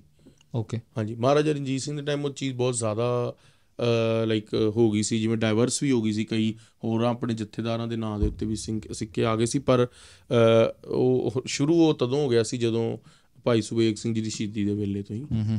ਸੋ ਉਹ ਫਿਰ ਮੁਲਤਾਨ ਦਾ ਜੰਗ ਇਸ ਤਰ੍ਹਾਂ ਫਤਿਹ ਕੀਤਾ ਅਕਾਲੀ ਫੂਲਾ ਸਿੰਘ ਜੀ ਨੇ ਤੇ ਸੰਗੇ ਮਰਮਰ ਵੀ ਲਵਾਇਆ ਸੀਗਾ ਦਰਬਾਰ ਸਾਹਿਬ ਪੱਕਾ ਕਰਾਇਆ ਸੀ ਸਾਰਾ। ਅੱਛਾ ਜੀ। ਹੂੰ। ਮਤਲਬ ਘੋੜਿਆਂ ਦੀ ਥਾਂ ਛੱਡੀ ਹੁੰਦੀ ਸੀ ਵੀ ਘੋੜੇ ਉਧਰੋਂ ਜਾਣ ਤੇ ਸੰਗਤਾਂ ਨੂੰ ਕਿਉਂਕਿ ਔਖਾ ਨਾ ਹੋਵੇ ਪੱਕਾ ਕਰਾਤਾ ਹੈ ਨਾ ਇਸ਼ਨਾਨ ਪਾਣ ਨੂੰ। ਤੇ ਦਾਸ ਵੀ ਪੜਦਾ ਸੀ ਰੀਸੈਂਟਲੀ ਕਿ ਜਦੋਂ ਉਹਨਾਂ ਦੀ ਵੱਖਰੀ ਰਿਆਸਤਾਂ ਤੇ ਵੀ ਨਿਸ਼ਾਨ ਸਾਹਿਬ ਉਹਨਾਂ ਦੇ ਵੱਖਰੇ ਵੱਖਰੇ ਹੁੰਦੇ ਸੀ। ਹਾਂਜੀ। ਜਿੱਦਾਂ ਪਟਿਆਲੇ ਦਾ ਵੱਖਰਾ ਮੁਲਤਾਨ ਦਾ ਵੱਖਰਾ ਕਿਤੇ ਸ਼ੇਰ ਬਣਿਆ ਕਿਤੇ ਖੰਜਰ ਕਿਰਪਾਨ ਬਣੀ ਹੈ। ਸੋਲੇ ਫ਼ਰਕ ਵੀ ਆਪਣਾ ਜਿੱਦਾਂ ਨਿਸ਼ਾਨ ਛੱਡਣ। ਵਾਸਤੇ ਕਿ ਇੱਥੇ ਖਾਲਸੇ ਦਾ ਰਾਜ ਆ ਗਿਆ ਹੁਣ। ਬਿਲਕੁਲ ਬਿਲਕੁਲ। ਤੇ ਇਹ ਮੁਲਤਾਨ ਦੀ ਜੰਗ ਫਤਿਹ ਕੀਤੀ ਉਹਨਾਂ ਨੇ ਅਲੀ? ਹਾਂਜੀ। ਇੱਥੇ ਇਸ ਤੋਂ ਬਾਅਦ ਫਿਰ ਅਖੀਰਲਾ ਜੰਗ ਜਿਹਦੇ ਬਾਬਾ ਜੀ ਦੀ ਸ਼ਹੀਦੀ ਹੋਈ ਅ, ਉਹਦੇ ਅੰਦਰ ਲਾਈਕ ਬਾਬਾ ਜੀ ਦਾ ਜਿਹੜਾ ਜਨਮ 1761 ਦਾ ਸੀ ਤੇ 1823 ਦੀ ਸ਼ਹੀਦੀ ਸੀਗੀ। ਉਹ ਨਸ਼ਹਿਰੇ ਦੀ ਜੰਗ ਹੋਈ। ਉਹ ਬਾਬਾ ਜੀ ਐਦਾਂ ਖੇਡ ਵਰਤੀ ਵੀ ਇਹ ਸਾਰੇ ਸਿੰਘ ਅੰਮ੍ਰਿਤ ਵੇਲੇ ਆਸਾਂ ਦੀ ਵਾਰ ਤੋਂ ਬਾਅਦ ਮਹਾਰਾਜਾ ਰਣਜੀਤ ਸਿੰਘ ਹਰੀ ਸਿੰਘ ਨਲੂਆ ਸ਼ਾਮ ਸਿੰਘ ਅਟਾਰੀ ਇਹ ਸਾਰੇ ਸਿੰਘ ਇਕੱਠੇ ਹੋ ਕੇ ਲਾਈਕ ਅਕਾਲ ਤਖਤ ਸਾਹਿਬ ਦੇ ਸੀ ਮਹਾਰਾਜਾ ਰਣਜੀਤ ਸਿੰਘ ਵੀ ਆਇਆ। ਤੇ ਆਪਣਾ ਧਿਆਨ ਸਿੰਘ ਇੱਕ ਸਿੰਘ ਸੀਗਾ। ਅੱਛਾ। ਤੇ ਉਹ ਸਾਰੇ ਸਿੰਘ ਇਕੱਠੇ ਹੋ ਕੇ ਸੋਚਿਆ ਵੀ ਆਪਾਂ ਨਸ਼ਹਿਰੇ ਦਾ ਜੰਗ ਫਤਿਹ ਕਰੀਏ। ਨੁਸ਼ਹਿਰਾ ਜੀ ਇੰਡੀਆ ਚ ਆਂਦਾ ਨਹੀਂ ਕਿ ਨਹੀਂ ਪਾਕਿਸਤਾਨ ਚ ਲਹਿੰਦੇ ਪੰਜਾਬ ਵੱਲ ਹਾਂਜੀ। ਤੇ ਲੁੰਡਾ ਦਰਿਆ ਹੈ ਉੱਥੇ ਇੱਕ ਉਹਦੇ ਜਿਹੜੇ ਦੂਸਰੇ ਪਾਸੇ ਪਹਾੜੀਆਂ ਨੇ ਨਸ਼ਹਿਰੇ ਦੀਆਂ ਪਹਾੜੀਆਂ। ਸੋ ਇਹ ਸਾਰੀ ਚਾਰੋਂ ਜੰਗਾਂ ਹੀ ਲੈਂਦੇ ਪੰਜਾਬ ਚੋਂ ਹੀ ਆਂਦਨ ਹਾਂਜੀ ਠੀਕ ਹੈ ਜੀ। ਤੇ ਉਹ ਜਦੋਂ ਨਹੀਂ ਐਦਾਂ ਨਹੀਂ ਕਈ ਦਮਦਮਾ ਸਾਹਿਬ ਦੇ ਇਲਾਕੇ ਵੀ ਕਈ ਗੋਰਿਆਂ ਤੋਂ ਜਿੱਦਾਂ ਉਹ ਚਾਹੁੰਦੇ ਸੀ ਵੀ ਕਰ ਲਈਏ ਦਮਦਮਾ ਸਾਹਿਬ ਲਈਏ। ਸਿੰਘਾਂ ਨੇ ਆਪਣੇ ਨਿਸ਼ਾਨ ਸਾਹਿਬ ਪੰਜਾਬ ਮਤਲਬ ਇੱਧਰਲਾ ਪੰਜਾਬ ਤੇ ਉਧਰਲਾ ਪੰਜਾਬ ਸੀਗਾ ਸਾਰਾ ਹੀ ਖਾਲਸੇ ਦਾ। ਪਰ ਵਿੱਚ ਵਿੱਚ ਨਾ ਜਿਹੜੇ ਤੁਰਕਾਂ ਨੂੰ ਹਾਕਮ ਬਣਾਇਆ ਹੋਇਆ ਸੀ ਉਹ ਆਕੀ ਹੋ ਜਾਂਦੇ ਸੀ। ਉਹ ਤੰਗ ਕਰਦੇ ਸੀਗੇ ਮਾਮਲਾ ਨਹੀਂ ਭੇਜਦੇ ਸੀ ਤਾਂ ਜੰਗ ਲੜਨਾ ਪੈਂਦਾ ਸੋ ਕਹ ਲੋ ਕਾਲੀ ਫੂਲਾ ਸਿੰਘ ਜੀ ਦੀ ਜਿਹੜੀ ਮੇਨ ਚਾਰ ਜੰਗਾਂ ਨੇ ਉਹ ਉਧਰ ਹੋਈਆਂ ਬਟ ਛੋਟੀ ਮੋਟੀ ਅੰਦਰ ਵੀ ਹੁੰਦੀਆਂ ਨੇ ਹਾਂਜੀ ਸਮਾਲ ਕੰਬੈਟਸ ਹਾਂਜੀ। ਮੇਨ ਇੱਕ ਕਸ਼ਮੀਰ ਦੀ ਜੰਗ ਵੀ ਸੀਗੀ। ਅੱਛਾ ਜੀ। ਉਹ ਉਹ ਵੀ ਬੜਾ ਹੁਣ ਐਦਾਂ ਹੈ ਵੀ ਬਹੁਤ ਲੰਬਾ ਪ੍ਰਸੰਗ ਹੈਗੇ ਸਾਰੇ ਹੀ। ਤੇ ਆਪਾਂ ਸ਼ਹੀਦੀ ਵੱਲ ਫੋਕਸ ਕਰ ਲੈਂਦੇ ਆ ਕਿ ਜੀ 200 ਸਾਲਾਂ ਵਾਲੀ। ਤੇ ਉਹਦੇ ਅੰਦਰ ਫਿਰ ਅਕਾਲੀ ਫੂਲਾ ਸਿੰਘ ਜਦੋਂ ਸਾਰੇ ਜਰਨੈਲਾਂ ਦੇ ਨਾਲ ਡਿਸਾਈਡ ਕਰ ਲਿਆ ਵੀ ਇਹਨਾਂ ਨੇ ਨਸ਼ਹਿਰੇ ਦੀ ਪਹਾੜੀਆਂ ਵੱਲ ਜਾਣਾ ਹੈ ਉਹ ਡਿਸਾਈਡ ਕਰਕੇ ਫਾਈਨਲ ਹੋ ਗਿਆ ਸਾਰਾ ਕੁਝ ਤੇ ਮਹਾਰਾਜਾ ਰਣਜੀਤ ਸਿੰਘ ਦਾ ਸੂਈਆ ਆ ਗਿਆ। ਉਹ ਕਹਿੰਦਾ ਵੀ ਜਰਨਲ ਦੋ ਗੋਰੇ ਸੀਗੇ ਜਰਨਲ ਐਨਲਾਰਡ ਤੇ ਜਰਨਲ ਵੈਂਤੂਰਾ। ਦੋਨੋਂ ਫਰਾਂਸੀਸੀ ਸੀਗੇ। ਤੇ ਉਹਨਾਂ ਨੇ ਕਿਹਾ ਵੀ ਜਰਨਲ ਵੈਂਤੂਰਾ 40 ਤੋਪਾਂ ਲੈ ਕੇ ਕੱਲ ਪਹੁੰਚੇਗਾ। ਅੱਜ ਰਾਤ ਤੱਕ ਮਤਲਬ ਲੇਟ ਨਾਈਟ ਆਏਗਾ ਤੇ ਆਪਾਂ ਕੱਲ ਜੰਗ ਤੇ ਜਾਵਾਂਗੇ। ਪਰ ਉਧਰ ਅਕਾਲੀ ਫੂਲਾ ਸਿੰਘ ਨੇ ਹੁਕਮਨਾਮਾ ਲੈ ਲਿਆ ਸੀਗਾ ਜੰਗ ਤੇ ਜਾਣ ਦੇ ਲਈ। ਅਰਦਾਸਾ ਸੋਧਤਾ ਸੀਗਾ। ਫਿਰ ਉਹ ਬਚਨ ਆਂਦਾ ਮੁੜ ਅਰਦਾਸ ਸੋਧ ਅਰਦਾਸਾ ਮੁੜ ਨਹੀਂ ਸਕਦਾ ਫੂਲਾ ਸਿੰਘ ਇਹ ਅਕਾਲੀ। ਤੇ ਅਕਾਲੀ ਫੂਲਾ ਸਿੰਘ ਫਿਰ ਮੁੜੇ ਨਹੀਂ ਉਹ ਜੰਗ ਤੇ ਚੜ ਗਏ। ਤੇ ਉੱਥੇ ਦਾ ਜਿਹੜਾ ਹਾਕਮ ਰਸਤੇ ਦਾ ਅਜ਼ੀਜ਼ ਖਾਨ ਉਹ ਵੀ 10000 ਫੌਜ ਲੈ ਕੇ ਉੱਥੇ ਪਹੁੰਚ ਰਿਹਾ ਸੀ ਨਸ਼ਹਿਰੇ। ਤੇ ਉਹ ਫਿਰ ਇਹਨਾਂ ਨੇ ਚਾਰ ਹਿੱਸਿਆਂ 'ਚ ਫੌਜ ਨੂੰ ਡਿਵਾਈਡ ਕੀਤਾ। ਇੱਕ ਹਿੱਸਾ ਅਕਾਲੀ ਫੂਲਾ ਸਿੰਘ ਤੇ 1700 ਸਿੰਘ ਉਹ ਤਾਂ ਨਿਕਲ ਹੀ ਗਏ ਅਰਦਾਸਾ ਸੋਧ ਕੇ। ਅੱਛਾ ਜੀ। ਦੂਸਰਾ ਹਿੱਸਾ ਹਰੀ ਸਿੰਘ ਨਲੂਆ ਸ਼ਹਿਜ਼ਾਦਾ ਖੜਗ ਸਿੰਘ ਤੇ ਉਹਨਾਂ ਦਾ ਸੀਗਾ। ਤੀਸਰਾ ਧਿਆਨ ਸਿੰਘ ਮਹਾ ਸਿੰਘ ਹੋਰਾਂ ਦਾ ਸੀ ਧਿਆਨ ਸਿੰਘ ਦਾ ਸੀਗਾ ਜੱਥਾ। ਫਤਿਹ ਸਿੰਘ ਦਾ ਫਤਿਹ ਸਿੰਘ ਆਲੂਵਾਲੀਆ ਦਾ। ਤੇ ਉਹ ਉਹ ਜੱਥਾ ਸੀਗਾ। ਇੱਕ ਚੌਥਾ ਮਹਾਰਾਜਾ ਰਣਜੀਤ ਸਿੰਘ ਲੈਫਟ ਆਫ ਦਾ ਸਾਰੀ ਆਰਮੀ ਉਹਦੇ ਕੋਲ ਸੀ ਵੀ ਜਿਹਨੂੰ ਬੈਕਅਪ ਦੀ ਲੋੜ ਹੋਏਗੀ ਮੈਂ ਤਿੰਨਾਂ ਨੂੰ ਦਾਂਗਾ ਓਕੇ ਮਤਲਬ ਇਹ ਇੱਕ ਨੀਤੀ ਦਾ ਪੱਖ ਸੀ ਜਿਵੇਂ ਅਕਾਲੀ ਬਾਬਾ ਫੂਲਾ ਸਿੰਘ ਜੀ ਕੋਲ 1700 ਸੀਗੇ ਆਪਣਾ ਦੂਜੇ ਪਾਸੋਂ ਪ- ਪ- ਅ, 2500 ਤੇ ਇਸ ਪਾਸੋਂ 3000 ਜਿਹੜਾ। ਫਰੰਟ ਤੋਂ। ਤੇ ਮਤਲਬ ਉਹਨਾਂ ਨੇ ਵੇਖਣਾ ਕਿ ਕਿੱਥੇ ਜਦ ਸਭ ਤੋਂ ਜ਼ਿਆਦਾ ਲੋਡ ਹੋਏਗੀ ਅਸੀਂ ਉਦੋਂ ਫਿਰ ਹੋਰ ਭੇਜਾਂਗੇ ਜੰਗ। ਕਿਉਂਕਿ 50 50 ਕੁ ਹਜ਼ਾਰ ਦੇ ਮਤਲਬ ਫੌਜ ਪੂਰੀ ਸੀ ਮਹਾਰਾਜਾ ਰਣਜੀਤ ਸਿੰਘ ਦੀ। ਤੇ ਅੱਗੇ ਮਤਲਬ ਕਈ ਲੱਖ ਫੌਜ ਉਹਨਾਂ ਨੇ ਮਤਲਬ ਇਕੱਠਾ ਕਰਕੇ ਮਜ਼ਬੀ ਨਾਮ ਤੇ ਇਕੱਠਾ ਕੀਤਾ ਕਿ ਅਸੀਂ ਹੁਣ ਮਤਲਬ ਅਸੀਂ ਇਸਲਾਮ ਧਰਮ ਵਾਸਤੇ ਲੜਨਾ। ਤੇ ਉਹਨਾਂ ਨੇ ਮਤਲਬ ਇਸ ਨਾਮ ਦੇ ਨਾਲ ਕਈ ਲੱਖ ਮੁਸਲਮਾਨ ਵੀਰ ਗਾਜ਼ੀਆਂ ਨੂੰ ਇਕੱਠਾ ਕਰਕੇ ਉਸ ਨੌਸ਼ਹਿਰੇ ਦੇ ਇਲਾਕੇ ਵਿੱਚ ਰੱਖੇ ਸਾਰਿਆਂ ਨੂੰ। ਅੱਛਾ ਜੀ। ਤੇ ਫਿਰ ਉਹਨਾਂ ਨੇ ਮਤਲਬ ਉੱਥੇ ਜਿਹੜਾ ਮੇਨ ਕਿਲਾ ਜਹਾਂਗੀਰ ਕਿਲਾ ਜਿਵੇਂ ਆਪ ਜੀ ਨੇ ਕਿਹਾ ਮਹਾਰਾਜ ਉਹਦੇ ਵਿੱਚ ਉਹਨਾਂ ਨੇ ਮਤਲਬ ਨਿਵਾਸ ਰੱਖਿਆ। ਤੇ ਉਸ ਕਿਲਾ ਤੇ ਹੁਣ ਉਹ ਸਾਰੇ ਚਾਰ ਤੀਜ ਤਿੰਨ ਪਾਸੋਂ ਮਤਲਬ ਚੜਨ ਨੂੰ ਤਿਆਰ ਸੀਗੇ ਉਹਨਾਂ ਨੇ ਪਲਾਨ ਬਣਾਇਆ। ਤੇ ਫਿਰ ਅਗਲੇ ਦਿਨ ਮਹਾਰਾਜਾ ਆਪ ਹਟ ਗਿਆ ਪਰ ਅਕਾਲੀ ਬਾਬਾ ਫੂਲਾ ਸਿੰਘ ਜੀ ਮਤਲਬ ਜਿਵੇਂ ਆਪ ਜੀ ਨੇ ਕਿਹਾ ਮਹਾਰਾਜ ਉਹ ਮਤਲਬ ਪਿੱਛੇ ਨਹੀਂ ਮੁੜੇ। ਤੇ ਉਹਨਾਂ ਕੋਲ ਜਿੰਨੀ ਕੁ ਫਿਰ ਫੌਜ ਹੈਗੀ ਸੀ ਬਸ ਉਹ ਨਹੀਂ ਲੈ ਕੇ ਨਿਕਲ ਗਏ? 1700 ਕਾਲੀ ਸੀਗੇ। ਨਹੀਂ ਫਿਰ ਉਹ ਇੱਕ ਵੀਰ ਮਰਗੇਸ਼ ਗ੍ਰੰਥ ਹੈ ਮੇਰੇ ਕੋਲ ਦਾਸ ਕੋਲ ਇੱਥੇ ਪਿਆ ਵੀ ਆ ਪਿਆ ਘਰ। ਅੱਛਾ ਜੀ। ਤੇ ਉਹ ਮੈਂ ਦਰਸ਼ਨ ਕਰਾਨਾ ਸੰਗਤ ਨੂੰ। ਸੋ ਉਹ ਵੀਰ ਮਰਗੇਸ਼ ਗ੍ਰੰਥ ਦੇ ਅੰਦਰ ਪੰਡਿਤ ਸ਼ੇਰ ਸਿੰਘ ਜੀ ਨੇ ਲਿਖਿਆ ਵੀ ਨਿਹੰਗ ਅਕਾਲੀ ਫੂਲਾ ਸਿੰਘ ਜੀ ਜਿਹੜੇ ਸੀਗੇ ਵੀ ਉਹ ਅ, ਅਰਦਾਸਾ ਕਰਕੇ ਮੁੜੇ ਨਹੀਂ ਤੇ ਜਿਹੜੇ ਸਿੰਘ ਸਾਹਿਬ ਅਕਾਲੀ ਫੂਲਾ ਸਿੰਘ ਜੀ ਥੈਂਕ ਯੂ ਸਿੰਘ ਸਾਹਿਬ ਅਕਾਲੀ ਫੂਲਾ ਸਿੰਘ ਜੀ ਤਾਂ ਪਿੱਛੇ ਮੁੜੇ ਨਹੀਂ ਜੰਗ ਤੋਂ। ਪਰ ਉਹਦੇ ਨਾਲ ਮਹਾਰਾਜਾ ਰਣਜੀਤ ਸਿੰਘ ਕਹਿੰਦਾ ਵੀ ਹੁਣ ਸਾਨੂੰ ਜਾਣਾ ਪੈਣਾ ਵੀ ਅਸੀਂ ਪਿੱਛੇ ਨਹੀਂ ਹਟ ਸਕਦੇ। ਵੀ ਹੁਣ ਚਾਹੇ ਜਨਰਲ ਵੰਤੂਰਾ ਜਦੋਂ ਮਰਜ਼ੀ ਆਏ ਹੁਣ ਆਪਾਂ ਨਿਕਲੀਏ ਜੰਗ ਤੇ। ਫਿਰ ਉਹ ਵੀ ਨਿਕਲ ਗਏ। ਅੱਗੇ ਫਿਰ ਤੁਸੀਂ ਚਲੋ ਉੱਥੇ ਫਿਰ ਇੱਕ ਬਚਨ ਇਹ ਵੀ ਆਉਂਦਾ ਕਿ ਜਦੋਂ ਮਹਾਰਾਜਾ ਰਣਜੀਤ ਸਿੰਘ ਜੀ ਜੰਗ ਵੱਲ ਚ- ਚੜ੍ਹੇ ਸਨ ਉਦੋਂ ਮਤਲਬ ਫਿਰ ਵੀ ਕੋਰੇ ਦੇ ਉੱਤੇ ਮਤਲਬ ਇੱਕ ਮਾਲਾ ਚਿੱਟਾ ਮਾਲਾ ਹੱਥ ਵਿੱਚ ਰੱਖਿਆ। ਤੇ ਧੰਨ ਗੁਰੂ ਰਾਮਦਾਸ ਧੰਨ ਗੁਰੂ ਰਾਮਦਾਸ ਧੰਨ ਗੁਰੂ ਰਾਮਦਾਸ ਜਪ ਰਹੇ ਸਨ। ਇਹ ਵੀਰ ਮਿਰਗੇਸ਼ ਤੇ ਇੱਕ ਹੋਰ ਬਚਨ ਆਉਂਦਾ। ਜੀ। ਉਸ ਸਮੇਂ ਇੱਕ ਮਤਲਬ ਨਿਹੰਗ ਸਿੰਘ ਚੜ੍ਹਦੀ ਕਲਾ ਆ ਗਿਆ ਮਤਲਬ ਕੋੜਾ ਘੁਮਾ ਕੇ। ਕਹਿਣ ਲੱਗਾ ਕਿ ਤੂੰ ਤਾਂ ਸਿੱਖਾਂ ਦਾ ਮਹਾਰਾਜਾ ਹੈ। ਧੰਨ ਗੁਰੂ ਰਾਮਦਾਸ ਗੁਰੂ ਗੁਰੂ ਜਪਣ ਦਾ ਸਮਾਂ ਪਹਿਲੇ ਸੀ ਹੁਣ ਜੰਗ ਦੇ ਵਿੱਚ ਹਾਜ਼ਰ ਹੋ। ਉਸ। ਸਮੇਂ ਮਹਾਰਾਜਾ ਰਣਜੀਤ ਸਿੰਘ ਨੇ ਮਾਲਾ ਨੂੰ ਛੱਡ ਕੇ ਤਲਵਾਰ ਨੂੰ ਹੱਥ ਲਾਏ ਤੇ ਜੰਗ ਦੇ ਵਿੱਚ ਆਪ ਹਾਜ਼ਰ ਹੋਏ। ਉਸ ਸਮੇਂ ਉਹਨਾਂ ਨੇ ਮਤਲਬ ਜਿਵੇਂ ਹੁਣ ਉਹਨਾਂ ਨੇ ਪਲਾਨ ਕੀਤਾ ਕਿ ਤਿੰਨ ਅਸੀਂ ਤੇ ਤਿੰਨ ਪਾਸੋਂ ਅਸੀਂ ਹਮਲਾ ਕਰਨਾ। ਉਸ ਸਮੇਂ ਮਹਾਰਾਜਾ ਰਣਜੀਤ ਸਿੰਘ ਨੇ ਚੌਥਾ ਪਾਸੋਂ ਵੀ ਹਮਲਾ ਕੀਤਾ ਕਰਵਾਇਆ। ਗੋਰਖਾਂ ਜਿਹੜੇ ਗੋਰਖਾਂ ਬਟਾਲੀਅਨ ਸੀਗਾ ਮਿਸਲ ਸੀਗਾ। ਬਲ ਸਿੰਘ ਬਹਾਦਰ ਨਾਮ ਸੀ ਉਹਦਾ ਗੋਰਖੇ ਦਾ। ਉਹਨਾਂ ਦੇ ਵੀ ਉਹਦੇ ਕਈ ਕੋਲ 600 600 ਘੁੜਸਵਾਰ ਸੀਗੇ ਉਹ ਪਹਾੜੀ ਦੇ ਪਿੱਛੋਂ ਜਾ ਕੇ ਨਾ ਤੁਰਕਾਂ ਨੂੰ ਨਖੇੜ ਦਿੱਤਾ। ਲਾਈਕ ਦੇ ਲਾਈਕ ਦੇ ਮੇਕ ਅ ਸੱਚ ਐਨ ਅਟੈਕ ਕਿ ਉਹ ਸਾਰੇ ਡਿਸਪਰਸ ਹੋ ਗਏ ਵੀ ਯਾਰ ਇਹ ਕਿੱਦਾਂ ਹੋ ਗਿਆ ਹੈ ਨਾ ਵੀ ਆ ਕਿੱਥੋਂ ਆ ਗਏ? ਉਹ ਅਕਾਲ ਅਕਾਲ ਕਰਦੇ ਗੋਰਖੇ ਵੀ ਚੜ ਗਏ। ਜੀ ਜੰਗ ਲੜਨ। ਕਿਉਂਕਿ ਇਹ ਵੀ ਗੱਲ ਹੈਗਾ ਕਿ ਮਤਲਬ ਸਿੰਘ ਕਦੀ ਪਿੱਠ ਤੇ ਵਾਰ ਨਹੀਂ ਕਰਦੇ। ਉਹਨਾਂ ਨੇ ਤੇ ਉਹ ਫਿਰ ਲਲਕਾਰ ਕੇ ਵਾਰ ਕੀਤਾ। ਹਾਂ ਫਿਰ ਉਹਨਾਂ ਨੇ ਮਤਲਬ ਅਕਾਲ ਅਕਾਲ ਦੇ ਜਕਾਰੇ ਛੱਡ ਦੇ ਜਦੋਂ ਜਦੋਂ ਉਹਨਾਂ ਨੂੰ ਪਤਾ ਲੱਗ ਗਿਆ ਕਿ ਕੋਈ ਪਿੱਛੋਂ ਵੀ ਹਮਲਾ ਕਰ ਰਿਹਾ ਫਿਰ ਉਹ ਵੀ ਚੜ ਗਏ ਪਿੱਛੋਂ। ਤੇ ਫਿਰ ਸਿੰਘਾਂ ਨੇ ਉੱਥੇ ਮਤਲਬ ਸਾਰਿਆਂ ਦੇ ਗਾਟਾਂ ਲਾਏ। ਤੇ ਉਸ ਸਮੇਂ ਜਦੋਂ ਚਾਰੇ ਪਾਸੋਂ ਲੜ ਰਹੇ ਸਨ ਉਦੋਂ ਅਕਾਲੀ ਬਾਬਾ ਫੂਲਾ ਸਿੰਘ ਜੀ ਆਪਣੇ ਘੋੜੇ ਤੇ ਸਵਾਰ ਸਨ ਜੰਗ ਦੇ ਅੰਦਰ। ਜੀ। ਤੇ ਉੱਥੇ ਅਕਾਲੀ ਬਾਬਾ ਫੂਲਾ ਸਿੰਘ ਜੀ ਦਾ ਮਤਲਬ ਘੋੜਾ ਸ਼ਹੀਦ ਹੋ ਜਾਂਦਾ। ਘੋੜੇ ਦੇ ਅੰਦਰ ਗੋਲੀ ਵੱਜਦੀ ਹੈ। ਇੱਕ ਪਹਿਲਾ ਗੋਲੀ ਮਤਲਬ ਆਪਣਾ ਘੋੜੇ ਦੇ ਗੋਡਾ ਦੇ ਵਿੱਚ ਵੱਜਦਾ। ਹੂੰ। ਤੇ ਦੂਜਾ ਜਿਹੜਾ ਗੋਲੀ ਹੈਗਾ ਕਿਉਂਕਿ ਫਿਰ ਜਦੋਂ ਗੋਡਾ ਦੇ ਵਿੱਚ ਵੱਜਦਾ ਉਦੋਂ ਘੋੜਾ ਥੋੜਾ ਜਿਹਾ ਇਸ ਪਾਸੇ ਨੂੰ ਹਿਲਦਾ।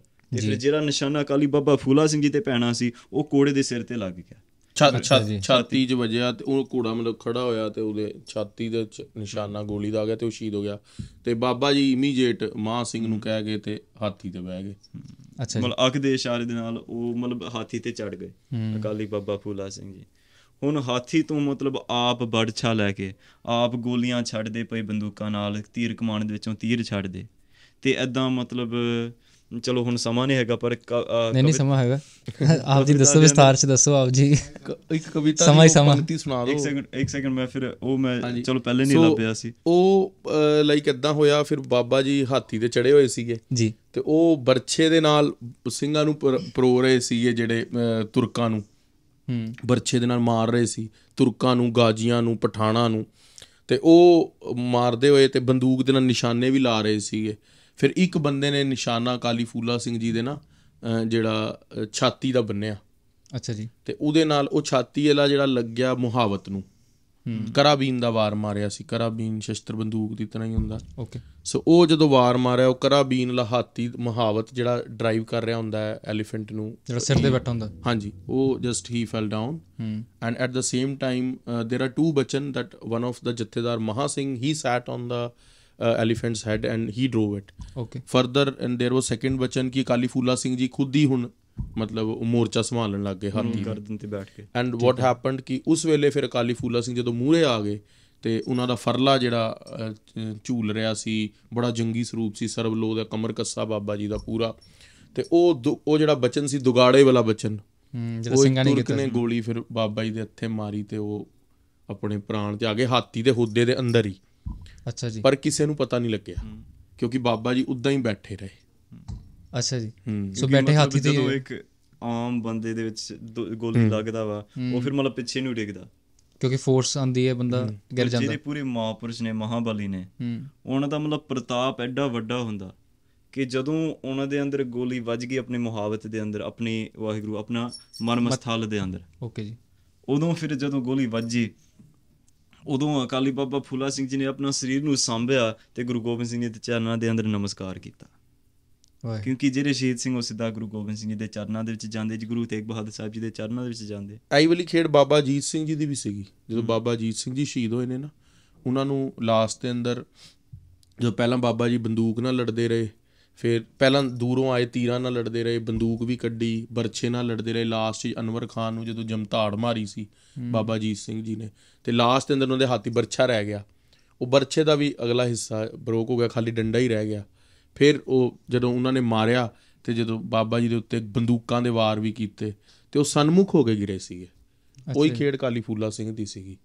ਤੇ ਉਹਦੇ ਉੱਤੇ ਹੀ ਜਿਵੇਂ ਕਾਵਿਆ ਰਚਨਾ ਦੇ ਅੰਦਰ ਵੀ ਤੁਹਾਨੂੰ ਭਾਈ ਵੀਰ ਸਿੰਘ ਜੀ ਪੰਕਤੀ ਸੁਣਾਉਂਦੇ ਨੇ ਵੀ ਅਕਾਲੀ ਫੂਲਾ ਸਿੰਘ ਜੀ ਦੇ ਬਚਨ ਕਿੱਦਾਂ ਦੇ ਹੁੰਦੇ ਸੀਗੇ? ਉਹ ਸੁਣਾਓ ਜੀ। ਇੱਥੇ ਕਵੀ ਜੀ ਕਹਿੰਦੇ ਨੇ ਮਹਾਕਾਲ ਕੀ ਕਾਲੀ ਬਾਣੀ? ਬਈ ਮਹਾਕਾਲ ਅਕਾਲੀ ਫੂਲਾ ਸਿੰਘ ਜੀ ਦੀ ਬਾਣੀ ਜਿਹੜੀ ਸੀਗੀ ਬੀਰ ਰੱਸੀ ਸੀ ਬੜੀ ਅਕਾਲੀ ਸੀ। ਵੀਰ ਰਸੀ ਵੀਰਨ ਝੜਕਾਣੀ। ਉਹ ਦਸਮ ਦਾ ਪਾਠ ਕਰਦੇ ਹੋਏ ਜਿਹੜੇ ਬਚਨ ਕਰਦੇ ਸਨ ਬੀਰ ਰਸੀ ਅਕਾਲੀ ਪੜਦੇ ਸਨ ਉਹ ਸਿੱਖਾਂ ਦੇ ਹਿਰਦੇ ਤੇ। ਪੁਨ ਸਿੰਘਨ ਕੇ ਹਿਰਦੇ ਛਾਨੀ। ਉਹ ਹਿਰਦਿਆਂ ਨੂੰ ਸਿੰਘਾਂ ਦੇ ਹਿਰਦਿਆਂ ਦੇ ਅੰਦਰ ਰੋਮ 3.5 ਰੋਮ ਕਰੋੜ ਨੂੰ ਖੜਾ ਕਰ ਦਿੰਦੀ ਸੀ। ਇੰਦਰ ਪ੍ਰਜਾ ਤਾੜਿਤ ਰੜਕਾਣੀ। ਕਹਿੰਦੇ ਏਦਾਂ ਜਾਣ ਲਓ ਜਿਸ ਤਰ੍ਹਾਂ ਇੰਦਰ ਦਾ ਜਿਹੜਾ ਉਹ ਧਨੁਸ਼ ਸੀਗਾ ਜਿਹੜਾ ਇੰਦਰ ਦਾ ਵਜਰ ਸੀਗਾ ਸ਼ਸਤਰ ਉਹ ਵਜਿਆ ਤੇ ਸਾਹਮਣੇ ਵਾਲੇ ਦੇ 3.5 ਕਰੋੜ ਰੂਮ ਖੜੇ ਕਰ ਦਿੰਦੇ ਸੀ। ਅਕਾਲੀ ਫੂਲਾ ਸਿੰਘ ਜੀ ਦਾ ਜਿਹੜਾ ਬਚ- ਸਰੂਪ ਸੀ, ਬੜਾ ਜੰਗੀ ਸੀ। ਉਹਨਾਂ ਦੇ ਬਚਨ ਦੇ ਅੰਦਰ ਦਸਮ ਦੀ ਬਾਣੀ, ਆਦ ਮਹਾਰਾਜ ਦੀ ਬਾਣੀ ਦੀ ਤਾਕਤ ਸੀ। ਸੋ ਉਹ ਅਕਾਲੀ ਫੂਲਾ ਸਿੰਘ ਜਦੋਂ ਹੋਦੇ ਤੇ ਬੈਠੇ ਰਹੇ, ਫਰਲਾ ਝੂਲ ਰਿਹਾ ਤੇ ਉੱਥੇ ਮਹਾਰਾਜਾ ਰਣਜੀਤ ਸਿੰਘ ਔਰ ਮਾਂ ਸਿੰਘ ਦੀ ਗੱਲ ਹੁੰਦੀ ਆ ਆਪਸ ਵਿੱਚ, ਦੋਨਾਂ ਦੀ ਕਨਵਰਸੇਸ਼ਨ ਮਾਂ ਸਿੰਘ ਨੂੰ ਕਹਿੰਦੇ ਨੇ ਵੀ ਕਿਸੇ ਨੂੰ ਨਹੀਂ ਦੱਸਣਾ। ਦੁਸ਼ਮਣ ਨੂੰ ਵੀ ਭਰਮ ਪਿਆਰੇ ਵੀ ਅਕਾਲੀ ਫੂਲਾ ਸਿੰਘ ਅਜੇ ਲੜ ਰਿਹਾ ਫੌਜ ਦੇ ਅੰਦਰ। ਤੇ ਉਹ ਮਹਾਰਾਜਾ ਰਣਜੀਤ ਸਿੰਘ ਦੇ ਸਾਰੇ ਜਰਨੈਲਾਂ ਨੇ ਹਰੀ ਸਿੰਘ ਨਲੂਆ ਸ਼ਾਮ ਸਿੰਘ ਟਾਰੀ ਮਹਾ ਸਿੰਘ ਧਿਆਨ ਸਿੰਘ ਉਹ ਸਾਰੇ ਟੁੱਟ ਕੇ ਪੈ ਗਏ ਤੁਰਕਾਂ ਦੇ। ਫੇਰ ਤਾਂ ਕੱਟ ਵਾਢੀ ਸ਼ੁਰੂ ਕਰਤੀ। ਉਹਨਾਂ ਨੇ ਤਕਰੀਬਨ ਉੱਥੇ ਜ਼ਿਆਦਾ ਨਹੀਂ ਮੈਂ ਕਹਾਂ ਤੇ 3.5 ਲੱਖ ਤੁਰਕ ਝਟਕਾਇਆ ਸੀ। 1762 ਦੇ ਅੰਦਰ ਵੱਡੂ ਘੱਲੂਕਾਰਾ ਹੋਇਆ। 3 30000 ਤੋਂ ਲੈ ਕੇ 40000 ਸਿੰਘ ਸਿੰਘਣੀਆਂ ਦੀ ਸ਼ਹੀਦੀ ਹੋਈ। ਜੀ। ਕੋਪਰ ਹੀੜੇ ਦੇ ਅੰਦਰ ਮਲੇਰਕੋਟਲੇ ਦੇ ਕੋਲ। ਹਾਂਜੀ। ਉਹ ਸਿੰਘਾਂ ਅਕਾਲੀ ਫੂਲਾ ਸਿੰਘ ਜੀ ਦੇ ਪਿਤਾ ਜੀ ਉਹਦੇ ਸ਼ਹੀਦ ਹੋਏ ਸੀ ਉਹਦਾ ਬਦਲਾ 3.5 ਲੱਖ ਤੁਰਕ ਮਾਰ ਕੇ ਗਾਜੀ ਪਠਾਨ ਮਾਰ ਕੇ ਲਿਆ ਕਾਲੀ ਫੂਲਾ ਸਿੰਘ ਉਹ ਜਿਹੜਾ ਖੈਬਰ ਦਰ ਖੈਬਰ। ਹਾਂ ਦਰ ਖੈਬਰ ਦਾ ਦਰੇ ਖੈਬਰ ਦਾ ਜਿਹੜਾ ਦਰਵਾਜ਼ਾ ਸੀ ਉਹ ਹਮੇਸ਼ਾ ਲਈ ਬੰਦ ਕਰਤਾ ਜਿੱਥੋਂ ਹੁਣ ਕਦੇ ਵੀ ਤੁਰਕ ਆ ਕੇ ਲੁੱਟ ਨਹੀਂ ਸਕੇ ਅੱਜ ਤੋਂ ਬਾਅਦ ਹਿੰਦੂਆਂ ਦੀ ਬੀਬੀਆਂ ਨੂੰ ਜਾਂ ਜਿਹੜੀ ਉਹ ਲੁੱਟ ਕੇ ਲੈ ਜਾਂਦੇ ਸੀਗੇ। ਦਰੇ ਖੈਬਰ ਦਾ ਦਰਵਾਜ਼ਾ ਕਾਲੀ ਫੂਲਾ ਸਿੰਘ ਕਰਕੇ ਬੰਦ ਹੋਇਆ। ਸੋ ਇਹ ਸ਼ਹੀਦੀ ਹੋਈ ਸੀ ਪਹਿਲੀ ਚੇਤਰ 1823 ਨੂੰ। ਉੱਥੇ ਉਸ ਜਗ੍ਹਾ ਦੇ ਉੱਤੇ ਲਾਈਕ ਉਹਨਾਂ ਦੀ ਅਕਾਲੀ ਫੂਲਾ ਸਿੰਘ ਦਾ ਯਾਦਗਾਰੀ ਵੀ ਬਣੀ ਹੋਈ ਹੈ ਤੇ ਉਹਨਾਂ ਦੇ ਨਾਂ ਤੇ ਬੜੀ ਜਗੀਰ ਵੀ ਲੱਗੀ ਹੋਈ ਹੈ। ਮਹਾਰਾਜਾ ਰਣਜੀਤ ਸਿੰਘ ਨੇ ਫਿਰ ਅਖੰਡ ਪਾਠ ਸਾਹਿਬ ਵੀ ਕਰਾਇਆ ਬਾਅਦ ਚੋਂ ਲਾਹੌਰ ਅੰਮ੍ਰਿਤਸਰ ਦੋਨੋਂ ਜਗ੍ਹਾ ਦੇ ਉੱਤੇ ਤੇ ਅਕਾਲੀ ਜੀ ਦੇ ਬਾਅਦ ਜਿਹੜੇ ਜਥੇਦਾਰ ਬਣੇ ਉਹ ਜਥੇਦਾਰ ਸਿੰਘ ਸਾਹਿਬ ਬਾਬਾ ਹਨੂਮਾਨ ਸਿੰਘ ਜੀ ਬਣੇ। ਅੱਛਾ ਜੀ। ਹਾਂ ਉਹ ਸੱਤਵੇਂ ਬਣੇ। ਫਿਰ ਉਹਨਾਂ ਤੋਂ ਬਾਅਦ ਬਾਬਾ ਪ੍ਰਲਾ- ਅ, ਪ੍ਰਹਲਾਦਾ ਸਿੰਘ ਜੀ ਪ੍ਰਹਲਾਦ ਸਿੰਘ ਜੀ ਉਹਨਾਂ ਤੋਂ ਬਾਅਦ ਜਥੇਦਾਰ ਉਹ ਸੱਤਵੀਂ ਥਾਂ ਤੇ ਹੋਏ ਅ, ਅ, ਅੱਠਵੀਂ ਥਾਂ ਤੇ ਤੇ ਨੌਵੀਂ ਥਾਂ ਤੇ ਹੋਏ ਬਾਬਾ ਗਿਆਨ ਸਿੰਘ ਜੀ ਗਿਆਨਾ ਸਿੰਘ ਜੀ ਵੀ ਕਹਿੰਦੇ ਸੀ ਤੇ ਜਥੇਦਾਰ ਸਿੰਘ ਸਾਹਿਬ ਉਹਨਾਂ ਤੋਂ ਬਾਅਦ ਹੋਏ ਬਾਬਾ ਤੇਜਾ ਸਿੰਘ ਜੀ ਤੇ ਉਹ ਅ, ਦਸਵੇਂ ਜਥੇਦਾਰ ਹੋਏ। ਉਹਨਾਂ ਤੋਂ ਬਾਅਦ ਲਾਈਕ ਸ਼੍ਰੋਮਣੀ ਕਮੇਟੀ ਦੇ ਜਥੇਦਾਰ ਲੱਗੇ ਪਰ ਉਹਨਾਂ ਤੱਕ ਉਹੀ ਸੀਗੇ। ਤੇ ਉਹਨਾਂ ਕਾਲ ਤੱਕ ਦੇ ਕਾਲ ਤੱਕ ਦੇ ਜਥੇਦਾਰ ਤੇ ਬੁੱਢੇ ਦਲ ਦੇ ਵੀ। ਤੇ ਉਹਨਾਂ ਤੋਂ ਬਾਅਦ ਸਿੰਘ ਸਾਹਿਬ ਬਾਬਾ ਤੇਜਾ ਸਿੰਘ ਤੋਂ ਬਾਬਾ ਚੇਤ ਸਿੰਘ ਜੀ। ਪਹਿਲੇ ਮੈਂ ਤੁਹਾਨੂੰ ਦੱਸ ਬਾਬਾ ਸਾਹਿਬ ਸਿੰਘ ਕਲਾਧਾਰੀ 11ਵੇਂ ਅੱਛਾ ਜੀ। ਸਾਹਿਬ ਸਿੰਘ ਕਲਾਧਾਰੀ ਸਾਹਿਬ ਸਿੰਘ ਕਲਾਧਾਰੀ ਤੋਂ ਬਾਅਦ ਬਾਬਾ ਚੇਤ ਸਿੰਘ ਉਹ 12ਵੇਂ ਤੇ 13ਵੇਂ ਬਾਬਾ ਸੰਤਾ ਸਿੰਘ। ਸੰਤਾ ਸਿੰਘ ਜਿਹੜੇ ਬੁੱਢੇ ਦਲ ਦੇ ਜਥੇਦਾਰ ਹੋਏ। ਸੋ ਹੁਣ ਜਥੇਦਾਰ ਸਿੰਘ ਸਾਹਿਬ ਬਾਬਾ ਬਲਬੀਰ ਸਿੰਘ ਜਿਹੜੇ ਹੁਣ ਉਹਨਾਂ ਨੇ ਸਾਰਾ ਅਕਾਲੀ ਫੂਲਾ ਸਿੰਘ ਦਾ ਜੱਸਾ ਸਿੰਘ ਆਲੂ ਵਾਲੀਆ ਦਾ 200 ਸਾਲਾਂ ਦੇ ਉੱਤੇ ਵੱਡਾ ਸਰੂਪ ਬਣਾ ਕੇ ਨਾ ਸਟੈਚੂ ਉਹ ਵੀ ਬਣਵਾ ਕੇ ਲਗਵਾਇਆ ਅੰਮ੍ਰਿਤਸਰ। ਤੇ ਸਾਰੇ ਜਥੇਦਾਰਾਂ ਦੀਆਂ ਫੋਟੋਆਂ ਅਕਾਲ ਤਖਤ ਸਾਹਿਬ ਜਦੋਂ ਤੁਸੀਂ ਅਜਾਇਬ ਘਰ ਜਾਓ ਨਾ ਸਾਰਿਆਂ ਦੀਆਂ ਲੱਗੀਆਂ ਹੋਈਆਂ। ਬਾਬਾ ਸੰਤਾ ਸਿੰਘ ਜੀ ਤੱਕ ਇਹ ਵੀ ਉਹਨਾਂ ਨੇ ਵੱਡਾ ਅੱਛਾ ਕੰਮ ਕੀਤਾ। ਤੇ ਇੱਕ ਉਹਨਾਂ ਨੇ ਸਾਹਿਤਿਆ ਰੂਪ ਦੇ ਵਿੱਚ ਵੀ ਅੱਛਾ ਕੰਮ ਕੀਤਾ। ਬਈ ਜਿਹੜੀ ਪੋਥੀਆਂ ਛਪਵਾਈਆਂ ਨੇ ਉਹ ਵੀ ਹੁਣ ਕਿੰਨਾ ਦੇਖੋ ਈਜ਼ੀ ਹੋ ਗਿਆ। ਆਪਣਾ ਸਰੂਪ ਮਿਲਨੇ ਸਰਬਲੂ ਮਹਾਰਾਜ ਦੇ ਦਸਮ ਮਹਾਰਾਜ ਦੇ। ਜੀ। ਸੋ ਉਹ ਵੀ ਵੱਡਾ ਕਾਜ ਹੋਇਆ। ਬਾਕੀ ਆਪ ਜੀ ਗੱਲ ਕਰ ਰਹੇ ਸੀ ਜਿੱਦਾਂ ਤੁਸੀਂ ਵੈਸੇ ਪਹਿਲੇ ਅੰਮ੍ਰਿਤਪਾਲ ਸਿੰਘ ਜੀ ਹੋਰਾਂ ਦੀ ਗੱਲ ਕੀਤੀ। ਸੋ ਹੁਣ ਜਿਹੜੇ ਐਕਟਿੰਗ ਜਥੇਦਾਰ ਹੈਗੇ ਆ ਅਕਾਲ ਤਖਤ ਸਾਹਿਬ ਦੇ ਯਾਨੀ ਹਰਪ੍ਰੀਤ ਸਿੰਘ ਜੀ ਸੋ ਕਹਿ ਸਕਦੇ ਕਿ ਉਹਨਾਂ ਦੀ ਪਿੱਛੇ ਹਰਾਰਕੀ ਦੀ ਗੱਲ ਕਰ ਰਹੇ ਕਿ ਕਾਲੀ ਫੂਲਾ ਸਿੰਘ ਜੀ ਕਦੀ ਜਥੇਦਾਰ ਰਹੇ ਨੇ। ਸੋ ਉਹਨਾਂ ਦੀ ਗੱਦੀ ਤੇ ਅੱਜ ਯਾਨੀ ਹਰਪ੍ਰੀਤ ਸਿੰਘ ਜੀ ਬੈਠੇ। ਗੱਦੀ ਬਹੁਤ ਵੱਡੀ ਆ ਉਹ। ਫਿਰ ਉਹ ਫਿਰ ਗੱਦੀ ਤਾਂ ਅਸਲ ਵਿੱਚ ਬੁੱਢਾ ਦਲ ਤੇ ਮਤਲਬ ਉਹ ਪੂਰਾ ਪੰਥ ਨੂੰ ਸਾਂਭਣ ਵਾਲੀ ਗੱਦੀ ਹੈਗੀ ਹੈ ਜੀ। ਉਹ ਵਾਲੀ ਪਰ ਉਹ ਫਿਰ ਅੱਜ ਮਤਲਬ ਥੋੜਾ ਜਿਹਾ ਟ੍ਰੈਡੀਸ਼ਨ ਰਿਹਾ ਨਹੀਂ ਹੂੰ। ਉਹ ਕਿਉਂਕਿ ਗੱਲਾਂ ਤੋਂ ਹੀ ਲੱਗ ਰਿਹਾ ਕਿਉਂਕਿ ਜਿੱਦਾਂ ਦੀ ਦੇਖੋ ਅਸੀਂ ਗੱਲਾਂ ਕੀਤੀਆਂ ਉਹ ਜਿਹੜਾ ਰੁਤਬਾ ਸਾਡੇ ਸਿੰਘ ਸ- ਛੱਡ ਗਏ ਗੱਦੀ ਵਾਸਤੇ ਤੇ ਇਹਨਾਂ ਵਿੱਚ ਦਿਖਣਾ ਤੇ ਉਹੀ ਚੀਜ਼ ਹੈ ਕਿ ਜਥੇਦਾਰ ਆਪਣਾ ਜਿਹੜਾ ਵੀ ਸਜਦਾ। ਤੇ ਅਗੇਨ ਅੱਗੇ ਜਿਹੜੀ ਗੱਲ ਇੱਕ ਦਾਸ ਨੇ ਹੋਰ ਪਕੜੀ ਹੈ ਕਿ ਜਿਵੇਂ ਤੁਸੀਂ ਕਿਹਾ ਕਿ ਇੱਕ ਬੱਚਨ ਪਾਲਣ ਦੀ ਗੱਲ ਆਈ ਥਿੰਕ ਉਹ ਕਿਤੇ ਨਾ ਕਿਤੇ ਸੰਗਤ ਦੀ ਵੀ ਰਿਸਪੌਂਸਿਬਿਲਟੀ ਕਿ ਸੰਗਤ ਵੀ ਜਥੇਦਾਰ ਨੂੰ ਉਹਦਾ ਦੇਖੇ। ਕਿ ਜਿਵੇਂ ਦਾ ਵੀ ਬਚਨ ਹੈ ਕਿਸੇ ਨੇ ਬਸ ਪੂਰਾ ਕਰਨਾ ਹੈ। ਜਿੱਦਾਂ ਆਪ ਜੀ ਨੇ ਵਿਆਹ ਦਾ ਪ੍ਰਸੰਗ ਸੁਣਾਇਆ ਸੀ ਕਿ ਕਿਦਾਂ ਤਪਾ ਸਿੰਘ ਜੀ ਉੱਠ ਗਏ ਸੀ। ਸੋ ਉਹ ਵਾਲੀ ਗੱਲ ਵੀ ਬਣਦੀ ਹੈ ਫਿਰ ਉਧਰ ਕਿ ਵੀ ਪ੍ਰਾਚੀਨ ਪੰਥ ਪ੍ਰਕਾਸ਼ ਵਿੱਚ ਕਥਾ ਹੁੰਦਾ ਕਿ ਜੇ ਤੁਸੀਂ ਹੁਣ ਜਥੇਦਾਰ ਨੂੰ ਥਾਪਿਆ ਉਹਦਾ ਗੱਲ ਵੀ ਮੰਨਣਾ ਸਾਰਿਆਂ ਨੇ। ਉਹ ਸੰਗਤ ਦੀ ਰਿਸਪੌਂਸਿਬਿਲਟੀ ਹੈ। ਹੁਣ ਜਿਹੜੇ ਜਥੇਦਾਰ ਜੱਸਾ ਸਿੰਘ ਆਲੂਵਾਲੀਆ ਸੁਲਤਾਨੁਲ ਕੌਮ ਹੋਏ ਸੀ ਉਹਨਾਂ ਦਾ ਇਦਾਂ ਹੀ ਤਾਂ ਬਚਨ ਹੋਇਆ ਸੀ ਉਹ ਨਾ ਲੰਗਰ ਵਰਤਾ ਰਹੇ ਸੀਗੇ ਸੰਗਤ ਦੇ ਅੰਦਰ। ਉਹ ਦਿੱਲੀ ਦੇ ਸੀਗੇ।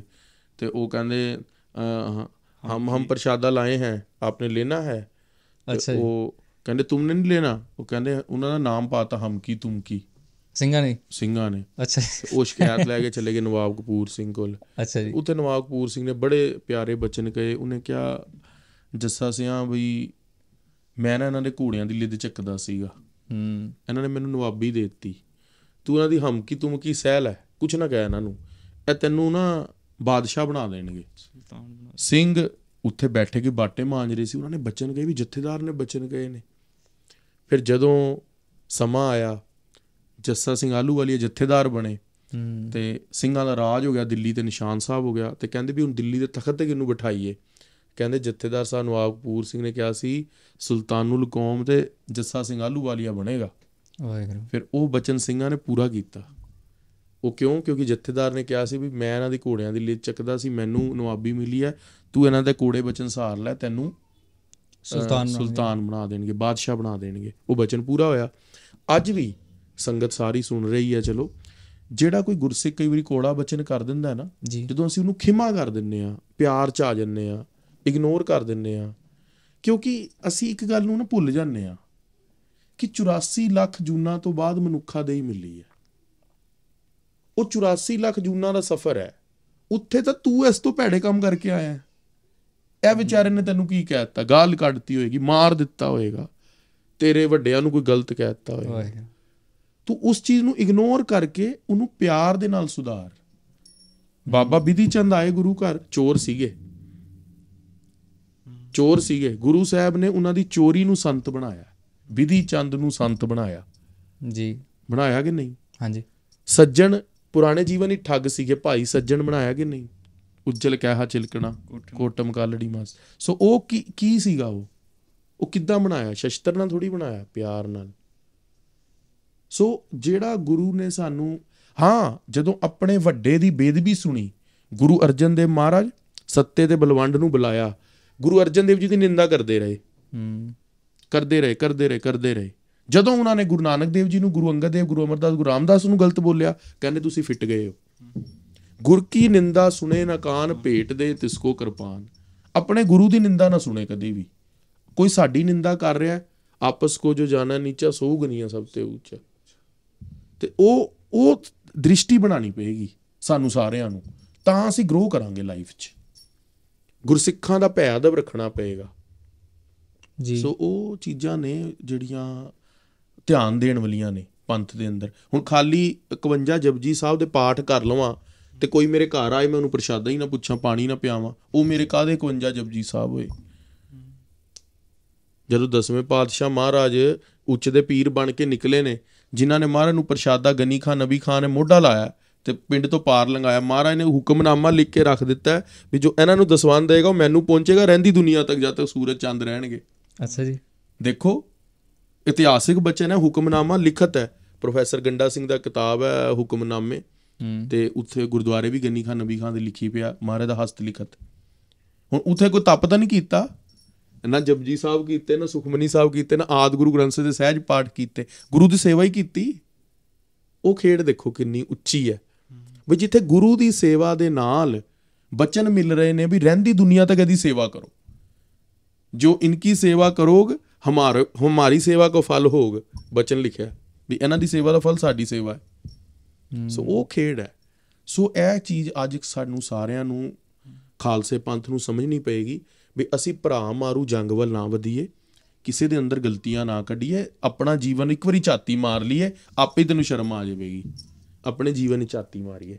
ਕਿਸੇ ਕਥਾਵਾਚਕ ਨੂੰ ਵੀ ਮੈਂ ਇਸ ਤੋਂ ਅੱਛੀ ਕਥਾ ਕਰਦਾ ਇਹ ਉਹ ਨਾ ਆਪਣਾ ਜੀਵਨ ਰੱਖੀਏ।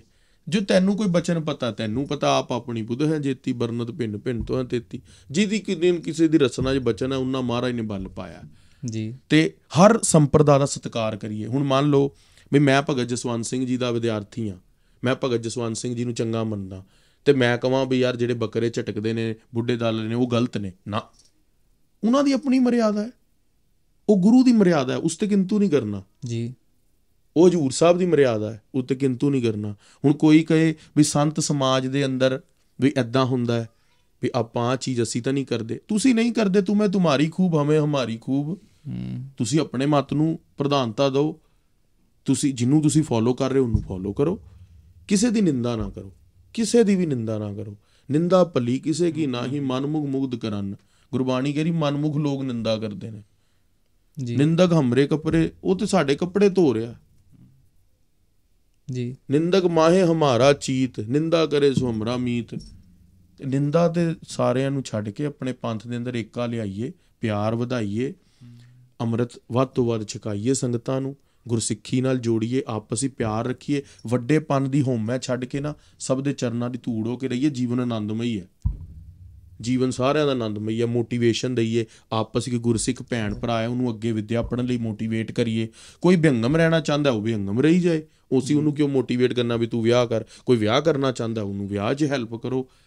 ਗਰੀਬ ਦੀ ਰੱਖਿਆ, ਹੁਣ ਆਪਾਂ ਸਾਰੇ ਵੈਸਟਰਨ ਕੰਟਰੀਜ਼ ਵਿੱਚ ਬੈਠੇ ਆ ਸਾਰੇ ਵਧੀਆ ਕਮਾ ਰਹੇ ਆ ਵਧੀਆ ਖਾ ਰਹੇ ਆ ਜਰੂਰ ਪੰਜਾਬ ਜਾਈਏ ਲੰਗਰਾਂ ਦੇ ਅੰਦਰ ਦਸਵੰਧ ਦਈਏ ਕਿਸੇ ਗਰੀਬ ਲੜਕੀ ਦੀ ਪੜ੍ਹਾਈ ਲਈ ਲਈਏ ਕੋਈ ਗ੍ਰੰਥੀ ਸਿੰਘ ਦੀ ਬੱਚੀ ਬਾਹਰ ਆ ਰਹੀ ਹੈ ਉਹਦੇ ਲਈ ਦਈਏ ਕਿਸੇ ਦਾ ਗਰੀਬ ਦਾ ਵਿਆਹ ਹੈ ਉਹਦੇ ਲਈ ਹੈਲਪ ਕਰੀਏ। ਉਹ ਸਾਡਾ ਮੂਲ ਉਦੇਸ਼ ਹੋਣਾ ਚਾਹੀਦਾ। ਇੱਥੇ ਵੈਸਟਰਨ ਕੰਟਰੀ ਜੀ ਪੈਸਾ ਕਮਾ ਕੇ। ਨਾ ਕਿ ਅਸੀਂ ਪੈਸਾ ਕਮਾ ਕੇ ਆਪਣੀ ਲਗਜ਼ਰੀ ਦੇ ਉੱਤੇ ਸਪੈਂਡ ਕਰੀ ਜਾ ਰਹੇ ਹਾਂ। ਹੂੰ। ਉਹ ਉਹ ਸਾਡੀ ਹੁਣ ਇੱਕ ਫੋਨ ਕਿਸੇ ਨੇ ਲੈ ਲਿਆ ਉਹ ਕਹਿੰਦਾ ਵੀ ਮੇਰੇ ਤੋਂ ਉਸ ਤੋਂ ਉਹ ਮੇਰੇ ਦੋਸਤ ਨੇ ਉਸ ਤੋਂ ਉਤਲਾ ਮਾਡਲ ਲਈਏ। ਉਹ ਵੱਧ ਰਿਹਾ ਮੈਂ ਮੇਰੇ ਕੋਲ BMW ਹੈ ਉਹਨੇ ਟੈਸਲਾ ਲਈ ਹੈ ਮੈਂ ਟੈਸਲਾ ਲਵਾਂ। ਆਪਾਂ ਲਗਜ਼ਰੀ ਵੱਲ ਨਾ ਜਾਈਏ ਆਪਾਂ ਗੁਰਸਿੱਖਾਂ ਹੁਣ ਅਸੀਂ ਹੁਣ ਆਪਣੇ ਪੈਰਾਂ ਤੇ ਸਟੈਂਡ ਹੋ ਗਏ ਆ ਹੁਣ ਅਸੀਂ ਗੁਰਸਿੱਖੀ ਦੀ ਸੇਵਾ ਵੱਲ ਵਧੀਏ। ਇਹ ਉਦੇਸ਼ ਰੱਖੀਏ ਆਪਣਾ। ਇੱਕ ਬਚਨ ਆਉਂਦਾ ਭਾਈ ਗੁਰਦਾਸ ਜੀ ਦੇ ਬਾਰੇ ਦੇ ਵਿੱਚ ਗੁਰਸਿੱਖਾਂ ਨੂੰ ਦੇ ਕਰ ਪਿੱਛੋਂ ਬਚਿਆ ਆਪ ਕਿ ਪਹਿਲੇ ਅਰਥ ਵੀ ਦੱਸ ਗੁਰਸਿੱਖਾਂ ਮਤਲਬ ਪਹਿਲੇ ਗੁਰਸਿੱਖਾਂ ਨੂੰ ਦੇਣਾ ਪਹਿਲੇ ਗੁਰਸਿੱਖਾਂ ਨੂੰ ਪ੍ਰਸਾਦਾ ਛਕਾਉਣਾ ਫਿਰ ਜੋ ਬਚ ਗਿਆ ਉਹ ਉਹਦੇ ਵਿੱਚੋਂ ਤੁਸੀਂ ਆਪ ਖਾਣਾ। ਵਾਹਿਗੁਰੂ। ਜੋ ਉਹ- ਭਾਈ ਸਾਹਿਬ ਨੇ ਕੀਤਾ ਅੱਜ। ਭਾਈ ਸਾਹਿਬ ਨੇ ਸਾਨੂੰ ਪਹਿਲੇ ਸਿਖਾਇਆ ਖੁਦ ਨਹੀਂ ਨਹੀਂ ਉਹ ਚਲੋ ਦਾਸ ਨੂੰ ਜੋ ਦਿੱਤਾ ਉਹ ਵੱਡੇ ਮਹਾਂਪੁਰਸ਼ਾਂ ਦੀ ਕਿਰਪਾ ਹੈ, ਮੈਂ ਆਪ ਤੱਕ ਕੋਈ ਸਭ ਗੁਰੂ ਨਾਨਕ ਦਾ ਦਿੱਤਾ ਹੋਇਆ। ਤੇ ਇੱਕ ਅਸੀਂ ਸਾਰੀ ਸੰਪਰਦਾਵਾਂ ਨੂੰ ਨਾ ਹਮੇਸ਼ਾ ਸਤਿਕਾਰ ਦੇਣਾ। ਚਾਰ ਸੰਪਰਦਾਵਾਂ ਸਾਡੀ ਮੁੱਢ ਨੇ। ਸਭ ਤੋਂ ਪਹਿਲੀ ਨਿਹੰਗ ਸਿੰਘ ਜਿਹਨੇ ਦਸਵੇਂ ਪਾਤਸ਼ਾਹ ਨੇ ਅੰਮ੍ਰਿਤ ਛਕਿਆ ਤੇ ਛਕਾਇਆ ਉਹ ਸਭ ਤੋਂ ਵੱਡੇ ਨੇ। ਦੂਜੀ ਸੰਪਰਦਾ ਹੈ ਨਿਰਮਲਿਆਂ ਦੀ ਸੰਪਰਦਾ ਜਿਹੜੇ ਸਾਹਿਤਯ ਪੜ੍ਹਾਉਂਦੇ ਨੇ ਵਿਦਿਆ ਪੜ੍ਹਾਉਂਦੇ ਨੇ ਜਿਨ੍ਹਾਂ ਚੋਂ ਗਿਆਨੀ ਗਿਆਨ ਸਿੰਘ ਕਵੀਰ ਭਾਈ ਸੰਤੋਖ ਸਿੰਘ ਤਾਰਾ ਸਿੰਘ ਨਰੋਤਮ ਵਰਗੇ ਮਹਾਨ ਪੰਡਿਤ ਗੁਲਾਬ ਸਿੰਘ ਪੰਡਿਤ ਹਰਦਿਆਲ ਜੀ ਸਾਰੇ ਵਿਦਵਾਨ ਹੋਏ। ਤੇ ਦੂਸਰੇ ਸ ਤੀਸਰੇ ਉਦਾਸੀ ਸੰਤ ਬਾਬਾ ਸ਼੍ਰੀ ਚੰਦ ਦੀ ਸੰਪਰਦਾ ਹੈ ਜੀ। ਉਹਨਾਂ ਦਾ ਪ੍ਰਚਾਰ ਅਸੀਂ ਉਹ ਗੁਰਦੁਆਰੇ ਸੰਭਾਲਦੇ ਰਹੇ ਸਾਡੇ? ਜਦੋਂ ਅਸੀਂ ਸਾਰੇ ਜੰਗਲਾਂ ਦੇ ਅੰਦਰ ਸਿੰਘ ਹੋ ਗਏ ਤੇ ਉਹਨਾਂ ਨੇ ਸੰਭਾਲੇ ਗੁਰਦੁਆਰੇ ਸਾਰੇ। ਅੱਛਾ ਜੀ। ਤੇ ਬੜੇ ਕਮਾਈ ਵਾਲੇ ਵੀ ਸੀਗੇ ਮਤਲਬ ਸੰਤ ਬਾਬਾ ਬਹਾਲ ਦਾਸ ਜੀ ਹੋਏ ਉਹਨਾਂ ਨੇ 110 ਜਪਜੀ ਸਾਹਿਬ ਦੇ ਪਾਠ ਨੇਮ ਕਰ ਲਏ। ਵਾਹਿਗੁਰੂ ਵਾਹਿਗੁਰੂ। ਮਤਲਬ ਉਹਨਾਂ ਨੇ ਮਹਾਂਪੁਰਸ਼ਾਂ ਨੇ ਹੁਕਮ ਲਾਇਆ ਸੀ ਕਿ ਤੁਸੀਂ ਜਪਜੀ ਸਾਹਿਬ ਦਾ ਪਾਠ ਕਰਨਾ 110 ਪਾਠ। ਹੁਣ ਅਸੀਂ ਇਹਨਾਂ ਦਾ ਨਿੰਦਿਆ ਕਿਵੇਂ ਕਰ ਸਕਦੇ? ਜੀ। ਤੇ ਚੌਥੇ ਜੀ? ਚੌਥੇ ਹੋ ਗਏ ਆਪਣੇ ਗ੍ਰਸਤੀ ਸਿੰਘ। ਗ੍ਰਸਤੀ ਸਿੰਘਾਂ ਦਾ ਹੁਕਮ ਹੈ ਵੀ ਅਸੀਂ ਸਾਰਿਆਂ ਦੀ ਸੇਵਾ ਕਰਨੀ ਹੈ। ਹੂੰ। ਨਿਰਮਲਿਆਂ ਦੀ ਵੀ ਉਦਾਸੀਆਂ ਦੀ ਵੀ ਤੇ ਨਿਹੰਗਾਂ ਸਿੰਘਾਂ ਦੀ ਵੀ। ਜਿਹੜੀ ਬਾਕੀ ਸੰਪਰਦਾਵਾਂ ਨੇ, ਜੇ ਭਾਈ ਕਨਈਆ ਤੋਂ ਚੱਲੀ ਸੇਵਾ ਪੰਥੀ, ਉਹ ਬੜੇ ਸਤਿਕਾਰਯੋਗ ਨੇ।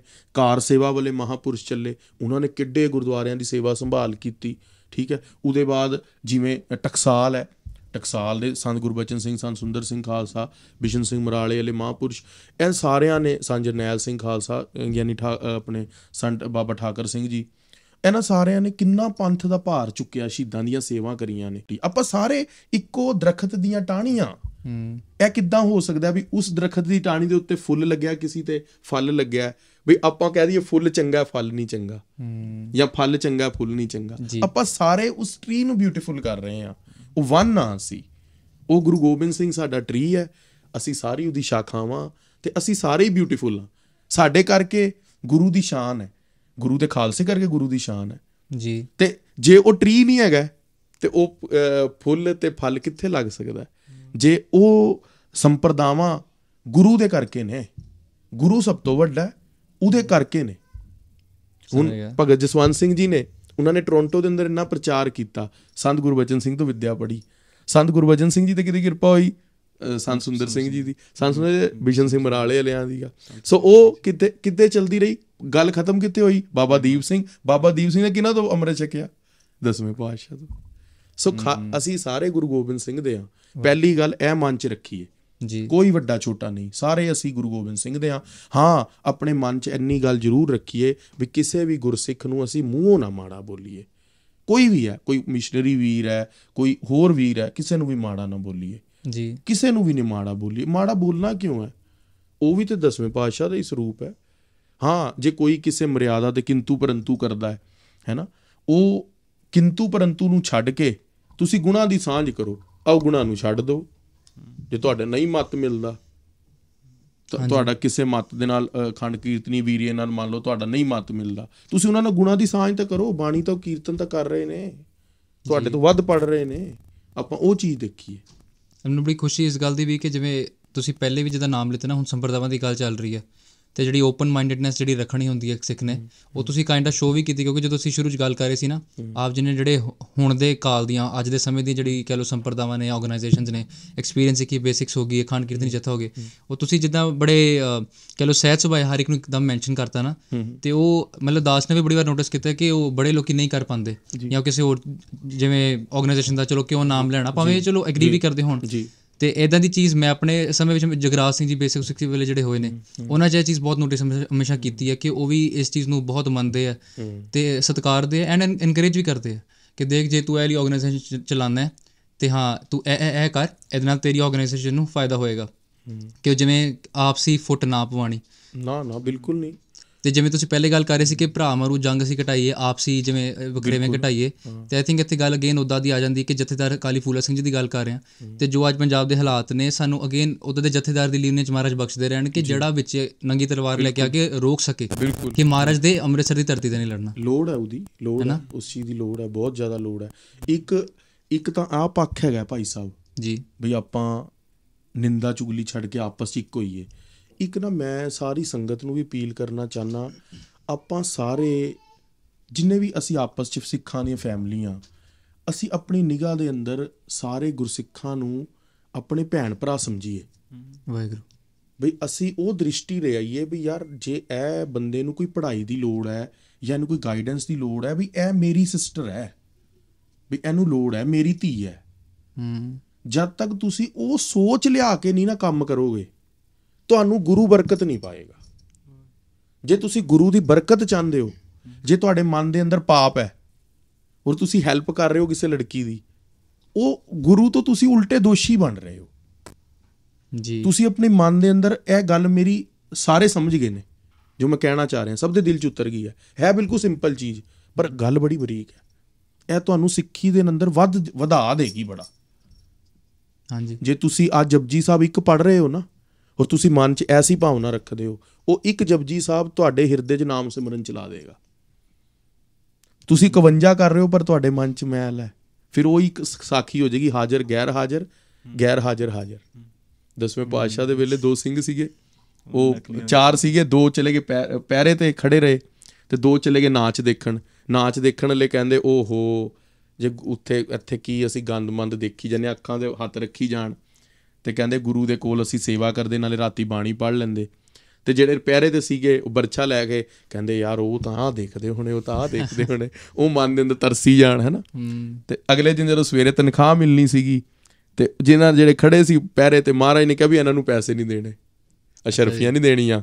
ਤੇ ਜਿਹੜੇ ਗਏ ਸੀਗੇ ਮਹਾਰਾਜ ਕਹਿੰਦੇ ਇਹਨਾਂ ਨੂੰ ਦੇ ਦਿਓ। ਉਹ ਫਟਾਫਟ ਝੱਟ ਦੇਣੀ ਬੋਲ ਪਏ। ਕਹਿੰਦੇ ਮਹਾਰਾਜ ਇਹ ਤਾਂ ਨਾਚ ਦੇਖਣ ਗਏ ਸੀ ਅਸੀਂ ਤਾਂ ਪਹਿਰੇ ਤੇ ਖੜੇ ਸੀ। ਤੇ ਦਸਵੇਂ ਪਾਤਸ਼ਾਹ ਕਹਿੰਦੇ ਨਾ। ਧਿਆਨ ਕਿੱਥੇ ਸੀ? ਕਹਿੰਦੇ ਹਾਜ਼ਰ ਗੈਰ ਹਾਜ਼ਰ।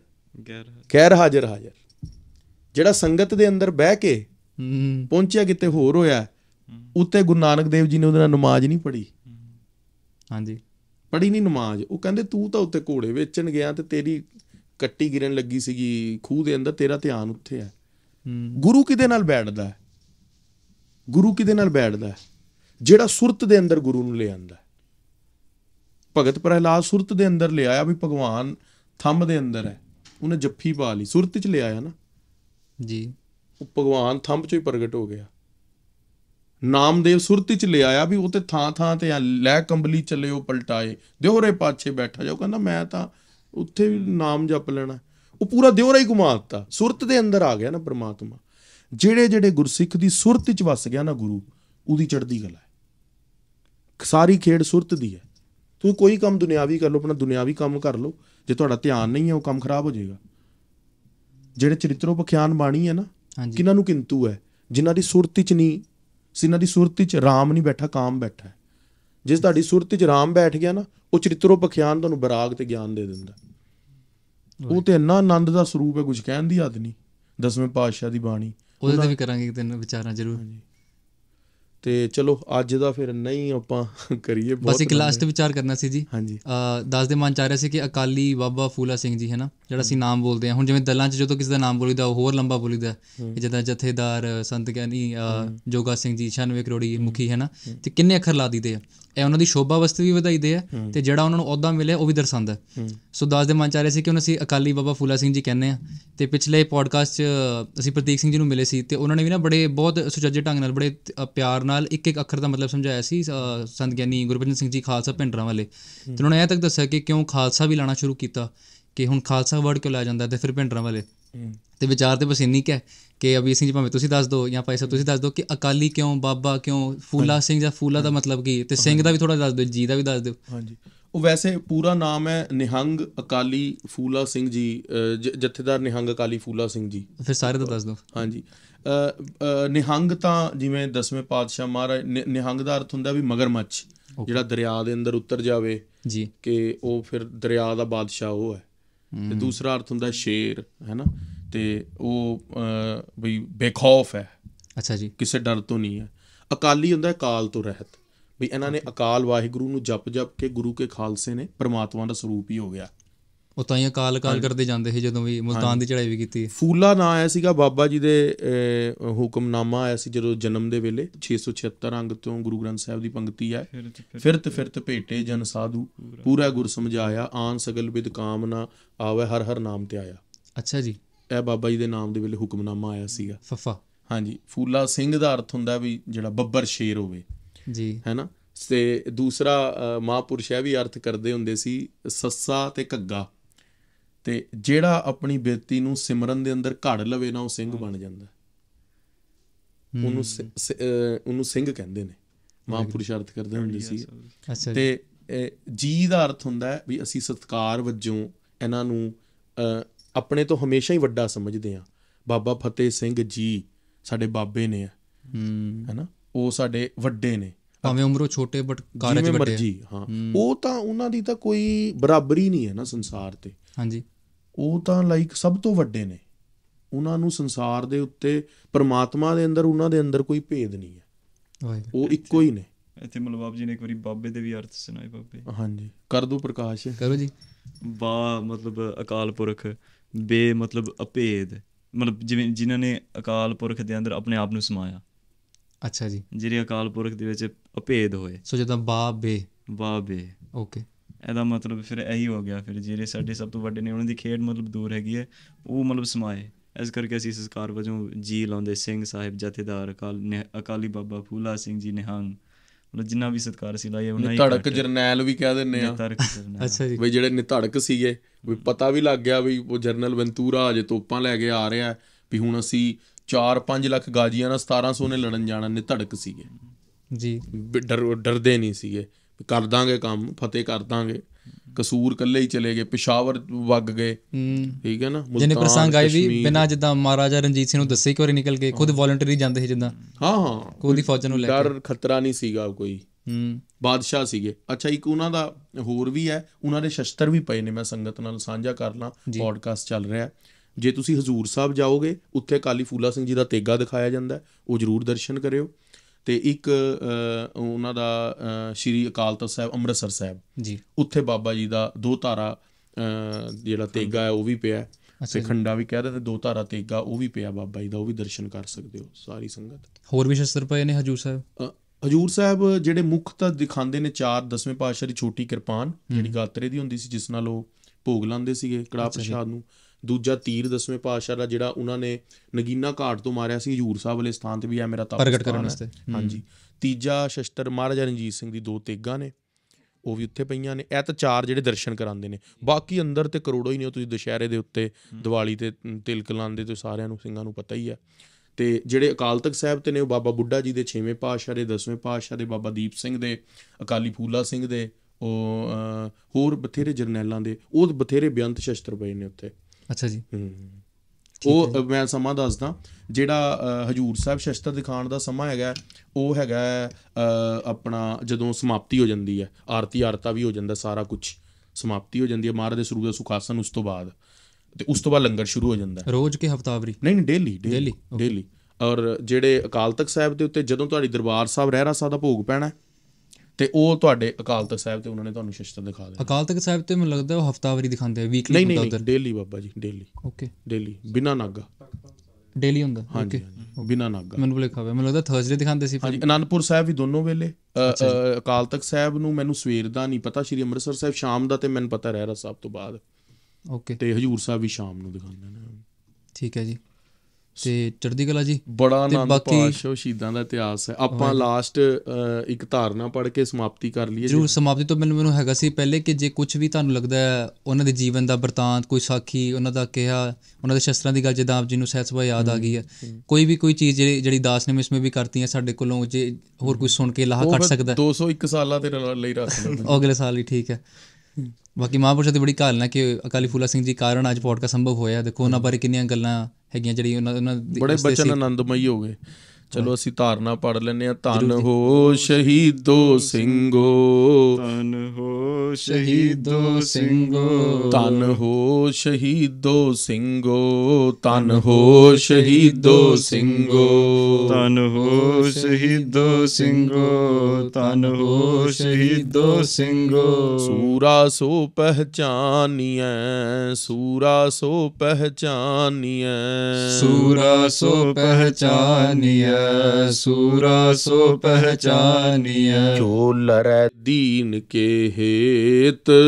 ਜੋ ਲਰੈ ਦੀਨ ਕੇ ਹੇਤ ਜੋ ਲੜੇ ਦੀਨ ਕੇ ਹੇਤ ਜੋ ਲੜੈ ਦੀਨ ਕੇ ਹੇਤ ਪੁਰਜਾ ਪੁਰਜਾ ਘਟ ਮਰੈ ਪੁਰਜਾ ਪੁਰਜਾ ਘਟ ਮਰੈ। ਪੁਰਜਾ ਪੁਰਜਾ ਕਟ ਮਰੈ ਪੁਰਜਾ ਪੁਰਜਾ ਕਟ ਮਰੈ। ਕਬਹੂ ਨ ਛਾੜੈ ਖੇਤ ਕਬਹੂ ਨ ਛਾੜੈ ਖੇਤ। ਕਬਹੂ ਨ ਛਾੜੈ ਖੇਤ ਕਬਹੂ ਨ ਛਾੜੈ ਖੇਤ। ਧੰਨ ਅਕਾਲੀ ਫੂਲਾ ਸਿੰਘ ਜੀ ਧੰਨ ਅਕਾਲੀ ਫੂਲਾ ਸਿੰਘ ਜੀ। ਧੰਨ ਅਕਾਲੀ ਫੂਲਾ ਸਿੰਘ ਜੀ ਧੰਨ ਅਕਾਲੀ ਫੂਲਾ ਸਿੰਘ ਜੀ। ਧੰਨ ਧੰਨ ਸ੍ਰੀ ਗੁਰੂ ਗੋਬਿੰਦ ਸਿੰਘ ਜੀ ਧੰਨ ਧੰਨ ਸ੍ਰੀ ਗੁਰੂ ਗੋਬਿੰਦ ਸਿੰਘ ਜੀ। ਧੰਨ ਧੰਨ ਸ੍ਰੀ ਗੁਰੂ ਗੋਬਿੰਦ ਸਿੰਘ ਜੀ ਧੰਨ ਧੰਨ ਸ੍ਰੀ ਗੁਰੂ ਗੋਬਿੰਦ ਸਿੰਘ ਜੀ। ਧੰਨ ਧੰਨ ਸ੍ਰੀ ਗੁਰੂ ਗ੍ਰੰਥ ਸਾਹਿਬ ਜੀ ਧੰਨ ਧੰਨ ਸ੍ਰੀ ਗੁਰੂ ਗ੍ਰੰਥ ਸਾਹਿਬ ਜੀ। ਧੰਨ ਧੰਨ ਸ੍ਰੀ ਗੁਰੂ ਗ੍ਰੰਥ ਸਾਹਿਬ ਜੀ ਧੰਨ ਧੰਨ ਸ੍ਰੀ ਗੁਰੂ ਗ੍ਰੰਥ ਸਾਹਿਬ ਜੀ। ਧੰਨ ਹੋ ਸ਼ਹੀਦੋ ਸਿੰਘੋ ਧੰਨ ਹੋ ਸ਼ਹੀਦੋ ਸਿੰਘੋ। ਧੰਨ ਹੋ ਸ਼ਹੀਦੋ ਸਿੰਘੋ ਧੰਨ ਹੋ ਸ਼ਹੀਦੋ ਸਿੰਘੋ। ਖੁਸ਼ੀਆਂ ਦੇ ਜੈਕਾਰੇ ਗਜਾਵੇ ਧੰਨ ਧੰਨ ਨਿਹੰਗ ਅਕਾਲੀ ਬਾਬਾ ਫੂਲਾ ਸਿੰਘ ਜੀ ਜਥੇਦਾਰ ਸਾਹਿਬ ਜੀ ਦੇ ਮਨ ਨੂੰ ਭਾਵੇ। ਸਤਿ ਸ੍ਰੀ ਅਕਾਲ। ਵਾਹਿਗੁਰੂ ਜੀ ਕਾ ਖਾਲਸਾ ਵਾਹਿਗੁਰੂ ਜੀ ਕੀ ਫਤਿਹ।